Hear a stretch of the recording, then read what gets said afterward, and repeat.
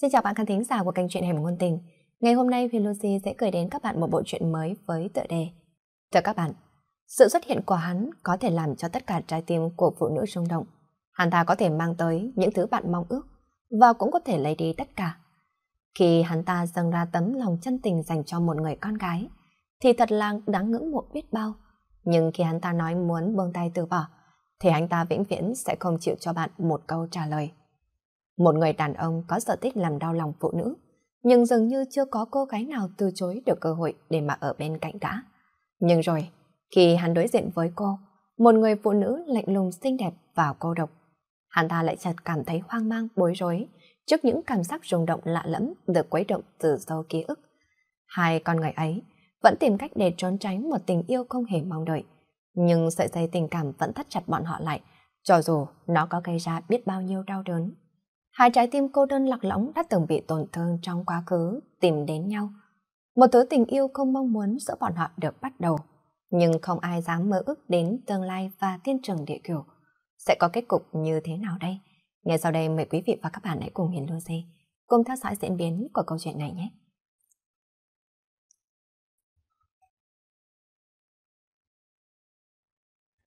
Chưa bao giờ cô nghĩ mình sẽ gặp Tôn Văn Tấn trong tình huống như thế này. Đó có thể coi là lần đầu tiên sau bao nhiêu năm đường du quay lại thành phố nửa. Theo chỉ dẫn, đường du bắt taxi đi từ khách sạn nơi cô ở đến biệt thự tìm Tô Nhiêu. Đến nơi đường du thấy một người phụ nữ từ trong nhà ra đón. Chị ta thấy cô xuống xe thì liền vội vàng cười hỏi. Cô có phải là đường du không? Tô Nhiêu dặn tôi đón cô đó. Đường du ngạc nhiên cất tiếng. Tôi nhiêu đâu? Cô ấy đã đi đâu rồi sao? Cô ấy sao? Người phụ nữ nở ra một nụ cười tràn đầy sự ẩn ý. Vừa nghe bảo Tôn Văn Tấn về thì đã liền lập tức xuống núi đón rồi. Thế nên mới dặn tôi ra cổng lớn để dẫn cô vào.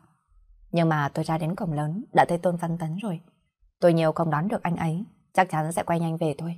Cô vào trong nhà để mà đợi đi. Thật đúng là may quá. Cặp Tôn Văn Tấn cũng chính là lý do đường du đến thành phố nở lần này.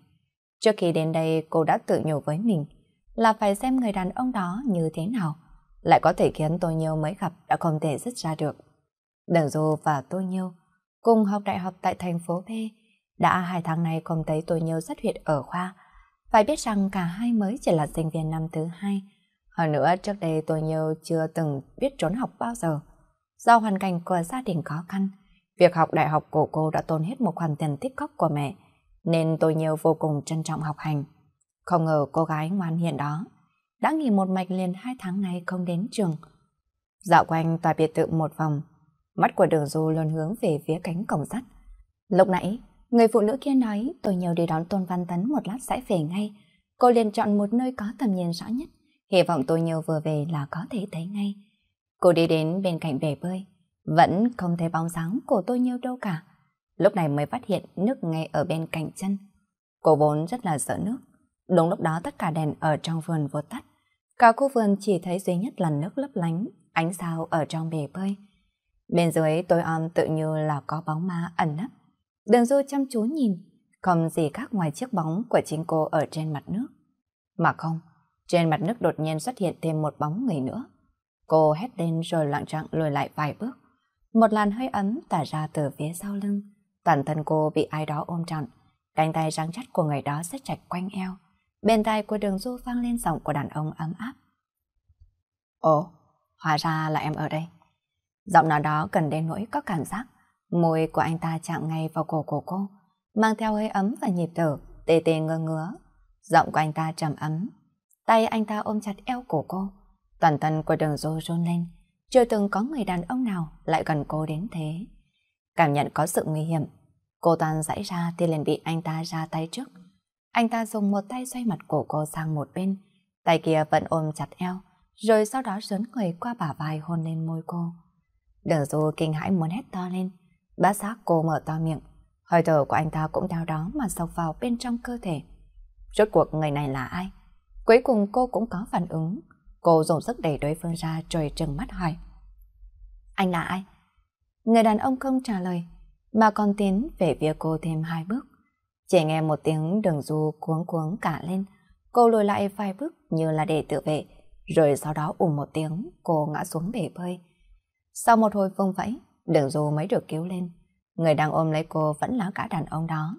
Lên đến bên bờ cô vội vàng đẩy gã ra. Lúc này đèn trong cô vườn bỗng nhiên bật sáng. Tôi nhiều đi về phía bể bơi với vẻ mặt ngạc nhiên. Không biết lúc nãy là ai đã dập cầu giao điện. Không đợi nghe câu trả lời, cô chú ý đến ngay hai người đàn ướt như chuột luật ở bên cạnh bể bơi. Tiểu Du à, cậu làm sao thế? Trông thấy tôi nhiều, đừng Du nghĩ ngay đến người đàn ông đứng bên cạnh. Cô không quen gã nên cũng không biết trả lời ra sao cả. Cho dù cả ta đã cứu cô, nhưng cũng chính là tại cả ta mà cô ra nông nỗi này. Còn chưa rõ trắng đen trái phải như thế nào đã ôm lấy người ta. Đáng ghét nhất là cả ta vẫn đang cười nhăn nhở. Chẳng thể ngờ tôi nhiêu lại tiến về phía kẻ đó hỏi. Văn Tấn à, làm sao hai người đều ướt sũng như thế chứ? Có phải là ngã xuống bể bơi không? Đường dô quay lại nhìn tôi nhiêu, rồi lại nhìn cả đàn ông đang ướt sũng trận tròn mắt. Tôi nhiêu à, anh ta, anh ta chính là Tôn Văn Tấn sao? Ừ, đây chính là Văn Tấn, người mà mình từng kể với cậu rất là nhiều lần nha. Trong khi đường du còn đang ngần ngẩy ra, thì gã đàn ông đã giải thích với tôi nhiều chuyện vừa rồi. Sau khi thay đồ xong, đường du và Tôn Văn Tấn lại chạm trán nhau khi xuống cầu thang. Khuôn mặt của gã hơi đỏ. Gã hò một tiếng rồi hắng giọng nói. Xin lỗi cô, lúc nãy tôi không nhìn rõ nên tôi tưởng cô lại nhiêu nhiêu. Đền du khẽ hừ một tiếng, thầm nhủ sao ngay cả người yêu của mình mà gã ta cũng không nhận ra chứ. Đêm hôm đó Đường Du và tôi nhiêu ngủ trong phòng. Cỡ nhớ sau hai tháng không gặp nhau thì hai người sẽ có nhiều chuyện để mà hàn huyên. Nhưng có ai biết ở trong lòng cả hai đều đang chất chứa vô số tâm sự không thể thốt thành lời. Đường Du chờ mình mãi, không sao chìm vào giấc ngủ được. Sau đêm đó tôi nhiều vẫn không muốn quay lại trường. Đường Du thì không thể nán lại thành phố nổi thêm nữa. Cô còn có một số việc quan trọng khác ở trong chuyến đi lần này đến thành phố S. Bố cô đã hẹn ở đó. Trên đường ra bến xe, Tôn Văn Tấn và Tô Nhiêu tiễn cô. Nhìn bạn, đường du thầm thở dài nghĩ Tô Nhiêu thật là đáng thương. Tôn Văn Tấn đứng bên cạnh đó chợt cất tiếng hỏi. Cô đường du, đi thành phố S là có việc gì sao? Đường du vẫn chưa quên chuyện tối ngày hôm qua. Cô lạnh lùng nhìn cả rồi nói từng tiếng. Có việc, cắt đứt quan hệ cha con. Trở lại từ thành phố S, khi về đến nhà trọ, lúc ngang qua tầng 1, bà chủ nhà liền gọi với theo. Sắp hết hạn nộp tiền thuê nhà rồi đó. Nhớ đóng cho bác 3 tháng tiền thuê nhà mới nha. Căn hộ của đường du thuê cứ 3 tháng phải nộp tiền một lần. Lần trước nộp vào tháng 9, hôm nay là ngày mùng 2 tháng 12, vẫn còn 6 ngày nữa, nên đừng dối cất tiếng đáp. Dạ vâng, cháu nhớ rồi ạ.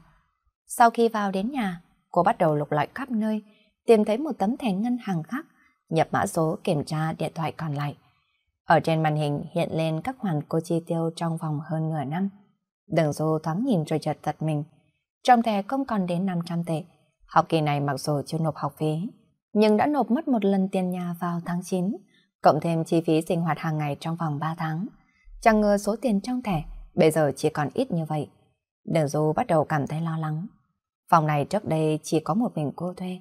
Lúc đầu vì còn phòng trống, nên tôi nhiều muốn đến ở cùng. Cô cũng không để bạn phải nộp tiền nhà.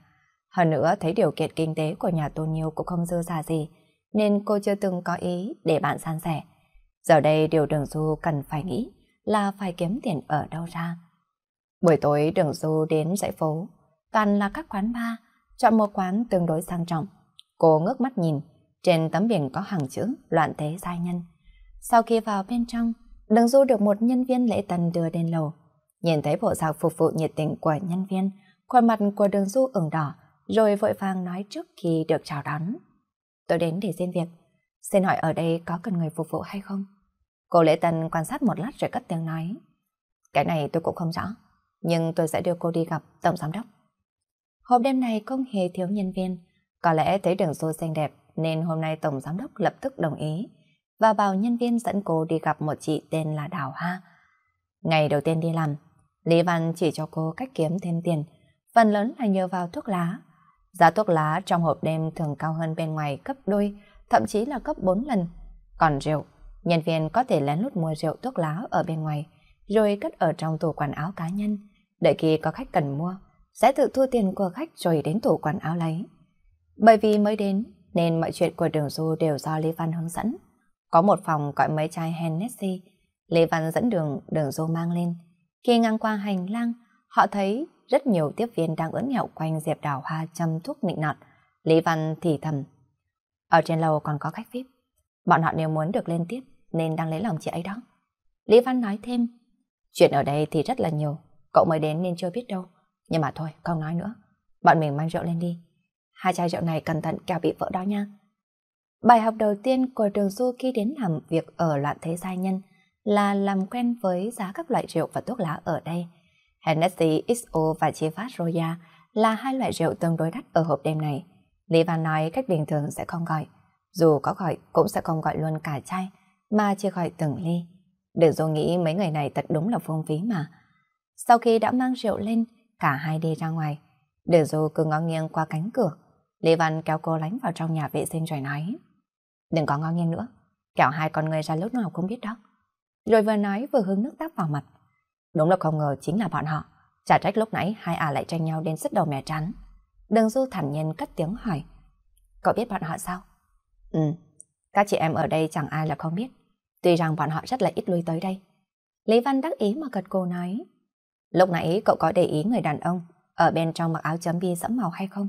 Còn ở bên ngoài mặc chiếc áo len màu nâu sẫm bao sát người đó. Cái gì? Cậu không chú ý lắm sao?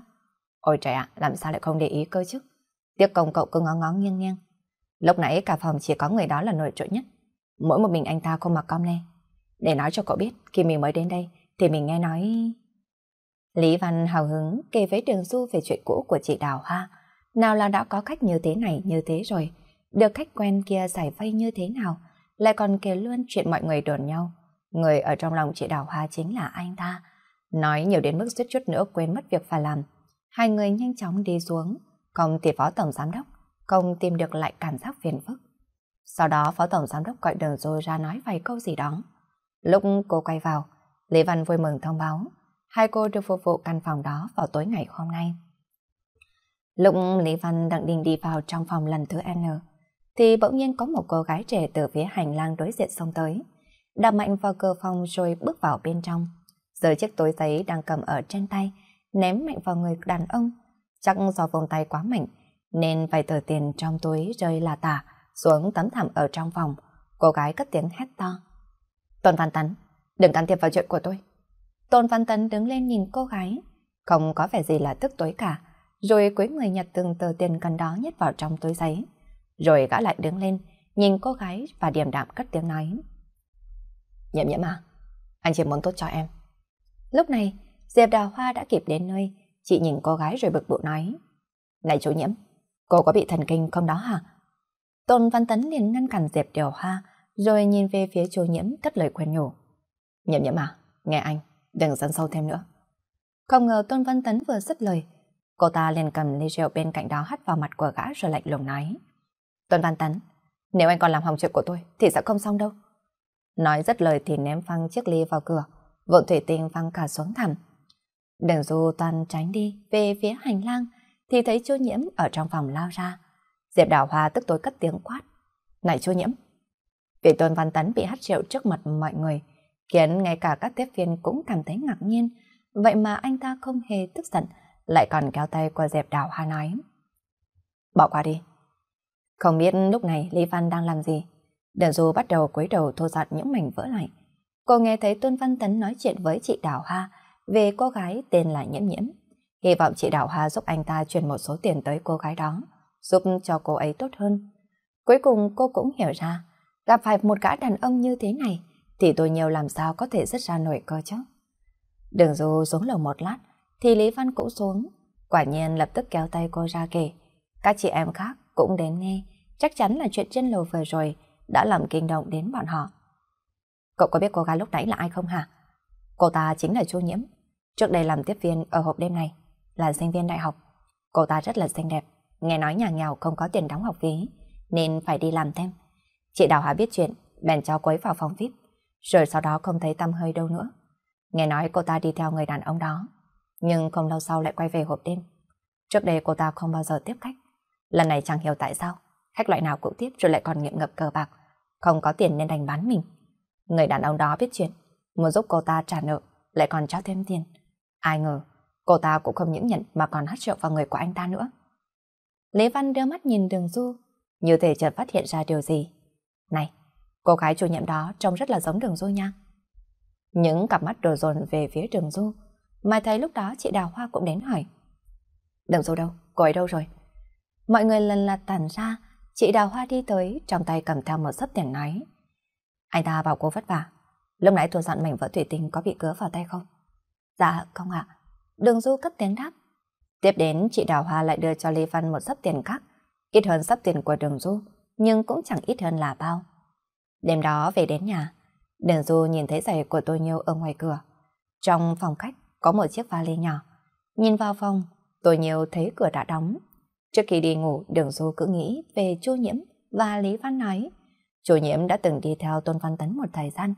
Anh ta đối xử với cô ta cũng tốt. Bây giờ ra nông nỗi này, tính cách của cô gái này cũng thật là mạnh mẽ. Nghĩ đến đây thì Đường Du bỗng cảm thấy lo cho tôi Nhiêu. Ngày hôm sau khi tỉnh lại, Đường Du đã không thấy tôi nhiều đâu cả.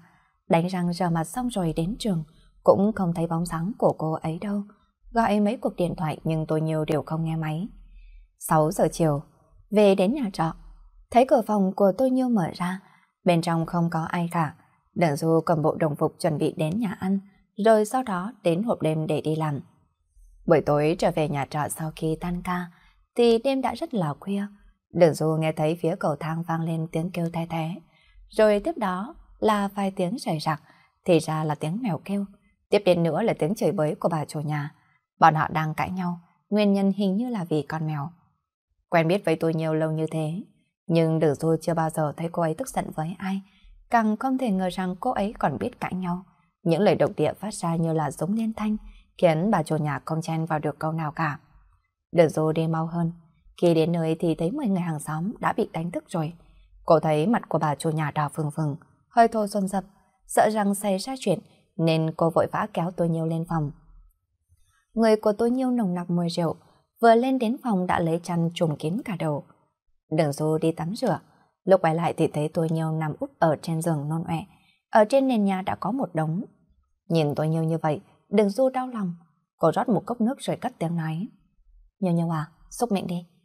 Tôi nhiều cổng cốc nước ngơ ngác nhìn bạn, đến lúc Đường Du xong việc ngẩng đầu lên, đã thấy tôi nhiều giàn ruột nước mắt nói ở trong tiếng nấc. Tiểu Du à, mình rất yêu anh ta. Cái gì anh ta không thích mình đều không dám làm. Nhưng tại sao? Tại sao anh ấy vẫn không là không cần mình chứ? Khó khăn lắm tôi nhiều mới ngủ được. Sợ nửa đêm cô nghĩ quẩn nên đường du không dám về phòng mà ngủ tạm trên chiếc ghế bên cạnh giường của tôi nhiêu. Quá nửa đêm điện thoại của đường du bỗng kêu lên inh ỏi. Cô giật mình tỉnh giấc sợ ảnh hưởng đến tôi nhiêu. Cô vội vã ra phòng khách nghe, đến tận ban công mới dám lên tiếng. Alo, là ai đó hả? Đừng du nghe điện thoại, đầu dây bên kia lại không nói gì. Cô alo vài tiếng cảm thấy thật là kỳ lạ. Người đó không dập máy cũng chẳng nói gì. Cô nhìn vào màn hình điện thoại, số điện thoại hiển thị có mã vùng của thành phố N. Cô đoán là Lâm Khai, nên liền hỏi, thì phát hiện ra là anh thật. Suốt cuộc điện thoại anh không nói gì, chỉ nói đúng một câu anh nhớ em rồi cúp máy. Cô cảm thấy lạ, liền gọi lại nhưng thuê bao đã không liên lạc được.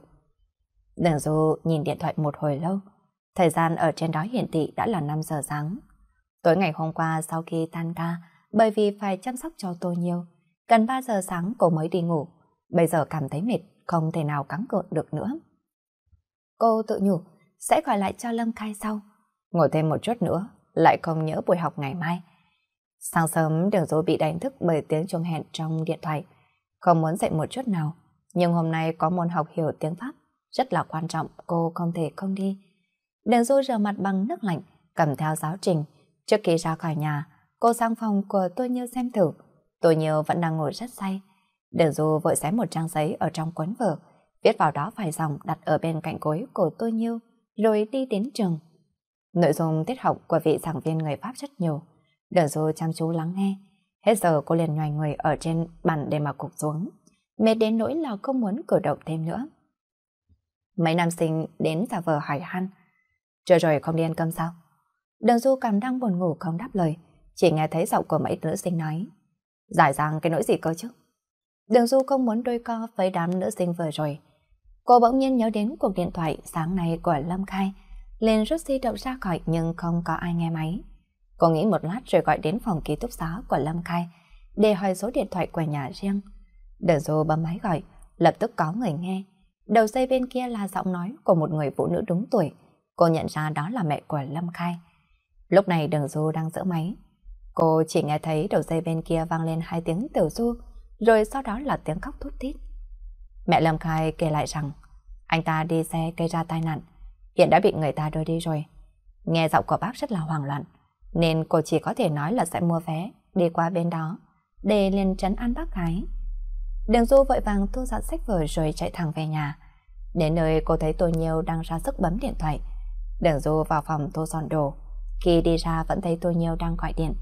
Từ trong điện thoại phát ra tiếng thông báo tự động lặp lại. Xin lỗi, thì bao quý khách vừa gọi đã ngừng hoạt động. Tôn Văn Tấn thật đúng là một kẻ tàn nhẫn. Khi nhìn thấy đôi mắt của Tô Nhiêu đỏ hoe, sắc mặt nhợt nhạt, Đường Du cảm thấy xót xa. Nghĩ đến đó, Đường Du quên cả việc phải nói với Tô Nhiêu về chuyện tiền thuê nhà. Chỉ nói là có việc phải đi đến thành phố nở ngay, mong tôi Nhiêu ở lại phải tự biết chăm sóc lấy bản thân mình. Ra đến cửa, Đường Du liền gọi điện thoại cho mẹ của tôi Nhiêu, nói về qua tình hình của bạn. Mai thầy mẹ tôi Nhiêu nói sẽ xin nghỉ để đến đây xem sao. Trong người của Đường Du chỉ có hơn 2.000 tệ, được khách bà ở hộp đêm tối ngày hôm qua. Sau khi mua vé máy bay thì chẳng còn lại là bao. Xuống máy bay, cô bắt xe đi thẳng đến nhà của Lâm Khai. Nhớ mang mắng là nhà ở Lâm Khai ở cô giáo viên. Đường Du gõ cửa, một người phụ nữ đứng tuổi ra mở cổng. Vừa trông thấy đường Du thì liền sững sờ trong giây lát, bỗng cất giọng nghẹt ngào. Tiểu Du à, là cháu đó sao? Đường Du đến thành phố N vào lúc chập tối. Đêm đó cô cùng bà Lâm đợi ở nhà đến tận 9 giờ, vẫn không thấy Lâm Khai về. Gọi điện thoại cũng không có ai nghe. Mẹ Lâm Khai rất là lo lắng, liền gọi điện thoại cho ông Lâm. Đường Du thì đề nghị báo cảnh sát. Hai ông bà Lâm đều là giáo viên thật thà chất phác. Lâm Khai cũng là hạng thư sinh. Bây giờ xảy ra chuyện, đành để cho người ta ước hiếp, chứ chẳng biết phải làm như thế nào cả. Hơn nữa bố của anh đang ở tỉnh trên, muốn quay về ngay cũng mất vài tiếng đồng hồ, nên chị khuyên mọi người hãy cố đợi thêm một chút nữa. Các máy điện thoại rồi, hai người tiếp tục chờ đợi đến 10 giờ. Lâm Khai vẫn chưa trở về nhà. Đường Dù không thể ngồi yên, cô nghĩ đến lời của bố Lâm Khai nói. Đám người đó làm xây dựng rất là to gan. Trước đây khi ở bên ngoài trường, Đường Du có một công trình xây dựng. Cô đã nghe được không ít những chuyện cướp bóc cưỡng hiếp, giết người, nên trong lòng cảm thấy rất là bất an. Ngặt một đỗi, mẹ Lâm Khai ở bên cạnh cô, nên cô không dám tùy tiện báo cảnh sát, đành chốc chốc phải bấm số khỏi di động cho anh. Nhưng không ngờ, đến gần 10 giờ rưỡi thì nối máy được với Lâm Khai. Đáp lại, cô không phải là giọng nói của Lâm Khai, mà là giọng thô lỗ khác, hóa ra đó là chồng của nạn nhân. Bên đó hung hăng đòi bồi thường, không chịu nói lý, còn đe dọa ảnh hưởng đến tính mạng của Lâm Khai. Đỡ dù cố ý nhẹ giọng khuyên bảo, chấp nhận bồi thường, nhưng với điều kiện phải có luật sư. Có vẻ nghe cô nói chuyện hợp lý hay sao đó, đối phương đồng ý thả người ra, nhưng bảo cô đến đón vì hiện tại Lâm Khai không thể đi được nữa. Đỡ dù thầm nghĩ, có lẽ Lâm Khai bị hành hạ không nhẹ. Cô bình tĩnh hỏi địa chỉ rồi dặn bà Lâm, nếu quá một giờ đêm chưa thấy hai người về, thì dù thế nào cũng phải gọi điện thoại báo cho cảnh sát. Nói rồi Đường Du ghi lại địa chỉ cho bà. Lần theo địa chỉ tìm đến, đó là một căn nhà xây thô của cô nhà đang xây dựng ở thành phố N. Công nhân không có chỗ ở, nên chọn một nhà đang xây giờ để làm chỗ trốn. Đường Du lần mèo theo địa chỉ tìm từng dãy, cuối cùng cũng tìm được gian nhà đó. Căn nhà đó chưa lắp cả cửa, chỉ có một tấm gỗ đặt nhích lên ở phía bên tường, có lẽ là để che chắn. Ở trong phòng có một chiếc giường, nền nhà háng chất thành đống, toàn là những thứ hổ lốn. Lâm Khai đang ngồi ở bên một tấm bê tông, lưng dựa vào bức tường gạch. Đường Du lo lắng vội vàng bước tới, thấy quần áo của Lâm Khai sọc sạch, trên trán có vết bầm tím, khuôn mặt cũng bị sưng vổ lên. Sự xuất hiện của Đường Du đã gây chú ý cho người đàn ông đang ngồi ở trên giường. Hắn nhùng người dậy mà nhìn cô. Đường Du quay xuống, toàn đỡ Lâm Khai dậy, thì cả đàn ông liền cất tiếng hỏi. Mà là bạn gái của thằng này sao? Giọng của hắn tỏ rõ vẻ ngạc nhiên. Có lẽ không ngờ người yêu của Lâm Kha lại xinh đẹp đến thế. Đường Du lạnh lùng cất tiếng trả lời. Tôi đưa anh ấy về nhà trước. Chuyện bồi thường, ngày mai chúng ta sẽ hẹn luận sơ. Trong tình huống này, Đường Du không muốn nói nhiều.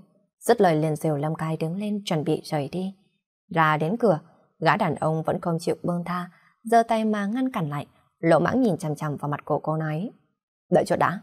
Nhìn một lát hắn lại nói tiếp. Thằng ô này thật đúng là có đại phúc. Được cô em xinh đẹp như thế này hầu hạ. Đường Du bị hắn soi đến mức khó chịu. Cô cho mày, nhưng không muốn dây dưa diễn chuyển, nên nhẫn nhịn bỏ qua ánh mắt tục tằng đó, toàn lách qua người của hắn. Nhưng hắn ta lại không có ý định nhường đường. Từ từ đã, còn việc bồi thường nữa. Đường Du ngừng đầu nhìn, nhẫn nại cất tiếng nói. Tôi đã nói rồi, việc bồi thường ngày mai chúng ta sẽ hẹn luật sư cùng nhau bàn bạc. Anh yên tâm, lúc đó phải đền bao nhiêu, chúng tôi tuyệt đối sẽ không thiếu một xu. Cô vừa nói vừa lách qua người hắn, không gian tĩnh mịch khiến cho đường Du cảm thấy căng thẳng. Vừa ra đến cổng, gã đàn ông đã đuổi theo. Có lẽ do vẫn chưa thỏa mãn, hắn giơ tay kéo đường Du. Dường như là có sự cảm, cô vùng người quay lại cảnh giác nhìn hắn. Anh muốn gì? Em gái à? Hãy cùng anh một lần đi. Lát nữa anh sẽ để cho bọn em về. Anh cũng không bắt bạn trai của em bồi thường nữa. Sau này cũng sẽ tuyệt đối không quay nhiễu nó nữa. Em đồng ý đi mà. Đường Du bị Trần Dũng ôm gọn. Mùi trên cơ thể quán tắp vào mặt. Tay quán sợ soạn thân thể của cô. Đường Du chưa từng bị làm nhục như thế bao giờ. Cô hét lên, vừa đá vừa cao cấu. Nhưng sức lực của cô làm sao có thể mạnh bằng hắn chắc. Lâm Khai bị Trần Dũng hất mạnh xuống đất. Thân thể của anh vốn gầy yếu, trước đó đã bị đánh đập, xương cốt toàn thân rã rời, bây giờ lại bị văng mạnh xuống đất. Chỉ thấy một cơn đau nhức trước mắt đen kịt, đầu choáng mắt hoa vẫn chưa hồi phục lại, thì bỗng nghe thấy tiếng kêu của người yêu. Lâm Khai cố gắng mở mắt ra, thấy Trần Dũng đang dùng một tay bịt miệng của đường Du hai chân kẹp chặt, miệng hồn loạn xạ trên cơ thể của cô. Tay kia thọc vào bên trong lớp quần áo. Lâm Khai tức nổ đong đám mắt, vùng người đứng dậy, dùng toàn bộ sức lực nhào tới tóm chặt lấy hắn. Trần Dũng cạt phăng ra khiến Lâm Khai bị quật mạnh xuống đất. Đường Du vừa xấu hổ vừa tức giận. Trong lúc dãy rủa, bỗng giờ thấy con dao cài ở thắt lưng. Cô sực nhớ ra, lúc trước kia rời nhà của Lâm Khai đến đây, cô đã mua theo con dao gọt hoa quả này ở sạp bán hàng, trước cổng cô tập thể giáo viên. Đường Du lên lén rút con dao đó ra, nhưng lại sao sáng lé.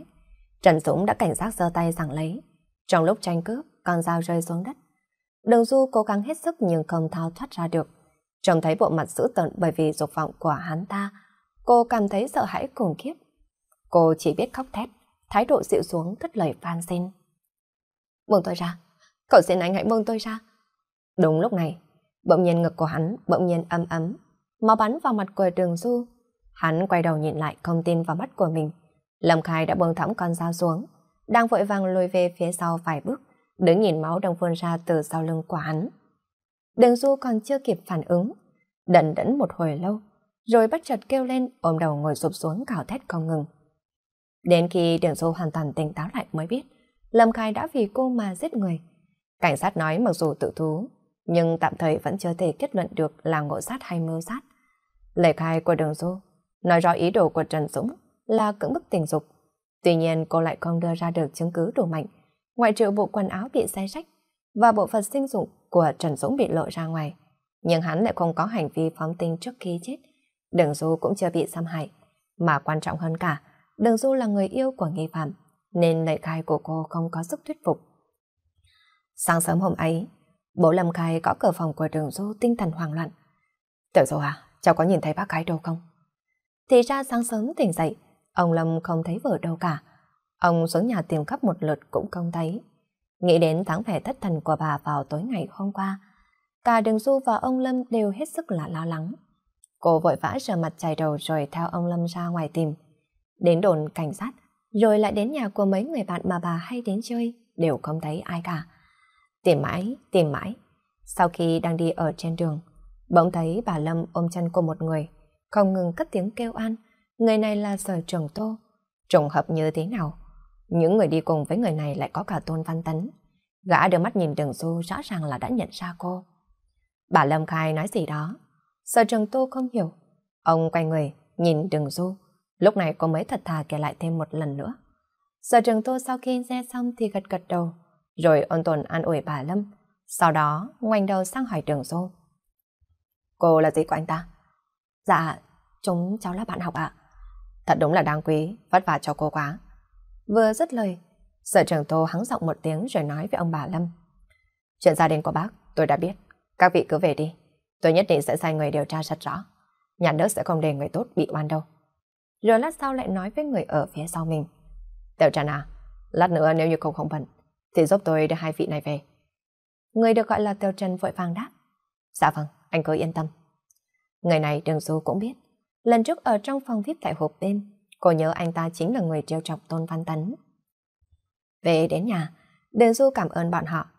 Trần Thích gật đầu, nhưng đôi mắt lại cứ đào tròn, hết nhìn cô lại nhìn Tôn Văn Tấn. Thần sắc của anh ta có một chút kỳ lạ, như thể phát hiện ra bí mật gì rất là đáng ngạc nhiên. Tuần Văn Tấn thì ngược lại, gã không hề nhìn cô, cũng không hề nói năng gì từ đầu chí cuối. Buổi trưa nhà Lâm Khai có khách, người đó là người nhà của bà Lâm. Hôm trước bố Lâm Khai đã sang tỉnh bên báo tin, họ liền vội vã, bán đống hàng hóa ở trong tay với giá rẻ để kịp đến đây. Họ là vợ chồng người anh họ của bà Lâm. Cả nhà ngồi bàn bạc gì đi tính lại, lại không biết nghe đâu đồn bảo, sở trưởng tố Bất Dị là người tham lam chỉ thích nhận tiền mới giải quyết việc, nhưng khó là không phải tiền của ai cũng nhận, cuối cùng vẫn quyết định đút lót. Ông bà Lâm vốn là người thật thà nhân hậu, chưa từng trải qua việc gì nghiêm trọng cả. Những việc như thế này họ chưa từng gặp phải, nên quyết định sẽ nghe theo ý kiến của người anh họ.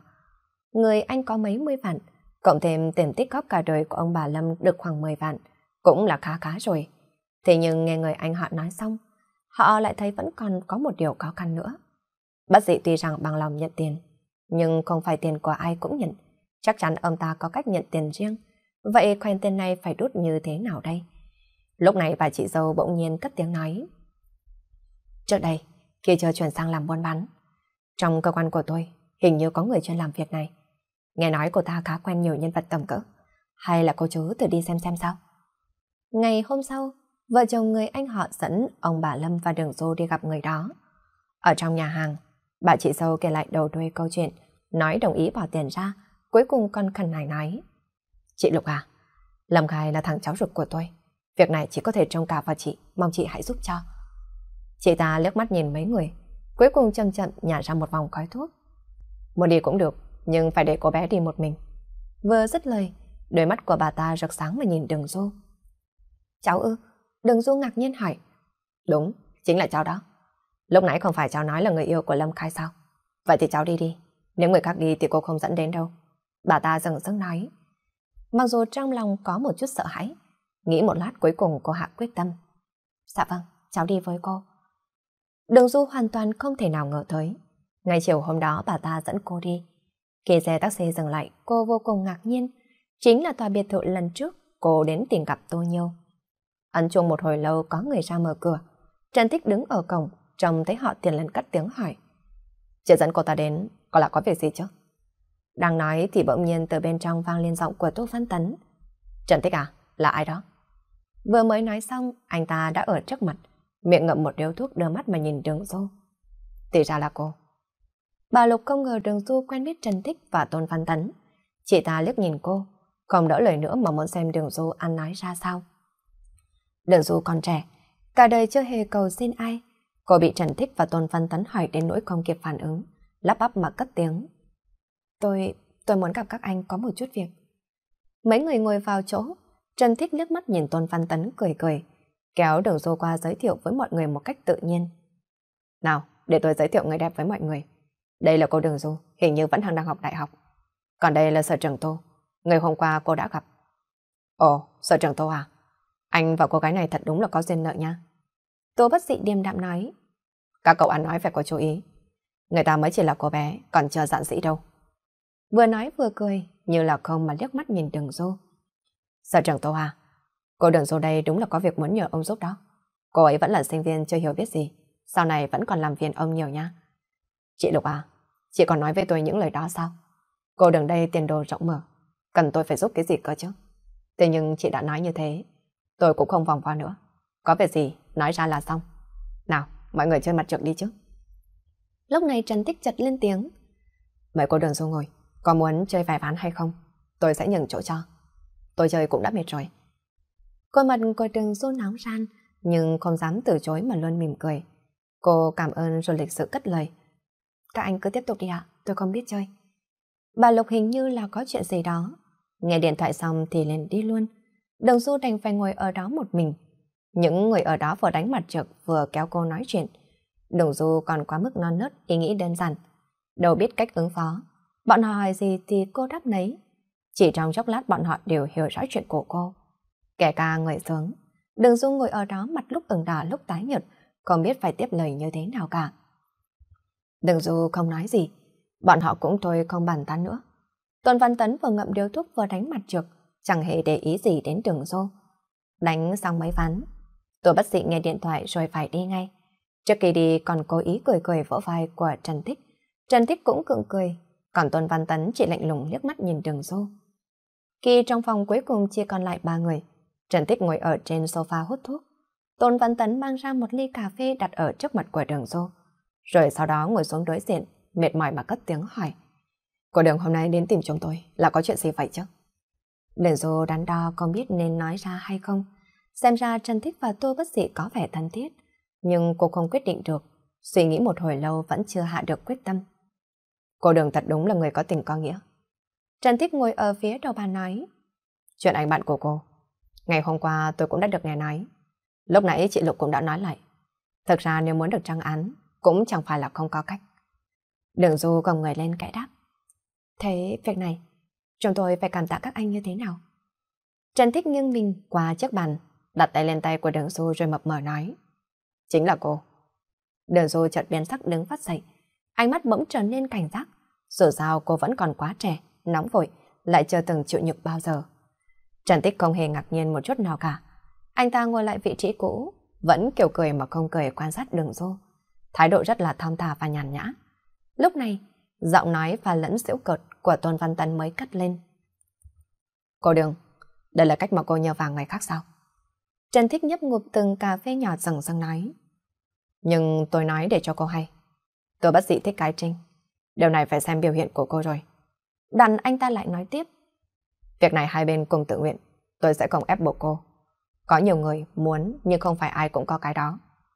Trần Thích nói rất là chậm, từng câu từng chữ. Lần này Điền Du rất là bình tĩnh. Nghe xong câu đó thì cơ thể của cô gần như bất động, rồi sau đó gật đầu cất tiếng nói. Việc hôm nay đã làm phiền đến các vị.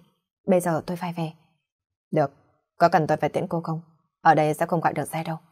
Đường Du đứng dậy trả lời. Không cần đâu. Thôi được, nếu như đổi ý thì có thể tìm đến tôi bất cứ lúc nào. Đây là danh thiếp của tôi. Trần Thích vừa dứt lời, liền rút danh thiếp đặt ở trên bàn rồi đẩy về phía đường Du. Cô nhìn tấm danh thiếp rồi cười nói. Cảm ơn, nhưng tôi không cần. Vừa dứt lời cô liền quay đầu bước đi. đền Du vừa về đến nhà. Ông bà Lâm còn chưa kịp hỏi han tình hình ra sao, thì nhận được điện thoại của người đàn bà họ Lục. Còn biết bà ta nói gì, sắc mặt của ông Lâm trở nên nghiêm trọng. Đến lúc cô ấy đường du chỉ nghe thấy vọng ra một câu. Nói để anh hay, việc này có đưa bao nhiêu tiền tôi cũng không làm đâu, anh chị nhờ người khác đi. Đường du đứng ở giữa phòng, ông bà Lâm không buồn nhìn cô, cả hai đều trầm ngâm khiến bầu không khí trở nên nặng nề cận cạo. Buổi tối, ông bà Lâm không ăn uống gì mà đi luôn. Đường du ở trong phòng đi ra, thấy hai phòng ngủ và phòng khách đều trống cong, trong lòng bất chợt lạnh lẽo. Những ngày nay, Bố mẹ Lâm Khai hết sức tin tưởng vào coi trọng cô. Đi đâu cũng đều gọi đi cùng. Sao hôm nay lại để cô ở nhà một mình cơ chứ? Cô đi tàu điện ngầm đến quán bar. Bởi vì không có nhiều tiền để, nên đành phải gọi một chai bia. Ở trong lòng cô chất chứa tâm sự, khóe mắt mang nặng một nỗi oán hận. Những cô gái đẹp có tâm sự trong quán bar từ trước đến nay không thiếu người chú ý. Chỉ trong chốc lát đã có người đến bên cạnh giúp cô gọi rượu. Cô cũng chẳng từ chối. Có đàn ông tình nguyện thanh toán thì tại sao lại không uống chứ? Đừng dù uống như là điên dại. Trần Thích ở phía trong đi ra bỗng nhìn thấy cô. Anh ta ngoảnh đầu nhìn lại Tôn Văn Tấn rồi đưa mắt ra hiệu. Tôn Văn Tấn liền đi về phía cô. Đường Du đã say, nhìn không rõ người ở phía trước mặt. Tuần Văn Tấn đuổi những gã đàn ông lòng dạ cáo lường đã mưa rội cho cô đi. đồng Du bỗng nhiên vừa khóc vừa rằng lại rượu. Này Tuần Văn Tấn, anh muốn gì hả? Anh thấy thương hại tôi có phải không? Tôi nói cho anh biết tôi không cần. Những người đó mời rượu cho tôi là muốn tôi say, muốn tôi lên giường. Còn anh, anh đuổi bọn họ đi lại để được cái gì? Các anh và Trần Dũng thì có cái gì khác nhau chứ? Đường Du không biết mình đã nói lộn xộn những gì, chỉ muốn mượn rượu để mà trút sầu. Giống như người ngã xuống nước vỡ được một cọng rơm cô là Tôn Văn Tấn. Cô muốn hỏi tại sao? Bấy nhiều năm nay cô phải khổ sở một mình, ốm đau không có người chăm sóc, phải tự mình cắn cự cho đến lúc khỏi bệnh. Dịp lễ Tết mọi người hân hoan đoàn tụ vui vẻ xung vầy. Nhưng đối với cô, những dịp ấy lại là một sự hành hạ khủng khiếp. Có phải là bởi vì cô không tốt, nên ông trời muốn trừng phạt cô hay không? Nhưng cô chưa từng làm tổn hại ai, chỉ sợ người khác làm tổn thương tới mình. Chính bởi vậy cô phải tự bảo vệ, bởi vì cô chỉ có một mình. Chẳng ai quý mến cô cả. Trước khi gặp tôi nhớ và Lâm Khai, thậm chí chưa một ai khiến cho lòng của cô ấm áp. Đừng dù không biết nói bao lâu rồi chìm vào giấc ngủ. Đến lúc tỉnh dậy cô thấy mình đang nằm ở trên giường. ngẩng đầu nhìn xung quanh, đoán chắc đây là phòng ở trong khách sạn. Quần áo ở trên người cô vẫn nguyên, cơ thể đầy mùi hôi, đầu như muốn vỡ tung. Nhất thời vẫn chưa nghĩ ra ai đã đưa mình đến đây. Cô đi tắm gội, còn đang rửa mặt thì nghe thấy tiếng chuông cửa. Cô liền chạy ra, nhưng rồi lại ngập ngừng. Tôn Văn Tấn đang đứng ở trước cửa. Những gì xảy ra vào tối ngày hôm qua giống như nước thủy triều tràn về trong óc của cô. Ngẩn ngơ một hồi lâu cô lại bật cười, nhưng lần này là cười Tôn Văn Tấn, cô nói. Anh Tôn, cảm ơn anh về chuyện tối qua. Đừng dù vẫn chưa rửa mặt xong, Toàn quay người đi vào nhà vệ sinh, như thể nhớ ra điều gì cô ngoảnh mặt nói thêm. Anh Tôn, đợi tôi đi rửa mặt, còn nữa cần phải tắm, nhưng tôi không có quần áo để thay. Tôn Văn Tấn nhìn Đường Du không ảnh ứng gì, cô cất tiếng cười gượng. Ngày hôm qua tôi đã sai, còn trẻ người non dạ nên không hiểu biết nhiều. Khi nào đưa tôi đi gặp sở trường tô, cần làm những gì thì anh cứ nói. À, tôi là gái Trinh. Tôn Văn Tấn nhìn cô không chớp mắt. Cái nhìn lần đầu tiên là khi vớt cô từ dưới nước lên. Trong bóng đêm cô mặc một chiếc áo gió ướt sũng, nhưng vẫn toát lên phong thái đặc biệt. Những màu mắt trợn để mà nhìn anh. Câu nói xúc phạm của Trần Thích ngày hôm qua khiến cho cô đứng phát dậy ra về. Còn có một lần nữa, đó là kêu cô Kinh Khi nói đi cắt đứt quan hệ cha con. Về mặt lúc nào cũng là bất cần đời, đã bị giấu kỹ. Thay vào đó là điệu bộ cung kính lấy lòng. Điều cười giống như là cọng cỏ thô ảm đạm thê lương. Tuần Văn Tấn rắn mắt nhìn vào gương mặt của cô, rồi bưng qua nói. Tối ngày hôm qua, cô đã uống nhiều. Thế ngày hôm qua, tôi sẽ không mạo phạm gì đến anh chứ? Đừng du khẽ cười. Cô vẫn mỉm cười. Mặc dù cười nhưng trong lòng cảm thấy chua xót, tìm đau nhức nhối. Cô vội vàng bước vào phòng tắm. Anh Tôn hãy đợi tôi một lát, tôi sẽ xong ngay thôi. Tiếng suối nước vang lên, đường du bắt đầu tắm. Tuần Văn Tấn lấy trong tủ ra một chai vang và một chiếc ly, sau đó vừa rót ra vừa uống một ngụm. Đường du đã ăn mặc gọn gàng đứng ở trước mặt, mặc dù tóc vẫn còn đang ròn nước, vẫn mặc bộ quần áo nhỏ nhĩ đêm qua, nhưng trông cô đã sạch sẽ và mát mẻ hơn rất nhiều. Tuần Văn Tấn đặt ly xuống, ngoảnh đầu nhìn ra ngoài cửa sổ mà không nhìn cô, chậm chậm cất tiếng nói. Cô đi đi. Tuần Văn Tấn, anh như vậy là sao? Đường Du ngạc nhiên. Tuần Văn Tấn không nói thêm gì.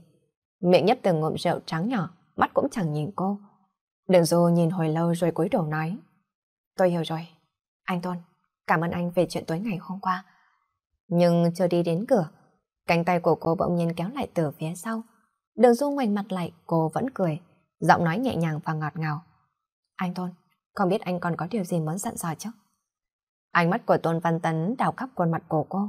Đường Du miễn cưỡng nặn ra một nụ cười. Bất chợt cả xoay người của cô lại. Một giây sau Tôn Văn Tấn không kìm nén được mà hôn tới tấp. Gã vòng tay đỡ người của cô. Lưng của Đồng Du bất chợt lạnh ngắt. Trong miệng có con vị của ly rượu vang đỏ. đồng Du không phản ứng gì cả. Cũng chẳng hề dãy rủa Chỉ là mơ mắt nhìn chằm chằm về phía gã.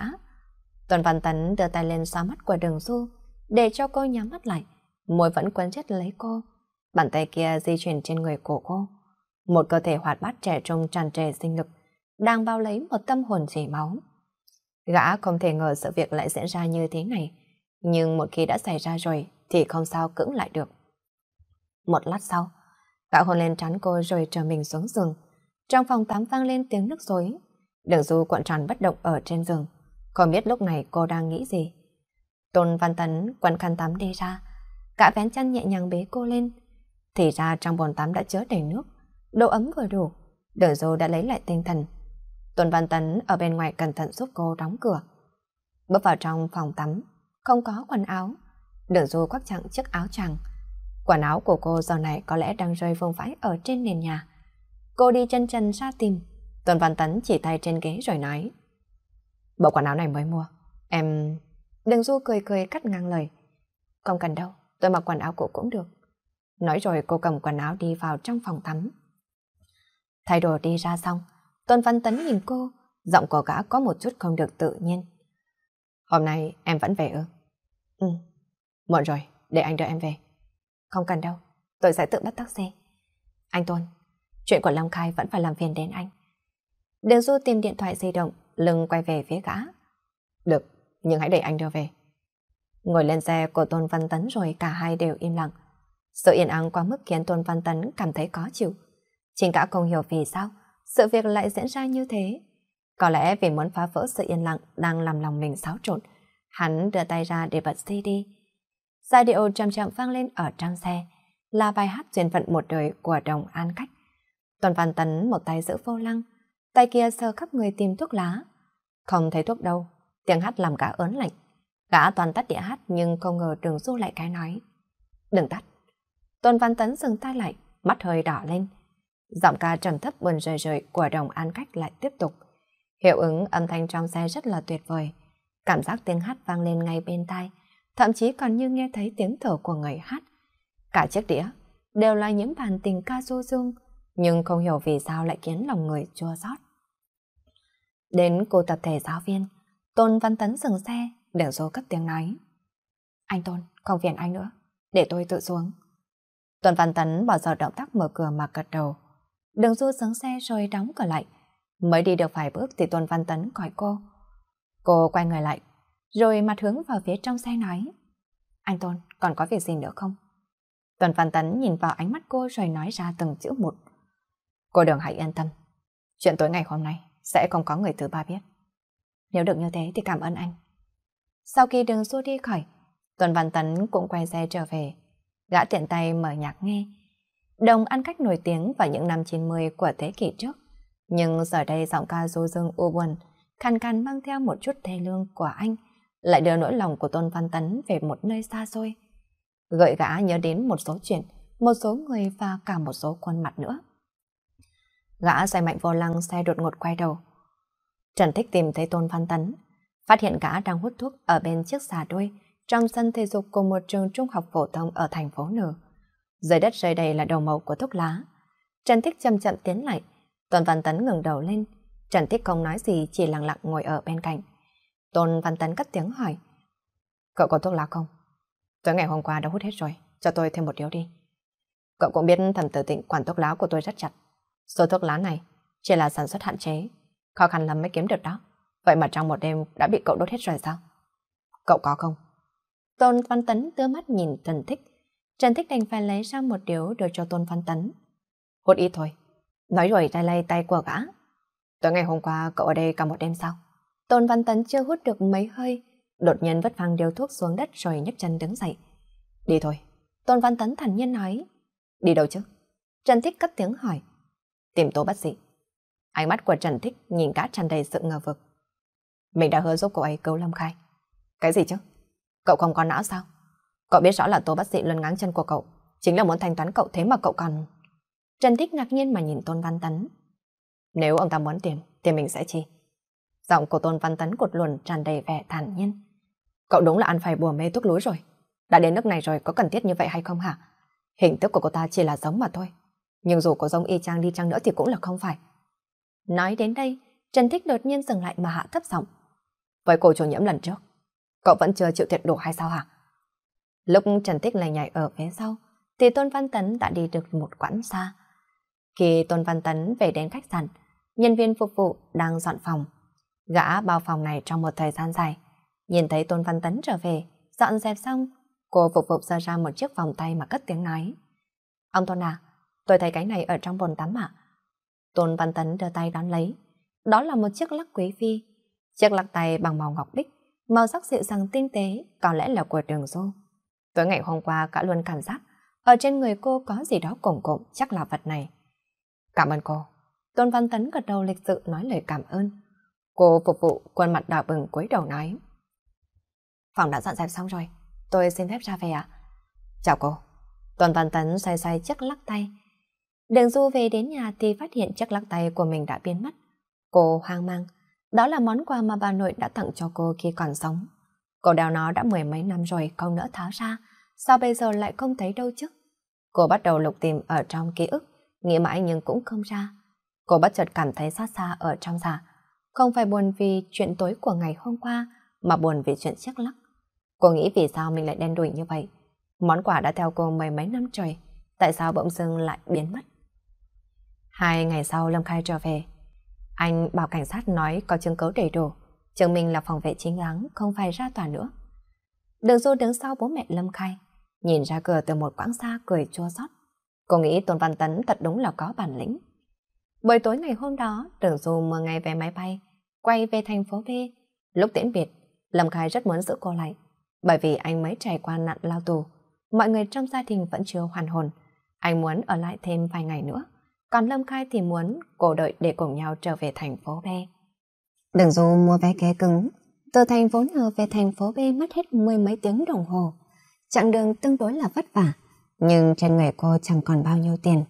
Vấn đề tài chính buộc cô phải đối mặt với rất là nhiều chuyện, như tiền thuê nhà, vì bây giờ đã là trung tuần tháng 12, rồi cả công việc ở hộp đêm. Cô mới chỉ làm ở đó được hai buổi. Lúc đi do quá hoang mang, nên chẳng kịp gọi xin điện thoại nghỉ. Mà bây giờ, khác với những gì cô nghĩ khi đến hộp đêm, thì đường xô đang thấp thỏm, không biết nên thuyết phục như thế nào để Diệp Đào Hoa và cả phó giám đốc có khuôn mặt mẹ kế kia tha thứ cho việc nghỉ không lý do và cho cô có thêm một cơ hội. Thì Diệp Đào Hoa bỗng nhìn thấy cô, đôi mắt của chị ta sáng lên, vội vàng thân mật kéo tay của cô nói. Đừng Du à, mấy ngày nay đi đâu mà không đến làm, mau thay đồng phục đi, một lát nữa khách sẽ đến đông đó. Thái độ yêu chiều của Diệp Đào Hoa khiến cho đường Du ngạc nhiên. Cô vào phòng để đồ thay đồng phục. Khi đi ra cũng thấy lúc Lý Văn phấn chấn đi tới hỏi han, rồi kể chuyện trong quãng thời gian cô đi vắng. Bảo là phó giám đốc đã đuổi việc cô, cộng thêm việc gây khó dễ cho một số chị em, nên đã bị mọi người đi qua quán đối diện làm. Còn một số ít thì lại đổi nghề. Hiện tại thì chị Đào Hoa đang làm quản lý. Bởi vì thiếu người, nên cô quay lại chị ấy rất vui. Ông chủ cũng hứa sẽ tăng lương và có thưởng cho người cũ bọn họ.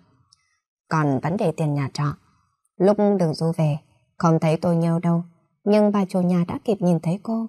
Tường bà đến rụt trả tiền nhà, toàn mở miệng thì bà đã nắm tay tay cô, mắt rơm rớm nói.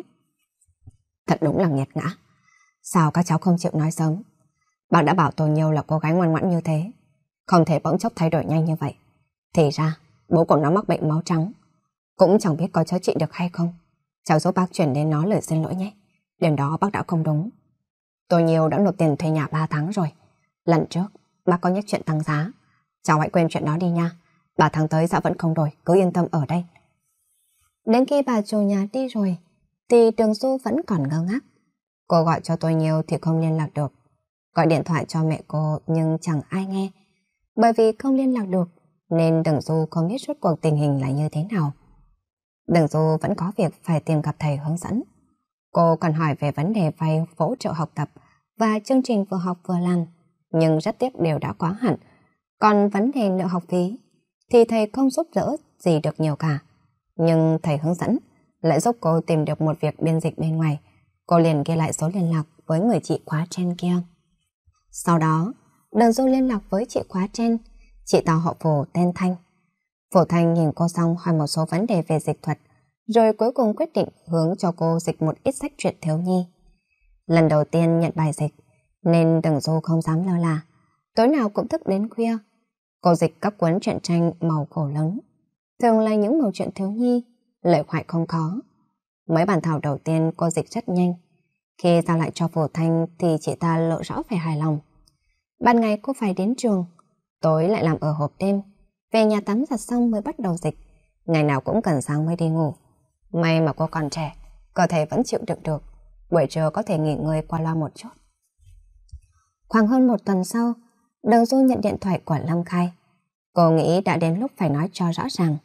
Hai người kết thúc trong vui vẻ. Hy vọng vẫn là có thể làm bạn của nhau. Một tháng sau tôi Nhiêu quay về, nhưng trong cô ấy đã có sự thay đổi rất nhiều. Đường Du ngạc nhiên cất tiếng hỏi. Nhiêu Nhiêu à, mắt của cậu làm sao thế? Lúc trước một một mí mà, cả mặt và lông mày nữa. Chẳng lẽ một tháng nay cậu đi phẫu thuật thẩm mỹ sao? Hàng loạt câu hỏi khiến tôi Nhiêu không kịp trả lời. Giọng của cô cũng nhỏ đi nhiều. Mình đi Hàn Quốc làm thẩm mỹ, mất một tháng mới lành vết nên... Cậu điên rồi sao? Tôi Nhiêu làm sao có thể làm chuyện này chứ? Hơn nữa xem chồng cũng muốn là không ít tiền của đi.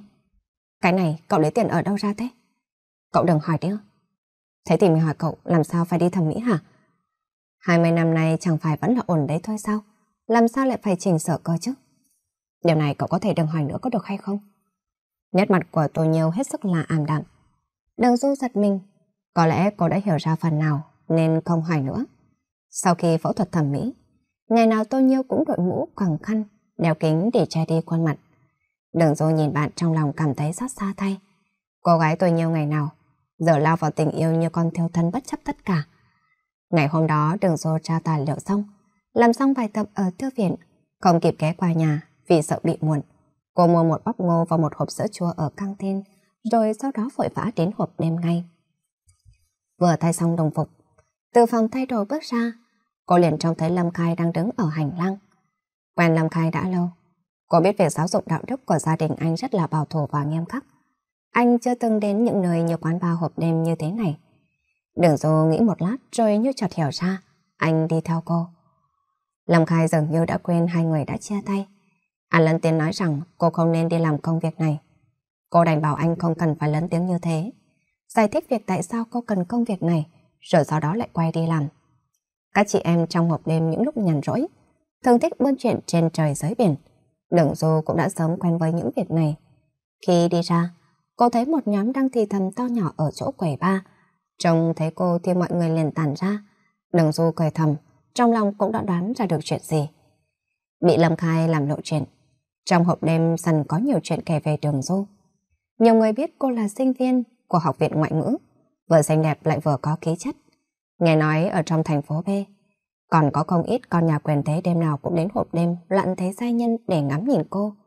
Vì là đường Du chính là nhân viên phục vụ, nhưng chưa từng uống rượu cùng với khách. Có người bòi tiền sang mời rượu, cô chỉ cao mày. Còn có người kể, còn có một vị cán bộ cấp cao có ý muốn qua đêm cùng với cô giá cao ngất trời. Nhưng cô không thèm để ý, không tức giận cũng không biểu lộ gì. Hàng ngày vẫn quét dọn phòng, làm tốt công việc phục vụ của mình. Kể từ khi Đường Du được biết tiếng ở hộp đêm, hầu như mỗi lần phòng VIP có khách, Diệp Đào Hoa đều chỉ định hai người phục vụ. Lúc đầu Đường Du còn lo lắng sẽ chạm mặt Tôn Văn Tấn, nhưng sau khi nghĩ lại thì chẳng có gì mà phải sợ cả. Chẳng lẽ vì Tôn Văn Tấn mà cô phải bỏ việc ở đây sao? Không thể như thế được. Tuy nhiên làm đã lâu rồi, mà vẫn chưa gặp phải anh ta, nên Đường Du cũng dần dần quên đi chuyện đó. Lý Văn bê khai rượu, Đường Du bê khoai hoa quả, theo yêu cầu của khách hàng. Lý Văn mở từng chai rượu, Đường Du cúi thấp đầu, ngồi quỳ chân bày hoa quả và đồ ăn vặt ở trên bàn. Cô nghe có giọng nói quen thuộc nên cúi thấp đầu hơn. Đúng là Trần Thích. Không nghe thấy giọng của Tôn Văn Tấn, cô nghĩ anh ta sẽ không có mặt ở đây. Thật là may quá. Không biết Trần Thích đang nói với ai. Một giọng nữ nũng nịu còn rất là trẻ. Đường Du không dám ngừng đầu nhìn. Nhưng giọng nói đó, cô đã lờ mờ đoán được địa vị cũng như cuộc sống sung túc của cô ta. Tôn Văn Tấn khẽ cười bước vào, vẫn là giọng bỡn cợt, nghe xa mà gần. Lưng của đường Du quay về phía gã, cúi thấp đầu hết cỡ. Mọi thứ đã bày biện xong, nhưng cô không dám đi ra ngay. Không biết đường Du đã bao lần ra ám hiệu với Lý Văn, nhưng cô ta không hề có phản ứng gì. Đây là những biểu hiện hết sức bình thường của Lý Văn mỗi lần gặp Tôn Văn Tấn. Sau đó đường Du tranh thủ lúc Tôn Văn Tấn tiến về phía máy chọn bài hát, lên cuối mặt đi ra ngoài. Đi ra đến hành lang, cô vỗ ngực thở phào một hơi. Thật đúng là may mắn, vẫn chưa bị phát hiện. Sau đó đường Du hạn chế vào căn phòng đó. May mà các nhân viên phục vụ khác đều muốn vào, nên đường Du dễ dàng đổi việc phụ trách phòng cho bọn họ. Thỉnh thoảng, Lê Văn lại tìm đường Du báo cáo lại tình hình ở trong phòng. Ví dụ như, cô gái có giọng nói nũng nịu đó, hóa ra là em vợ của Trần Thích mới đi du học nước ngoài về. Hình như có gặp Tôn Văn Tấn rồi bị sốc, cơ quan lấy chị gái để hỏi về anh ta. Học kỳ tới này, không đi nữa mà đòi anh rể tạo cơ hội, thấy bảo là tấn công mạnh lắm. Đồng Du làm vệ sinh xong đi ra, cũng đã gần hết giờ. Đang định đi đến phòng thay đồ, thì có người tìm cô, nói rằng có khách muốn cô cùng uống rượu. Kể từ khi đường du nổi danh ở hộp đêm, thường xuyên có người làm ẩm vô cớ gọi cô đi uống rượu. Loại người nào cũng là có cả, chuyện này cũng không còn xa lạ. Nếu chị Đào Hoa không bị gây phiền hà, thì có lẽ cũng sẽ không đến tìm cô đi. Cô vội vàng đến đại sảnh, Lý Văn không có ở đó. Các chị em bên cạnh nói cho cô biết, người đó tên là Hà Khâm, hình như là con nhà quyền thế, thái độ rất là ngông cuồng. Đường Du nghĩ ngợi một lát, đặt đồ đang cầm ở trên tay xuống rồi đi đến nói. Anh Hà, có phải là tôi muốn uống gì thì anh cũng sẽ mời không? Trong thấy đường Du, thì Hà Khâm liền ngưng người về phía cô mà đổi giọng. Hết lòng vì người đẹp, thật là vinh hạnh quá đi. Đường Du cười rồi nói, vậy thì cảm ơn anh Hà trước nhé. Sau đó cô ngoảnh mặt nhìn về phía quầy rượu. Hạ Khâm cũng đi cùng, vừa đi vừa khoác cánh tay lên vai của đường Du. Cô không có phản ứng gì cả, nhưng chọn rượu thì không vớ vẩn một chút nào hết. Cô biết, letter Letterfitter 82 là loại rượu đắt nhất ở đây. Nghe nói bán đấu giá lên tới 4 vạn nhân dân tệ một chai. Người bình thường đến quán bar đâu dám gọi. Hộp đêm loạn thế gia nhân cũng chỉ có đúng một chai. Đó là do ông chủ sưu tầm đặt ở đây để mà trưng bày. Đừng du gọi rồi, nhưng người phục vụ không dám mở. Mọi người đưa mắt nhìn nhau. Diệp Đào Hoa biết đó là đồ sưu tầm của ông chủ, nên cũng không dám quyết định. Vụ chai vàng đã thu hút rất nhiều người đến xem. Trần Thích và Tôn Văn Tấn đi ra đúng lúc vở kịch đang đến hồi cai cấn. Trần Thích nói, Văn Tấn à, hay cậu mời cô đường qua đây quan một lát đi. Cậu được lắm, đừng có mà nói linh tinh, chúng ta mau về thôi. Tôn Văn Tấn dừng dưng đáp lại. Hay để tôi gọi Hạc không qua đây. Lâu lắm rồi không gặp. Lần trước nghe nói anh ta bị ông bố gửi ra nước ngoài. Thật là nhớ nhung quá đi. Vừa dứt lời, anh ta liền chen vào đám đông. Tôn Văn Tấn không muốn nhìn theo mà vẫn bước tiếp ra ngoài. Chai vàng kia rốt cuộc không được mở. Trần Thiết qua chào hỏi Hà Khâm, làm mộ không nhìn thấy đường du, nhẹ nhàng kéo Hà Khâm đi ngang qua. Hà Khâm không nói gì đành tạm thời bỏ cuộc. Bàn tay của đường du túa ra mồ hôi. Giả giờ ngày hôm nay chai rượu đó được mở, thì cô có uống hay không? E rằng mở ra rồi, thì cậu con trời đó chắc chắn sẽ không dễ bỏ qua. Nhưng lúc nãy Trần Thích có nhận ra cô không? Lâu sau đó, Đường Du không gặp lại những người có liên quan đến Tôn Văn Tấn nữa thì cuối kỳ xong đường du được nghỉ. Người mới của tôi Nhiêu đã đưa cô về nhà. Trước khi về thành phố nở, Lâm Khai đến nhà trọ mời cô cùng anh về quê đón Tết. Đối với Lâm Khai, nhiều lúc đường du không biết nên cư xử như thế nào. Lúc thường chỉ cần nói vài câu với người ngoài, anh đã đỏ mặt tía tay. Còn cô đã nói rất nhiều lần rằng quan hệ giữa hai người đã chấm dứt. Nhưng cho dù đã dùng mọi lý lẽ lẫn thể hiện thái độ cứng rắn, Lâm Khai cũng chỉ là im lặng sau đó vẫn cứ đến loạn thế gia nhân để được nhìn thấy cô. Học kỳ mới bắt đầu, Đường Du lại tìm được một công việc. Có một cô nhà vẫn cần trường học, muốn cho trẻ học tiếng Pháp. Mời Đường Du đến dạy phát âm và ngữ pháp cơ bản. Mỗi tuần dạy hai buổi, 60 tệ một buổi. Đầu học kỳ, Đường Du nhận được lương liền đi đóng học phí mà cô đã nợ. Nghĩ đến công việc ở hộp đêm cô có phần lưỡng lự, thầm thiện nỗi khổ khi tài chính hạn hẹp ít tiền. Giờ không được chu cấp nữa, tiền đối với cô rất là quan trọng. Lúc này, Lý Văn đã thăng chức lên làm quản lý. Thầy phó giám đốc đã bị đuổi việc trước đây, trợ giúp chị Đào Hoa quản lý nhân viên phục vụ. Lý Văn vốn sở hữu tinh thần quần chúng, lại có lòng thương xót dân tình, nên chức vụ mới ở hộp đen tương đối là thuận lợi. Để chuẩn bị cho kỳ thi chuyên ngành cấp 4 vào tháng 5, mọi người đều ra sức ôn luyện, ngày ngày đi học ôn tập đi làm. Quần mắt của cô thâm lại sắc mặt nhạt nhạt. Tan ca trở về nhà, đường dâu đã mệt đến nỗi chẳng muốn tắm rửa, nhưng trên người toàn là mùi thuốc lá. Cô vừa lấy quần áo ra để đi tắm, đẩy cửa phòng, cô bỗng nhiên phát hiện Tô Nhiên đang nằm sóng xoài ở trên nền nhà. Bên dưới có vết máu, loang lổ với nước. Đường dâu hốt hoảng đầu óc trắng vắng. Khó khăn lắm mới dìu được Tô Nhiêu vào sát tường. Cô run rẩy gọi mấy câu, nhưng Tô Nhiêu không có phản ứng gì cả. Nét mặt nhợt nhạt nằm bất động. Đường dâu không biết làm thế nào. Chợt nhớ năm mình 9 tuổi, mẹ của cô cũng nằm ở trên vũng máu, không còn hơi thở như thế này. Cả người của đồng du bỗng nhiên run lên. Lúc này, ở bên ngoài vang lên tiếng gõ cửa dồn dập. Người đến có vẻ đang rất là hoảng hốt. Đường du gượng người đứng dậy mở cửa. Sau khi đến nơi, tay vừa chạm vào cánh cửa, thì chân bỗng nhiên nhũn xuống. Mai thấy đối phương đã đỡ cô mà dìu cô lên. Đường du vừa mới đứng lên thì phát hiện người trước mặt chính là Tôn Văn Tấn. Tôn Văn Tấn cuống cuồng hỏi. Tôi nhiều đâu? Cô ấy ở đâu? Đầu du vội vàng đưa Tôn Văn Tấn đến phòng tắm. Vừa nhìn thấy máu thì đầu óc của cô lại trắng váng, đứng không vững, đành phải dựa vào tường. Từ khi mẹ tự sát, cô bị dị ứng với máu. Tô Văn Tấn rất là bình tĩnh.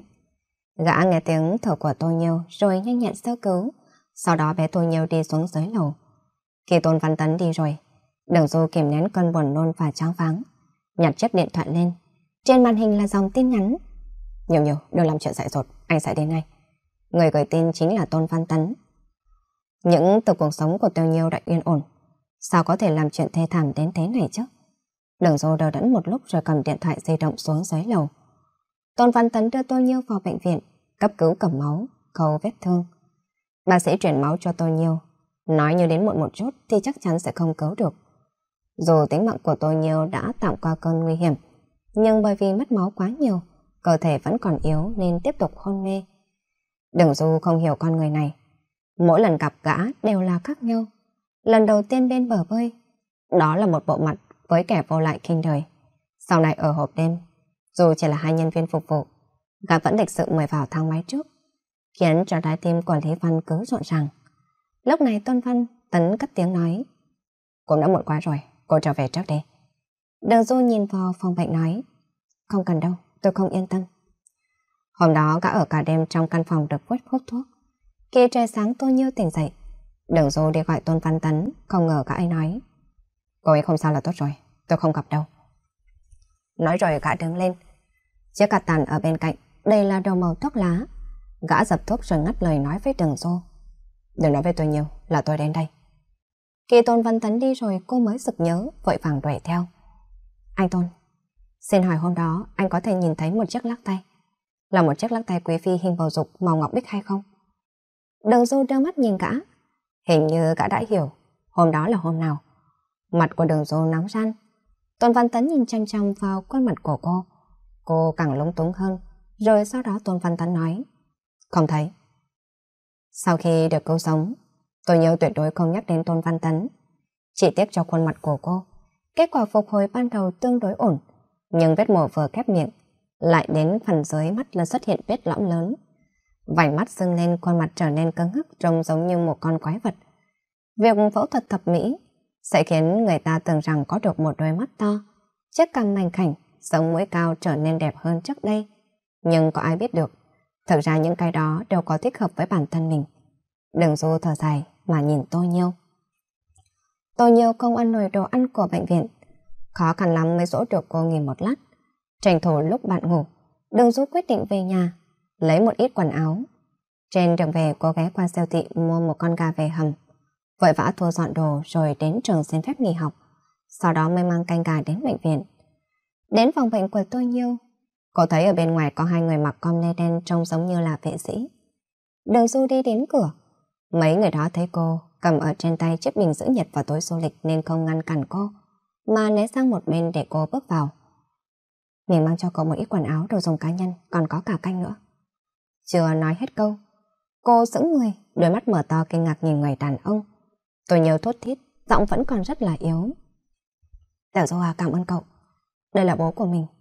Bố à, đây là bạn học trọ cùng với con tên là Đường Du. Người đàn ông cũng thoáng sững sờ khi nhìn thấy Đường Du, nhưng phản ứng lại rất là nhanh. Ông ta mỉm cười, cất đầu nói. được rồi chào cháu. Nhiều nhiều làm phiền cháu rồi.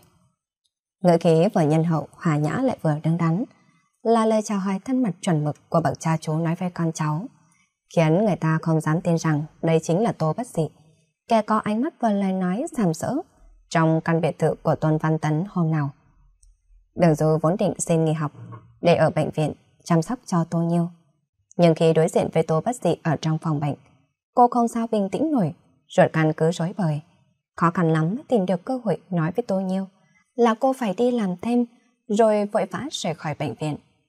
Đến hộp đêm, Đường Du chẳng thể nào tập trung vào công việc, liên tục mang nhầm rượu và làm đổ mấy đĩa hoa quả. Lê Văn phải nhắc nhở cô. Hôm nay cậu làm sao thế? Nếu còn vỡ đồ nữa, mình sẽ không bao che cho cậu được đâu. Hay là cứ về nghỉ trước đi, mình sẽ giúp cậu. Lê Văn phụ trách bộ phận, đã lâu không làm việc phục vụ. Ở trong lòng của Đường Du vừa hoang mang vừa rối bời, nên đành nhờ Lý Văn thế ca, còn cô ngồi suy nghĩ trên chiếc ghế cạnh bên quầy ba. Lâm Khai đang ở trong đại sảnh, anh ngồi đó lặng lẽ hút thuốc. Cô đang nghĩ nên làm thế nào để nói chuyện với Lâm Khai, thì bỗng từ cửa vọng lên tiếng của Tổng Giám Đốc. Ôi, Hà Công Tử, lần trước nghe nói anh từ Mỹ về, sao chưa kịp gặp mặt đã mất tâm như vậy, cứ tưởng anh lại sang Mỹ rồi chứ. Đừng dù vẫn nhớ Hà Khâm, lần trước đang cay cấn thì được Trần Thích giải vây, Sau rồi cũng không gặp lại anh ta nữa, thì ra là đi Nhật. Nghe thấy giọng của tổng giám đốc vồn vã, thì trong lòng đường du cũng hiểu, kinh doanh hộp đêm này rất là vất vả. Hàng đêm chỉ cần có cách quen đến là tổng giám đốc phải chủ động, đến tận phòng uống rượu cùng. Cứ từ phòng này sang phòng khác ăn cần hầu hạ. Đường du không muốn gây phiền phức, quay người toàn rời đi. Nhưng con mắt tinh tường của Hà Khâm đã sớm nhận ra cô. Món nợ lần trước vẫn sờ sờ trước mắt. Gã ta vội vàng tiến tới, cản bước chân cô lại. Ồ, cô đừng, chúng ta lại gặp nhau rồi. Thấy Hà Khâm ép đường du uống rượu. Bộ dạng như quyết không buông tha nếu chưa đạt được mục đích, nên Tổng Giám đốc cũng không dám can thiệp. Đường du đang chán nản. Toàn nhận lấy rượu uống thì bỗng nhiên Hà Khâm ớ lên một tiếng. Cô ngẩng đầu nhìn. Hà Khâm đang đau đớn ôm chán. Mặt mũi nhăn nhó máu chảy xuống nhuộm đỏ cả một vai áo sơ mi trắng. Còn dưới thân là những mảnh chai đĩa vỡ. Hắn tức tối nhìn người đang đứng ở bên đường du là Lâm Khai. Ở trên tay anh vẫn còn cầm một đoạn cổ chai bị vỡ. Tổng giám đốc đứng ở bên cạnh tròn mắt kinh hãi. Có cô phục vụ nào đó nhanh nhẹn, đi báo ngay cho Lý Văn. Lý Văn biết quan hệ giữa Lâm Khai và Đường Du hơn bất cứ ai. Chỉ là không ngờ chàng Lâm Khai sâu muộn đó lại có thể đập vỡ đầu của Hà Khâm. Xem chừng không trông mong được gì ở Tổng Giám Đốc. Nên cô vội vàng đi tìm chị Đào Hoa. Không biết chị Đào Hoa đang nói chuyện với ai mà đóng kín cả cửa phòng. Lê Văn cất tiếng còi to. Chị Đào Hoa, chị ra đây một lát đi. Diệp Đào Hoa mở cửa thoáng có một chút không vui. Có chuyện gì mà hốt hoảng như vậy cơ chứ? Chị Đào Hoa, đừng dù xảy ra chuyện rồi, cậu Lâm Khai kia. Lê Văn không biết chị Đào Hoa đang nói chuyện với ai. Có thể nhận ra là chị đang không hài lòng, nhưng chuyện kia còn quan trọng hơn, nên cô không để tâm nhiều, mà vội vàng kể sơ qua sự việc. Nghe nhắc đến Hạ Khâm, thì Diệp Đào Hoa cau mà lại. Cậu kia là gì của Đường Du? Chẳng phải bọn họ đã chia tay rồi sao? Trước đây để tránh phiền phức, nên Đường Du nói giữa cô và Lâm Khai không còn quan hệ gì. Tuy nhiên việc này chỉ có Lý Văn biết rõ. Chuyện của hai người có liên quan đến Tôn Văn Tấn, nên Đường Du không thể tâm sự cùng với Tô Nhiêu, mà cô lại không có bạn bè khác. May mà ở loạn thế sai nhân này có Lý Văn là tương đối thân. Lý Văn lại thích buôn chuyện, thành ra biết không ít những vướng mắt tình cảm giữa Đường Du cùng với Lâm Khai. Lý Văn kể lại chuyện Đường Du và Lâm Khai cho chị Đào Hoa nghe. Ngoài những gì liên quan đến Tôn Văn Tấn mà cô không rõ ra, những chuyện khác cô đều kể hết. Cô hiểu rõ thân thế của Hà Khâm, người bình thường đâu dám đắc tội, nhưng chị Đào Hoa vốn là người nghĩa khí, không như là tổng giám đốc. Chị xuất thân phong trần nên rất dễ đồng cảm với những cô gái gặp nạn. Chị Đào Hoa quen biết nhiều, có thể nói được vài câu trước mặt của Hà Khâm. Nếu chị đồng ý giúp đỡ thì tình hình chắc sẽ ổn. Trước mắt của chị Đào Hoa hiện lên hình ảnh của Lâm Khai. Trước đây nghe nói có chuyện của Đường Du, nên cũng mấy lần để ý đến anh chàng này. Ban đầu có vẻ là trình tề đứng đắn, nhưng dần dần đã trở nên phong túng ở loạn thế giai nhân. Này nào cũng lách nhích tiểu nhụy tụy, ánh mắt nhìn đường du như muốn vỡ vụn ra. Chị đào hoa trầm ngâm nói đoạn. Em chờ một chút, chị đang có bạn ở bên trong. Chị đào hoa toan bước vào, thì một người từ phía trong đi ra, đó là Tôn Văn Tấn. Lường được Tôn Văn Tấn đã nghe hết những gì Lê Văn nói, nên chị cũng không né tránh nữa mà nói luôn. Văn Tấn à, chuyện chua nhiễm em nhất định sẽ giúp anh giải quyết. Bây giờ nhân viên xảy ra chuyện, em qua xử lý một chút, anh cứ trở về phòng trước đi. Khi Diệp Đào Hoa đến đại sảnh, Lâm Khai đang bị mấy thanh niên ấn xuống, mặt dây sắt xuống sàn nhà. Hà Công cũng chẳng vội băng bó vết thương, máu vẫn đầy đầu vào mặt.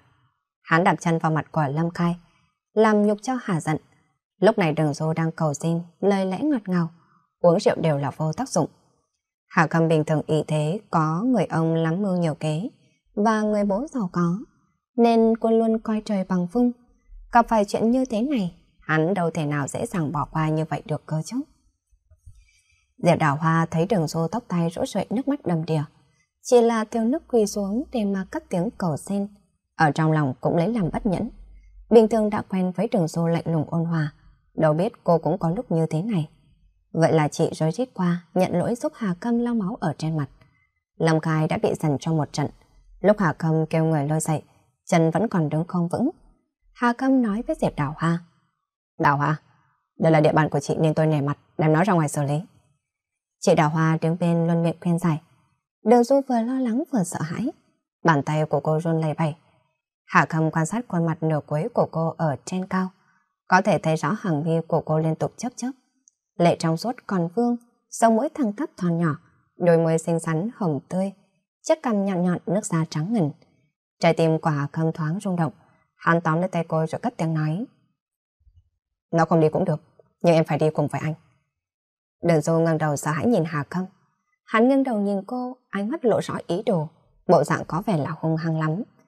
Trong tích tắc, Đường Du khóc như mưa, giọng cô lấp bắp như thể có gì đó mắc ở trong cổ họng, khe khẽ cất tiếng. Được, chỉ cần anh tha cho anh ấy. Hà Khâm hất đầu ra lệnh, mấy cả thanh niên đang giữ Lâm Khai liền buông tay. Không biết từ đâu xuất hiện một người bảo vệ, tiến đến đỡ lấy Lâm Khai. Đường Du đưa mắt nhìn Lâm Khai, lau nước mắt rồi cùng Hà Khâm rời khỏi hộp đêm. Vừa ra đến cửa, cánh tay của đường Du bị một người đàn ông kéo lại. Hà Khâm trong mày quay đầu, thì nhìn thấy Trần Thích và Tôn Văn Tấn. Tôn Văn Tấn kéo đường Du vào lòng, một tay ôm lấy eo cô. Hà Khâm trong mà lại kiềm chế không phản ứng. Trần Thích cười khẽ nói, Anh Hà, đừng giận, ngày hôm nay nè mặt bọn tôi đi. Hà Khâm liếc nhìn một cái không nói gì. Trần Thích kéo hắn sang một bên nói vài câu, không biết là nói gì. Hắn ngoảnh đầu nhìn đường du, rồi lại nhìn Tôn Văn Tấn. Gã vẫn đang ôm eo của đường du. Hà Khâm cũng chỉ biết tự nhận mình đen đuổi rồi tức giận bỏ đi. Hà Khâm đi ra khỏi cửa. Mấy thanh niên sau lưng hắn cũng ra theo. Trần Thích đến kiểm tra vết thương của Lâm Khai. Đường Du cũng vô cùng hót hồn. Ngồi xuống bên cạnh Lâm Khai. Trần Thích liếc nhìn nét mặt của Đường Du rồi lại nhìn Tôn Văn Tấn mà không nói năng gì cả. Trần thích giờ cũng không hiểu nổi tâm tư của Tôn Văn Tấn. Anh ta biết giữa Tôn Văn Tấn và Đường Du có điều gì đó không được bình thường. Lúc này mọi người đều đã tản đi. Đường Du xin phép Diệp Đào Hoa, cho nghỉ rồi diều Lâm Khai ra về. Nhìn theo Đường Du, trong đầu của Trần Thích vẫn đang suy đoán tâm tư của Tôn Văn Tấn. Anh ta quay vào phòng, thì Diệp Đào Hoa đột nhiên kéo tay áo lại, chìa vào mấy người ở sau phía sau Đường Du. Lúc này Trần Thích mới để ý Mấy thanh niên đang bám theo đường du và lâm khai. Sực nhớ mấy người lúc nãy cùng đi theo Hà Khâm, nhưng hóa ra là không bỏ đi cùng với hắn. Diệp Đào Hoa nói, Trần Tích à, hãy giúp cô ấy. Trần Tích thoáng trầm ngâm, quay đầu nhìn hướng của Tôn Văn Tấn mất hút, suy nghĩ một lát rồi tiến về phía trước.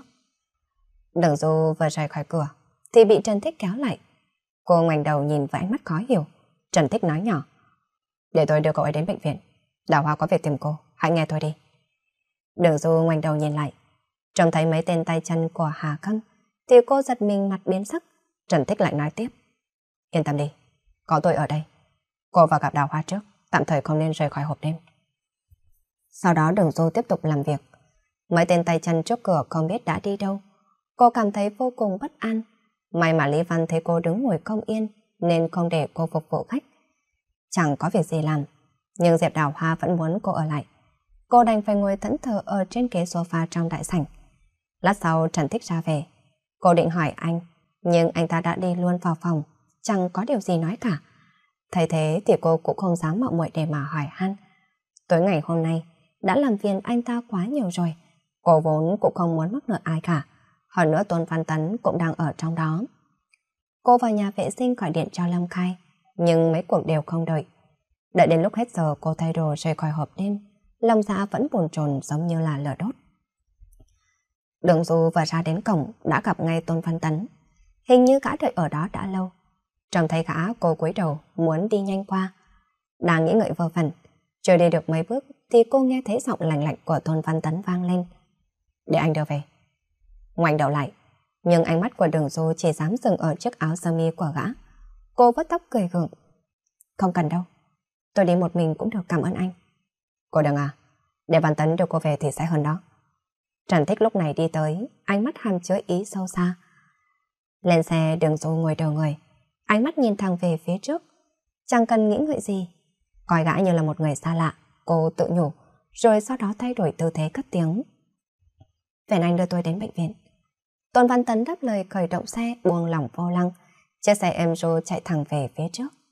Cuối cùng xe cũng dừng lại trước cổng của bệnh viện trung tâm thành phố.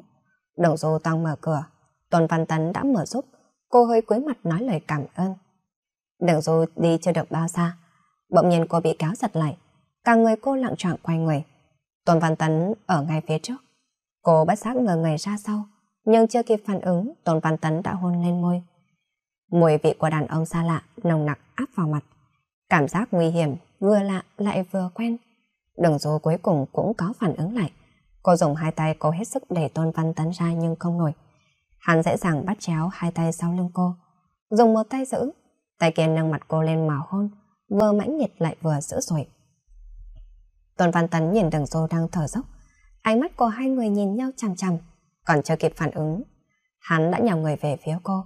Cô quay người tan chảy, nhưng đã bị gã nhanh nhận tóm lấy eo. Nghe tiếng thở của Tôn Văn Tấn ở bên tai, cô cứng đờ người lại. Người ngoài nhìn thấy cảnh này sẽ nghĩ quan hệ hai người có gì đó mập mờ, nhưng giọng của gã cất lên ở bên tai cô. Đừng cử động. Phía bên trái, ở đó có một chiếc xe. Cô nhìn mấy người ở bên trong đi. Hạ cầm không tin cô là người yêu của tôi. Lúc nãy khi Trần Thích đưa Lâm Khai đến bệnh viện cũng không ngăn cản được hắn ta. Lâm Khai bị đâm thêm một nhát. Không ngờ tôi đưa cô đến bệnh viện, hắn cũng cho người theo dõi. Gã kẹ quay người của cô lại. Lần này cô rất là hợp tác, không dãy rủa. Chỉ khi bị gã nâng cầm lên mới cảm thấy gượng gạo. Cô khẽ cúi đầu, mùi cơ thể và hơi ấm của gã lại bao phủ. Đường Du không biết nên nhắm mắt lại hay là mở mắt, nhìn vào một điểm nào đó. Đôi mắt chớp chớp liên tục, khuôn mặt nóng dần lên mà không dám nhúc nhích. Tôn Văn Tấn bật cười, nhìn bộ dạng của đường Du rồi nói. Mồ hôi đang túa ra rồi kìa. Sáng vẻ của đường Du khiến không khí càng trở nên cận cạo. Nhờ ý thức được điều đó, Tôn Văn Tấn ho khăn một tiếng, trong phút chốc trở lại vẻ trầm tĩnh. Đúng lúc đó, đường Du nghe thấy tiếng gọi vang lên cách đó không xa. Tiểu Du, Văn Tấn. Đường Du như bị sét đánh vội vàng ngẩng đầu nhìn lên. Tuần Văn Tấn cũng đưa mắt nhìn. Khuôn mặt cả hai người đều biến sắc. Tôi nhiều đang đứng trước cổng bệnh viện. Trông thấy hai người, cô quay đầu đi. Đường Du đuổi theo vào bệnh viện muốn giải thích cho cô hiểu. Trong lúc hai người giằng co, tôi nhiều lỡ mạnh tay để cô ngã xuống cầu thang. Bị ngã từ trên cao xuống, chân hình như bị gãy. Cô thử đứng dậy, nhưng hễ chạm xuống đất là bị quạt xuống. Không thể nào đứng lên được. Cô nhìn theo tôi nhiều, khuôn mặt đau đớn vẫn cất tiếng gọi. Từ trên cao, nhìn xuống. Tôi nhiều lạnh lùng nghiến răng nghiến lợi nói ra từng chữ. Được rồi, Văn Tấn, đừng bao giờ để tôi nhìn thấy các người nữa. Tuần Văn Tấn chưa từng thấy đường xô như thế này bao giờ. Cô gái này thật sự là vô cùng phức tạp. Cô ngang ngạnh, mạnh mẽ, tự lập, biết nín nhịn và cũng vô cùng kiêu ngạo. Chưa từng sợ dám ai hay có tham vọng gì. Cũng là chưa từng cầu xin ai để ai đó nhận ra mình có vẻ u buồn. Nhưng bây giờ nhìn thấy cô thì trái tim của Tôn Văn Tấn quặn đau. Gã cúi người xuống dịu dàng cẩn trọng ôm cô vào trong lòng. Tôn Văn Tấn đưa cô đến khoa xương. Sau khi khám và chuẩn đoán qua thì bác sĩ bảo cô bị gãy xương. Sau khi băng bó xong các thứ thì cũng đã đến nửa đêm. Ngày hôm sau bác sĩ nói Đường dù có thể xuất viện, nhưng về nhà cần phải chú ý, tốt nhất là dùng xe lăn hoặc là cậy trống. Tôn Văn Tấn vào phòng bệnh, thấy cô đang đờ đẫn nhìn ra ngoài cửa sổ, sắc mặt bơ phờ, đôi mắt sưng húp. Môi của Đường số bạc phách, khuôn mặt trông rất là tiêu tụy. Cô miễn cưỡng nặn ra nụ cười. Tôi không sao, tôi có thể tự lo được. Bây giờ cô không muốn nhìn thấy cả thêm một phút nào nữa. Lát sau có người đẩy xe lăn vào phòng, Tôn Văn Tấn nói. Đây là xe thuê. Bác sĩ nói trong thời gian này, sưng vẫn chưa liền nên không thể tùy tiện vận động. Cô sống một mình không tiện, nên tôi đã mời một người giúp việc. Cô yên tâm đi. Căn phòng đó chỉ có cô và người giúp việc. Tôi sẽ trở về thành phố nở Bố mẹ của Lâm Khai cũng đã đến đây rồi. Tô Văn Tấn đợi một lúc mới đến ôm cô. Vừa mới đến gần thì đường du liền cáo chăn tù người về phía trước, rồi bắt chặt ngẩng đầu lên nhìn. Đôi mắt sưng húp ngân ngắn lệ, sáng lấp lánh như là thủy tinh, khiến người ta thấy mà cho sót. Cô không muốn gã đến gần, nhưng lại chỉ biết bất lực mà nhìn. Ánh mắt như đang thỉnh cầu hắn hãy tránh xa, mãi mãi về sau đừng gặp lại cô nữa. Gã cuối người rồi nhìn cô nói, Bây giờ cô không thể tự lo liệu cho bản thân, không thể sống một mình được. Toàn Văn Tấn ấn tay lên bàn tay, đang kéo chăn kiến cho cô không lùi được. Đôi mắt mở to nhìn thẳng vào cô, giọng nói nhẹ nhàng nhưng rất là mạnh mẽ. Nghe lời anh. Cuối cùng Tôn Văn Tấn cũng bế cô lên, nhưng cả không đặt cô vào trong xe lăn mà bế thẳng xuống đầu Cẩn thận từng ly từng tí, như đang nâng niu một viên ngọc dễ vỡ vậy. Đường Du ở trong căn hộ của Tôn Văn Tấn, tại một khu cao cấp của thành phố B, rộng khoảng 190 mét vuông. Nội thất bố trí đơn giản kiểu cổ điển. Gã mời cho cô một người giúp việc, rồi sau đó không thấy lui tới nữa. Sau khi tháo bột, Đường Du chuyển khỏi căn hộ của Tôn Văn Tấn, quay về trường. Trong thời gian bị gãy chân phải, ở chỗ của Tôn Văn Tấn, bà chủ nhà có gọi điện thoại nói tôi nhiều đã trả phòng. Trước đó người giúp việc đã giúp cô thu dọn mang đến căn hộ của Tôn Văn Tấn. Về đến trường thì đã là trung tuần tháng 5, kỳ thi tiếng Pháp cấp 4 toàn quốc sắp đến. Lúc này cô mới phát hiện, tôi nhiều không những trả phòng mà còn làm xong thủ tục đi Pháp du học. Mọi người đều bàn tán xôn xao. Thì ra tôi nhiều có một ông bố giàu có, muốn xuất ngoại được xuất ngoại. Giọng các bạn đều tỏ vẻ ngưỡng mộ. Nghỉ học mất hơn tháng trời, cô bắt đầu làm bài tập gần như không ra khỏi nhà. Hệ giống như là hồi sinh viên năm thứ nhất. Có lúc mệt quá, cô quay đầu nhìn ánh hoàng hôn chiếu ra ngoài cửa sổ, rồi lại thẫn thờ, theo chiếc bóng đồ dài của mình.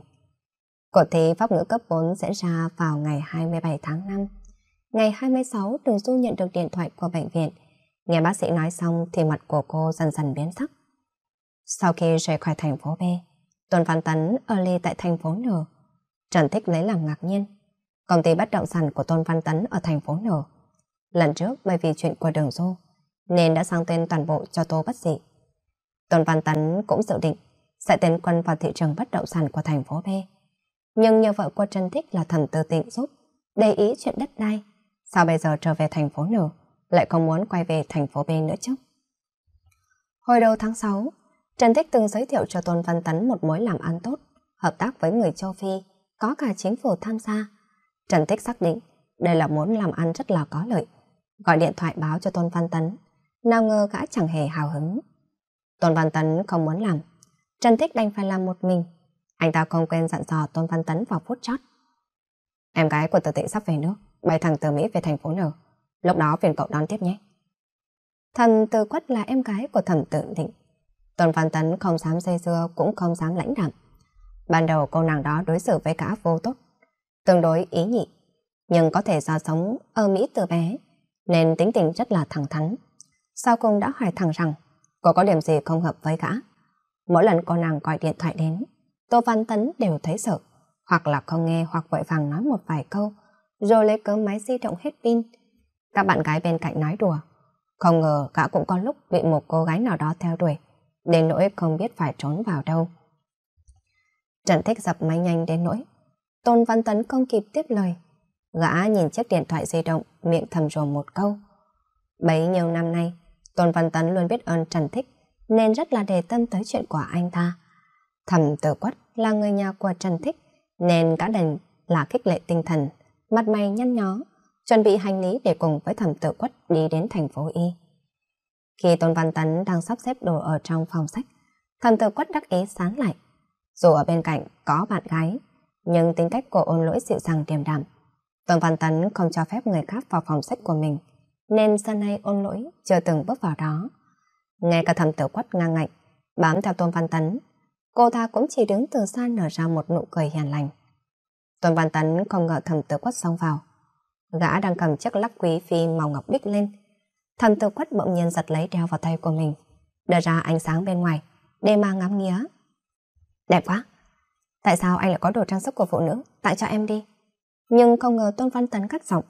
Mau trả lại đây. Thẩm tử quất biểu môi, thờ phi phi tháo chiếc lắc ra toàn vứt đi. Bỗng nhìn thấy khuôn mặt của Tôn Văn Tấn căng thẳng biến sắc. Cô ta cũng không dám lỗ mãng, đành ngoan ngoãn trả lại. Tuy thế vẫn là không phục mà giận dữ nói. Đây là vật đính ước hồng nhan tri kỳ nào cho anh sao? Sờ một cái cũng không được ư? Ngày hôm đó đương nhiên họ không đi thành phố Y. Thẩm tử quất một mình lái xe bỏ đi. Trước đây Tôn Văn Tân rất là sành sỏi trong việc dỗ dành phụ nữ. Họ càng giận dỗi, gã càng có hứng thú. Nhưng kể từ sau chuyện của Châu Nhiễm, gã đã thay đổi.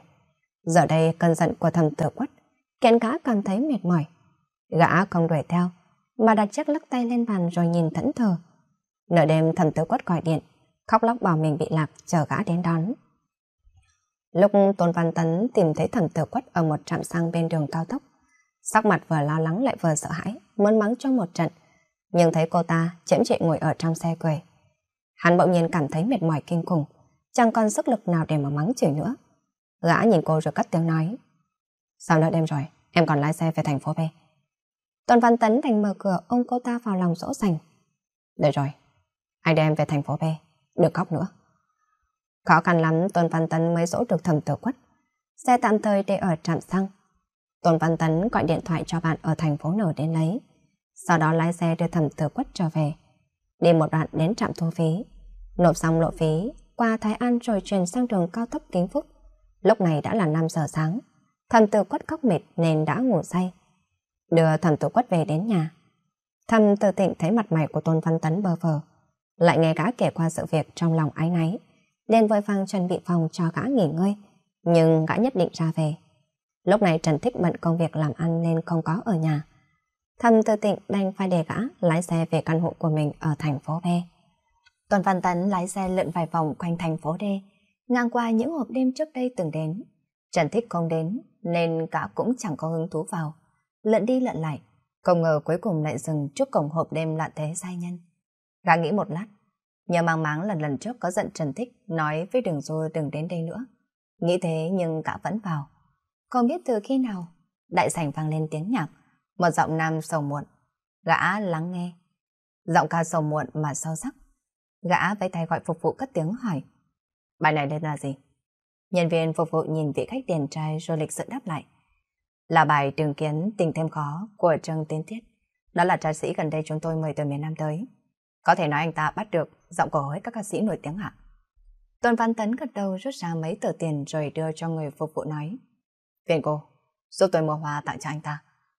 Người phục vụ nhận tiền xong, Tôn Văn Tấn đã chán lảo đảo đứng dậy chuẩn bị ra về. Vừa ra đến cổng, gã bỗng nhiên đứng sững người lại. Dường như không tin nổi vào mắt của mình. Gã tự chửi một câu, lắc lắc đầu rồi ngoái lại nhìn. Cô gái đi bên người đàn ông kia cách đó một đoạn, chỉ còn thấy sau lưng. Gã đột nhiên đưa ra quyết định, còn một chút do dự đi về phía bọn họ. Mới được mấy bước đã đuổi kịp. Hắn giơ tay cản đường, cô gái bị chặn ngang lại. Gã nghe thấy giọng của mình khàn khàn vang lên. Thì ra là em. Hà Câm người thấy mùi rượu ở trên người của Tôn Văn Tấn. Lại nghe thấy giọng nói càn càn. Ánh mắt của hắn chuyển sang cánh tay của Tôn Văn Tấn đang kéo đường du cười.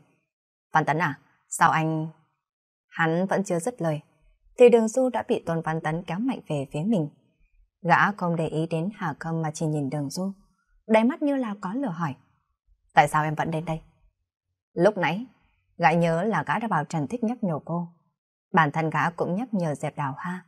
Sau này không cho cô đến loạn thế giai nhân nữa. Vì sao cô vẫn đến đây? Rốt cuộc là muốn làm gì ở đây cơ chứ? gặp lại Tôn Văn Tấn, đường du cũng cảm thấy hơi giật mình. Phản ứng gay gắt của gã làm cho cô rung động. Xong chỉ một giây sau, cô phản ứng lại, nhìn Tôn Văn Tấn mà khẽ cười nói. Chào anh Tôn, chúng ta lại gặp nhau rồi. Nhưng tôi và anh Hà đang có một chút việc, không thể tiếp chuyện được anh. Vừa nói cô vừa đẩy nhẹ tay gã ra, rồi nhích người về phía Hà Câm sợ vào hắn. Nhìn Tôn Văn Tấn gật đầu. Tạm biệt. Vừa dứt lời liền lập tức quay đi. Cô biết mình diễn không tự nhiên, bởi vì Hạ Câm vẫn đang quấy đầu quan sát cô. Chưa kịp đi thì cánh tay đã đau điếng. Cả người cô lại bị kéo về phía Tôn Văn Tấn. Lúc này, Hạ Cầm không muốn đứng nhìn, Hắn nhanh tay nhanh mắt tóm lấy cánh tay kia của đường du, nhìn Tôn Văn Tấn để khiêu khích. Văn Tấn, anh muốn gì chứ? Lúc này, Tôn Văn Tấn cũng đã nhận ra ánh mắt tò mò của mọi người xung quanh. Gã không nói gì cả, cũng không để ý đến Hà Khâm, mà cơ thế kéo đường du đi ra ngoài. Có lẽ Hà Khâm không ngờ, Tôn Văn Tấn còn ngang ngược hơn mình, nên đã không giữ chặt đường du. Toàn đuổi theo thì bị Diệp Đào Hoa đưa mắt ra hiệu cho mấy tân tiếp viên cản đường. Diệp Đào Hoa dùng lời lẽ ngon ngọt, vừa vỗ về vừa đẩy hắn vào trong đại sảnh. Hạ Khâm giơ tay không đánh kẻ mặt cười, tạm thời bỏ qua việc kia, nhưng ánh mắt vẫn chằm chằm nhìn Đường Du, bị Tôn Văn Tấn đưa đi. Tôn Văn Tấn nắm chặt tay của Đường Du đi như tay, xung quanh gã dường như bao trùm một cơn giận dữ ngút trời. Gã nắm chặt đến nỗi Đường rô cảm giác đau đớn, có một chút cảm giác sợ hãi. Quay đầu nhìn lại, thấy Hạ Khâm bị Diệp Đào Hoa để vào trong đại sảnh, thì lại càng thấy lo hơn. Không biết Tôn Văn Tấn sẽ đưa mình đi đâu. Nên cô cố hết sức thoát khỏi cánh tay của gã, vừa luôn miệng nói. Anh Tôn, xin hãy buông tay ra. Khó khăn lắm mới kéo được đường rô ra đến xe. Một tay của gã giữ cô, tay kia mở cửa xe. Kéo mấy lần mà cánh cửa xe vẫn không mở. Cả tức tôi lấy chân đá mạnh một cái. Đường Du sợ hãi chỉ biết im lặng. Lúc này cửa xe đã mở. Gã để đường Du vào bên trong rồi sau đó đóng sầm cửa lại. rồi từ từ lên xe từ phía bên kia. Tôn Văn Tấn trầm giọng mà cất tiếng hỏi. Tại sao vẫn đến loạn thế sai nhân? Nghe thấy câu này, Đường Du liền hiểu ngay sự tức giận và bất bình thường của gã lúc nãy. Cô khẽ bật cười, nhớ đến Chu Nhiễm. Có phải Tôn Văn Tấn đều đối xử với mọi người phụ nữ quanh gã như thế? Giữa cô và gã có liên quan gì cơ chứ? Chỉ là một đêm đổi tình với nhau, gã cũng chẳng hề yêu cô. Gần hai tháng không gặp bây giờ lại tra hỏi. Cô bất giác bật cười nói. Là vì cuộc sống. Cô vừa định mở cửa xe, vừa nói với Tôn Văn Tấn. Anh Tôn, chuyện lần trước thật sự là cảm ơn anh. Tôi xuống xe trước. Có thể do Vân Tôn Văn Tấn đã bình tĩnh lại. Cũng có thể là do nụ cười thê lương của cô. Khiến cả nhớ đến một vài chuyện cách đây đã lâu rồi. Tim của gã nhói bút. Gã giơ tay giữ chặt bàn tay đang mở cửa xe của đường du rồi nhẹ nhàng nói. Đừng đến hộp đêm đó nữa. Và cũng đừng dây dơ với Hà Khâm nữa. Tôn Văn Tấn đã quen thuộc với phản ứng im lặng của đường du. Gã chậm chậm nói tiếp. Càng đừng đến các hộp đêm khác. Không thì em đến chỗ nào, chỗ đó sẽ sập tiệp. Nếu như không tin, em cứ thử xem. Trong lòng của đường du bỗng dâng trào một nỗi tủi thân, nhưng cô ném xuống rất nhanh, nhìn thẳng vào mặt Tôn Văn Tấn, nói rõ ràng từng câu từng chữ. Anh Tôn, đó là việc của tôi, nên mong anh... Cô vừa mở được cửa xe vẫn chưa kịp ra, thì bà vai chợt đau nhói. Cả người cô đã bị Tôn Văn Tấn kéo lại. Đừng du sợ hãi. Một tay của gã đóng cửa xe lại. Trước mặt của cô tối sầm. Tôn Văn Tấn đã áp sát. Cô hoang mang ngẩng đầu lên, đôi môi nặng nặng. Tôn Văn Tấn đã hôn lên đó. Gã khóa chéo tay cô ra phía sau lưng, đè cả người vào người cô, mạo hôn quảng dài. Nụ hôn lần này không hề giống lần trước. Tôn Văn Tấn vô cùng mạnh mẽ và ngang ngược. Trong không gian xe chật chội, Đường dô bị ôm trọn đến nỗi không thể nào cử động, đau đến nước mắt chảy, nhưng chẳng thể nào đẩy được cả ra. Cô cuống quýt đành phải dùng chân đá, nhưng Tôn Văn Tấn đã lừng trước, nhanh nhẹn tranh né, cơn say tỉnh càng thêm dữ dội hơn.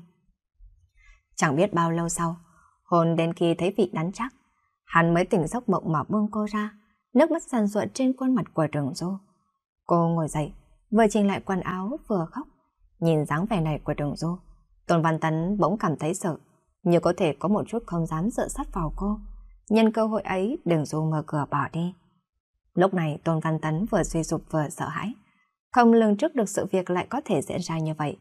Gã không làm chủ được mình. Đã nhiều năm nay không có cảm giác ấy. Cảm giác khiến gã vừa mũ mẫm lại vừa sợ hãi. Không hiểu tại sao gã lại giận dữ. Lại đến hộp đêm, dáng vẻ của đường du khiến gã đau lòng. Nụ cười thê lương và cái vâng tay tự nguyện cùng với cam tâm trốn tránh lâm khai của cô. Có người nói, cô không duyên không cớ từ bỏ cậu người yêu là nghiên cứu sinh tài năng xuất sắc như thế. Không biết đã xảy ra bao nhiêu chuyện khiến cho trái tim của cô tan nát. Và cả cái hôn nước mắt của cô nhạt nhòa, ngã ở trước mặt tôi nhiều cầu xin tha thứ. Tất cả đều khiến Khả cảm thấy đau lòng. Đau lòng vì một người con gái là chuyện đã lâu trước đây rồi. Điều gì lại khiến hắn có cảm giác ấy chứ? Diệp Đào Hoa đứng ngoài nhìn Tôn Văn Tấn rất lâu, mới dám gõ cửa xe. Đầu cúi thấp, chị ngồi vào trong xe. Diệp Đào Hoa thấy buồn chồn, chị ngồi một lúc tiện tay bật nhạc để làm dịu đi không khí. Trong xe của Tôn Văn Tấn, dù một vạn năm nữa, đĩa hát của đồng An Cách cũng vẫn sẽ ở đó. Giọng của đồng An Cách khàn khàn đượm sâu và chất chứa sự bất lực trước những thay đổi của nhân thế. Trước đây khi biết Tôn Văn Tấn thích những bài hát của ca sĩ này, chị cũng đã đi mua đĩa nhạc đó, rồi nghe. Cả đêm không sao chập mắt được, còn sóng lòng cứ cuồn cuộn trào răng. Rất lâu sau mới chịu ngắc ngư nói. Đừng dù bố của cô ấy bị trống gió trong bệnh viện. Sao gặp khó khăn nên đã đến xin em. Diệp Đào Hoa đã làm chuyện không phải, nên chỉ có sức biện minh. Tôn Văn Tấn nghe xong gật đầu, gã hiểu phần nào. Trước lúc đi gã nói với Đào Hoa. Sau này, đừng để cô ấy đến hộp đêm nữa. Trên đường lái xe về nhà, Tôn Văn Tấn gọi điện thoại cho Trần Thích, hỏi mấy văn phòng thám tử có tiếng. Sau đó gọi điện thoại đến một trong số đó dặn dò mấy câu. Ngay buổi sáng ngày hôm sau, văn phòng thám tử đó đã có thông tin gửi về. Gã đã rõ đầu đuôi sự việc. Văn phòng thám tử điều tra rất kỹ. Chuyện từ mười mấy năm trước cũng đã điều tra ra. Về đến nhà, lúc tắm cô soi mình vào trong gương, đôi môi đã sưng phồng, nhớ tới lời nói của Tôn Văn Tấn. Hắn nói cô đi đến đâu thì nơi đó sẽ sập tiệm, rồi lại nhớ đến cái hôn của gã. Cô cảm thấy tủi nhục, nước mắt bỗng nhiên tuôn trào. Chiều hôm sau Đường Du nhận được điện thoại của chị khóa trên, người đã giới thiệu công việc dịch thuật trước đây. Chị ấy bảo, bàn dịch hợp đồng của cô có vấn đề, bên khách hàng muốn gặp trực tiếp cô. Chị khóa trên an ủi, bảo cô không cần phải lo sợ. Bình tĩnh, có khi đến đó chỉ là muốn ép sáng mà thôi. Sau khi đến nơi, cô không ngờ khách hàng đó lại là Tôn Văn Tấn. Gã ta quả nhiên nói được làm được, không chờ cho cô một con đường nào cả. Bầu không khí có phần ngột ngạt. Tôn Văn Tấn lưỡng lự một lát, toàn tiến lại. Không đợi gã ngồi xuống thì đường du cất tiếng trước. Bộ tôi mắc bệnh tim, công ty bạ phá sản, bị tự bị mẹ kế bán đi. Bây giờ ông lại bị trống gió đang nằm trong bệnh viện. Tôi vay tiền của chị Đào Hoa, nợ thì phải trả. Tôi có việc phải làm, dịch thuật hoặc làm ở hộp đêm. Anh Tôn, mong anh hãy thương tay. Một lát sau, hắn mới cất tiếng. Số tiền của Diệp Đào Hoa, tôi đã giúp em trả. Sau này, em đừng đến nơi đó nữa. Đợi một lát, Tôn Văn Tấn rút từ trong túi ra một chiếc thẻ tiến dụng, rồi đây nó về phía đường du nói. Bệnh tình của bố em, tôi đã biết. Tấm thẻ này, mật mã chính là ngày sinh của em. Tôn Văn Tấn không nhìn cô, đường du cảm thấy chua xót. Một lát sau cô mỉm cười. Anh Tôn, thật là cảm ơn. Tôi không cần cái này. Số tiền của chị Đào Hoa coi như tôi nợ anh. Tôi sẽ cố gắng trả lại cho anh sớm. Vừa dứt lời cô liền đứng dậy bỏ đi. Trả bằng cách nào đây? Tôn Văn Tấn không cho cô đến làm ở hộp đêm. Công ty dịch thuật cũng có liên quan đến cả. Cô phải làm gì để mà trả nợ đây? Còn đường trước mặt đã bị chặn. Mười mấy năm trời chưa từng khi nào muốn khóc cả. Nhưng sao lúc này lòng của cô lại có chịu đến vậy? Cô tự nhô rằng sẽ không sao đâu. Sẽ chẳng có gì cả. Cô không sợ cổ. Dù phải đi làm đi chăng nữa. Dù gian cổ đi nữa. Còn hơn là nhận tấm thẻ của Tôn Văn Tấn. Vừa ra đến cửa, Tôn Văn Tấn liền chạy nhanh đến tóm chặt tay của cô. Đường Du không quay người lại. Cô nhìn cánh tay của Tôn Văn Tấn. Nghĩ đến cái hôm ở bệnh viện, gã lại đặt tay lên tay cô rồi nhẹ nhàng nói. Nghe anh. Không hiểu vì sao lúc này, nước mắt của cô bỗng nhiên trào ra. Cô không phải là người thích khóc, đặc biệt là vào lúc này trước mặt của Tôn Văn Tấn.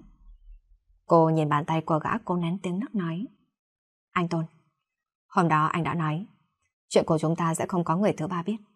Bây giờ anh đã quên lời gỡ đó rồi sao? Tôn Văn Tấn lại ôm cô vào lòng, bên tay cô vang lên giọng của gã. Tự du à? Anh đã 30 tuổi rồi, tìm được một người yêu thật là không dễ. Khi đường du đi rồi, Tôn Văn Tấn một mình thẫn thở ở trong phòng. Nghĩ đến những giọt nước mắt của cô, gã ngây người một hồi lâu, đợi tâm trạng khá hơn mới lái xe ra về. Gã lái xe lận lờ lại ở trong thành phố. Cuối cùng định quay về nhà. Vừa đến cổng cô nhà, gã bỗng nhiên phòng tay lái mà quay xe lại. Tuần Văn Tấn đương nhiên biết nơi trọ của đường du. Một khu dân cư cần trường. Đường du ở tầng 1. Đến cổng của khu dân cư, gã bỗng dừng xe lại, một mình ngồi ở trong xe rất sâu mà không biết nên làm gì cả. Gã đặt bao thuốc lá xuống, cầm di động bấm số máy của đường du. Tiếng trả lời di động vang lên. Xin lỗi, số máy quý khách vừa gọi hiện đang tắt máy. Không thể kìm nén được thêm. Gã lái xe qua cổng xuống xe, vẫn không liên lạc được. Gã tìm căn phòng cô thuê rồi bấm chuông. Lát sau cửa được mở ra. Bước ra là một cô gái trẻ. Gã hỏi thì mới biết cô đã về quê. Cô không biết cô đi bằng phương tiện gì. Gã gọi điện thoại cho hãng hàng không kiểm tra xong, liền vội vã đi ra sân bay. Xuống máy bay, đường du mở di động thấy báo có cuộc gọi nhỡ. Cô nhìn là một số máy lạ. Bình thường rất ít người gọi điện cho cô. Công ty dịch thuật có việc cũng sẽ đều thông qua chìa khóa trên. Nghĩ ngợi một lát cô không gọi lại, tìm một nhà nghỉ để cất đồ đạc trước rồi mới đi đến bệnh viện. Trông thấy đường du thì chị hộ lý vội vàng nói. Ông Đường đã được cấp cứu, bây giờ đã thoát khỏi cơn nguy kịch nên cô có thể yên tâm. Đường kỳ chính không sao cả. Đường du tạm thời ngồi xuống ghế, mới xuống máy bay lại đi lại vất vả, nên cảm giác là vô cùng mệt mỏi. Cô ngồi xuống chống tay vào đầu, ngủ gật ở trên chiếc tủ thấp ở trong phòng. Tôn Văn Tấn bắt taxi đi đến bệnh viện. Lúc cả đến, Đường Du đang ngủ ở trong phòng bệnh. Khuôn mặt hơi cúi xuống, da dày nhợt nhạt, đôi lông mày rậm trên khuôn mặt giống như hai cánh quạt nhỏ cụp xuống. Dưới ánh nắng hoàng hôn, hắt thành hai cái bóng dài.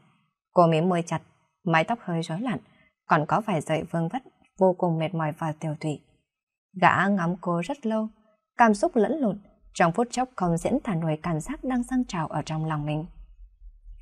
Chờ khi cô tỉnh dậy, hai người bắt taxi về nhà nghỉ. Trên đường về cả hai đều không nói gì cả.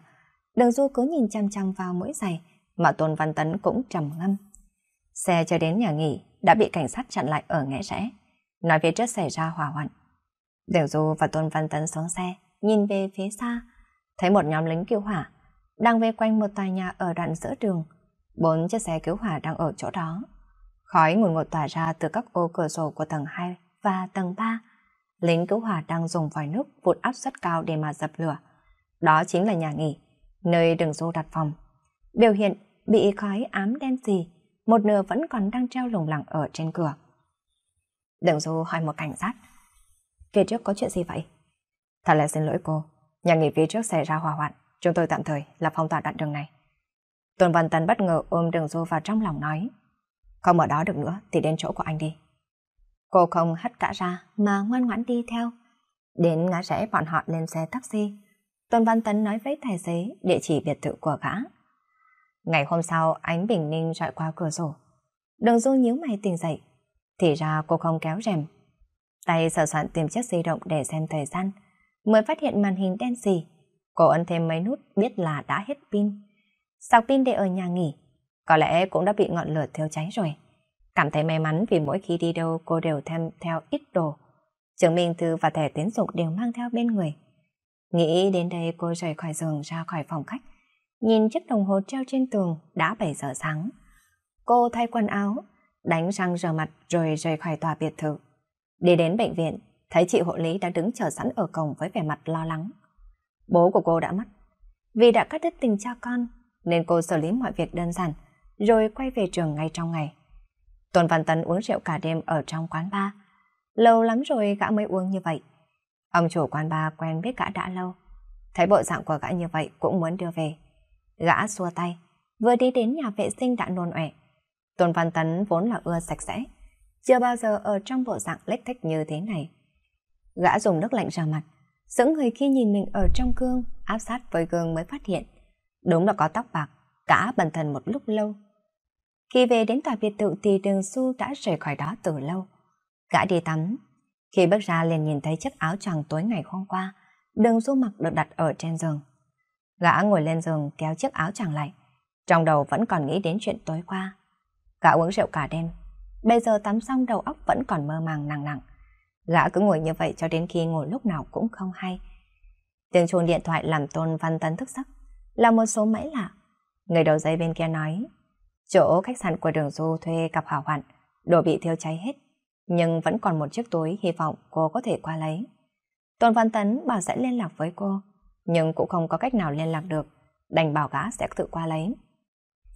Sau khi lấy được ba lô, gã đến bệnh viện tìm mới biết rằng ông Đường Kỳ Chính đã qua đời bởi vì suy tim. Thi thể đã được người nhà xử lý ngay ngày hôm đó. Tôn Văn Tấn quay về biệt thự đợi. Đến tối vẫn không gọi điện thoại được cho Đường Du. Khó khăn lắm mới tra ra số điện thoại của Hoàng Lạc.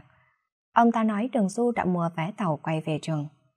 Thứ hai, Đường Du đi học cả buổi sáng.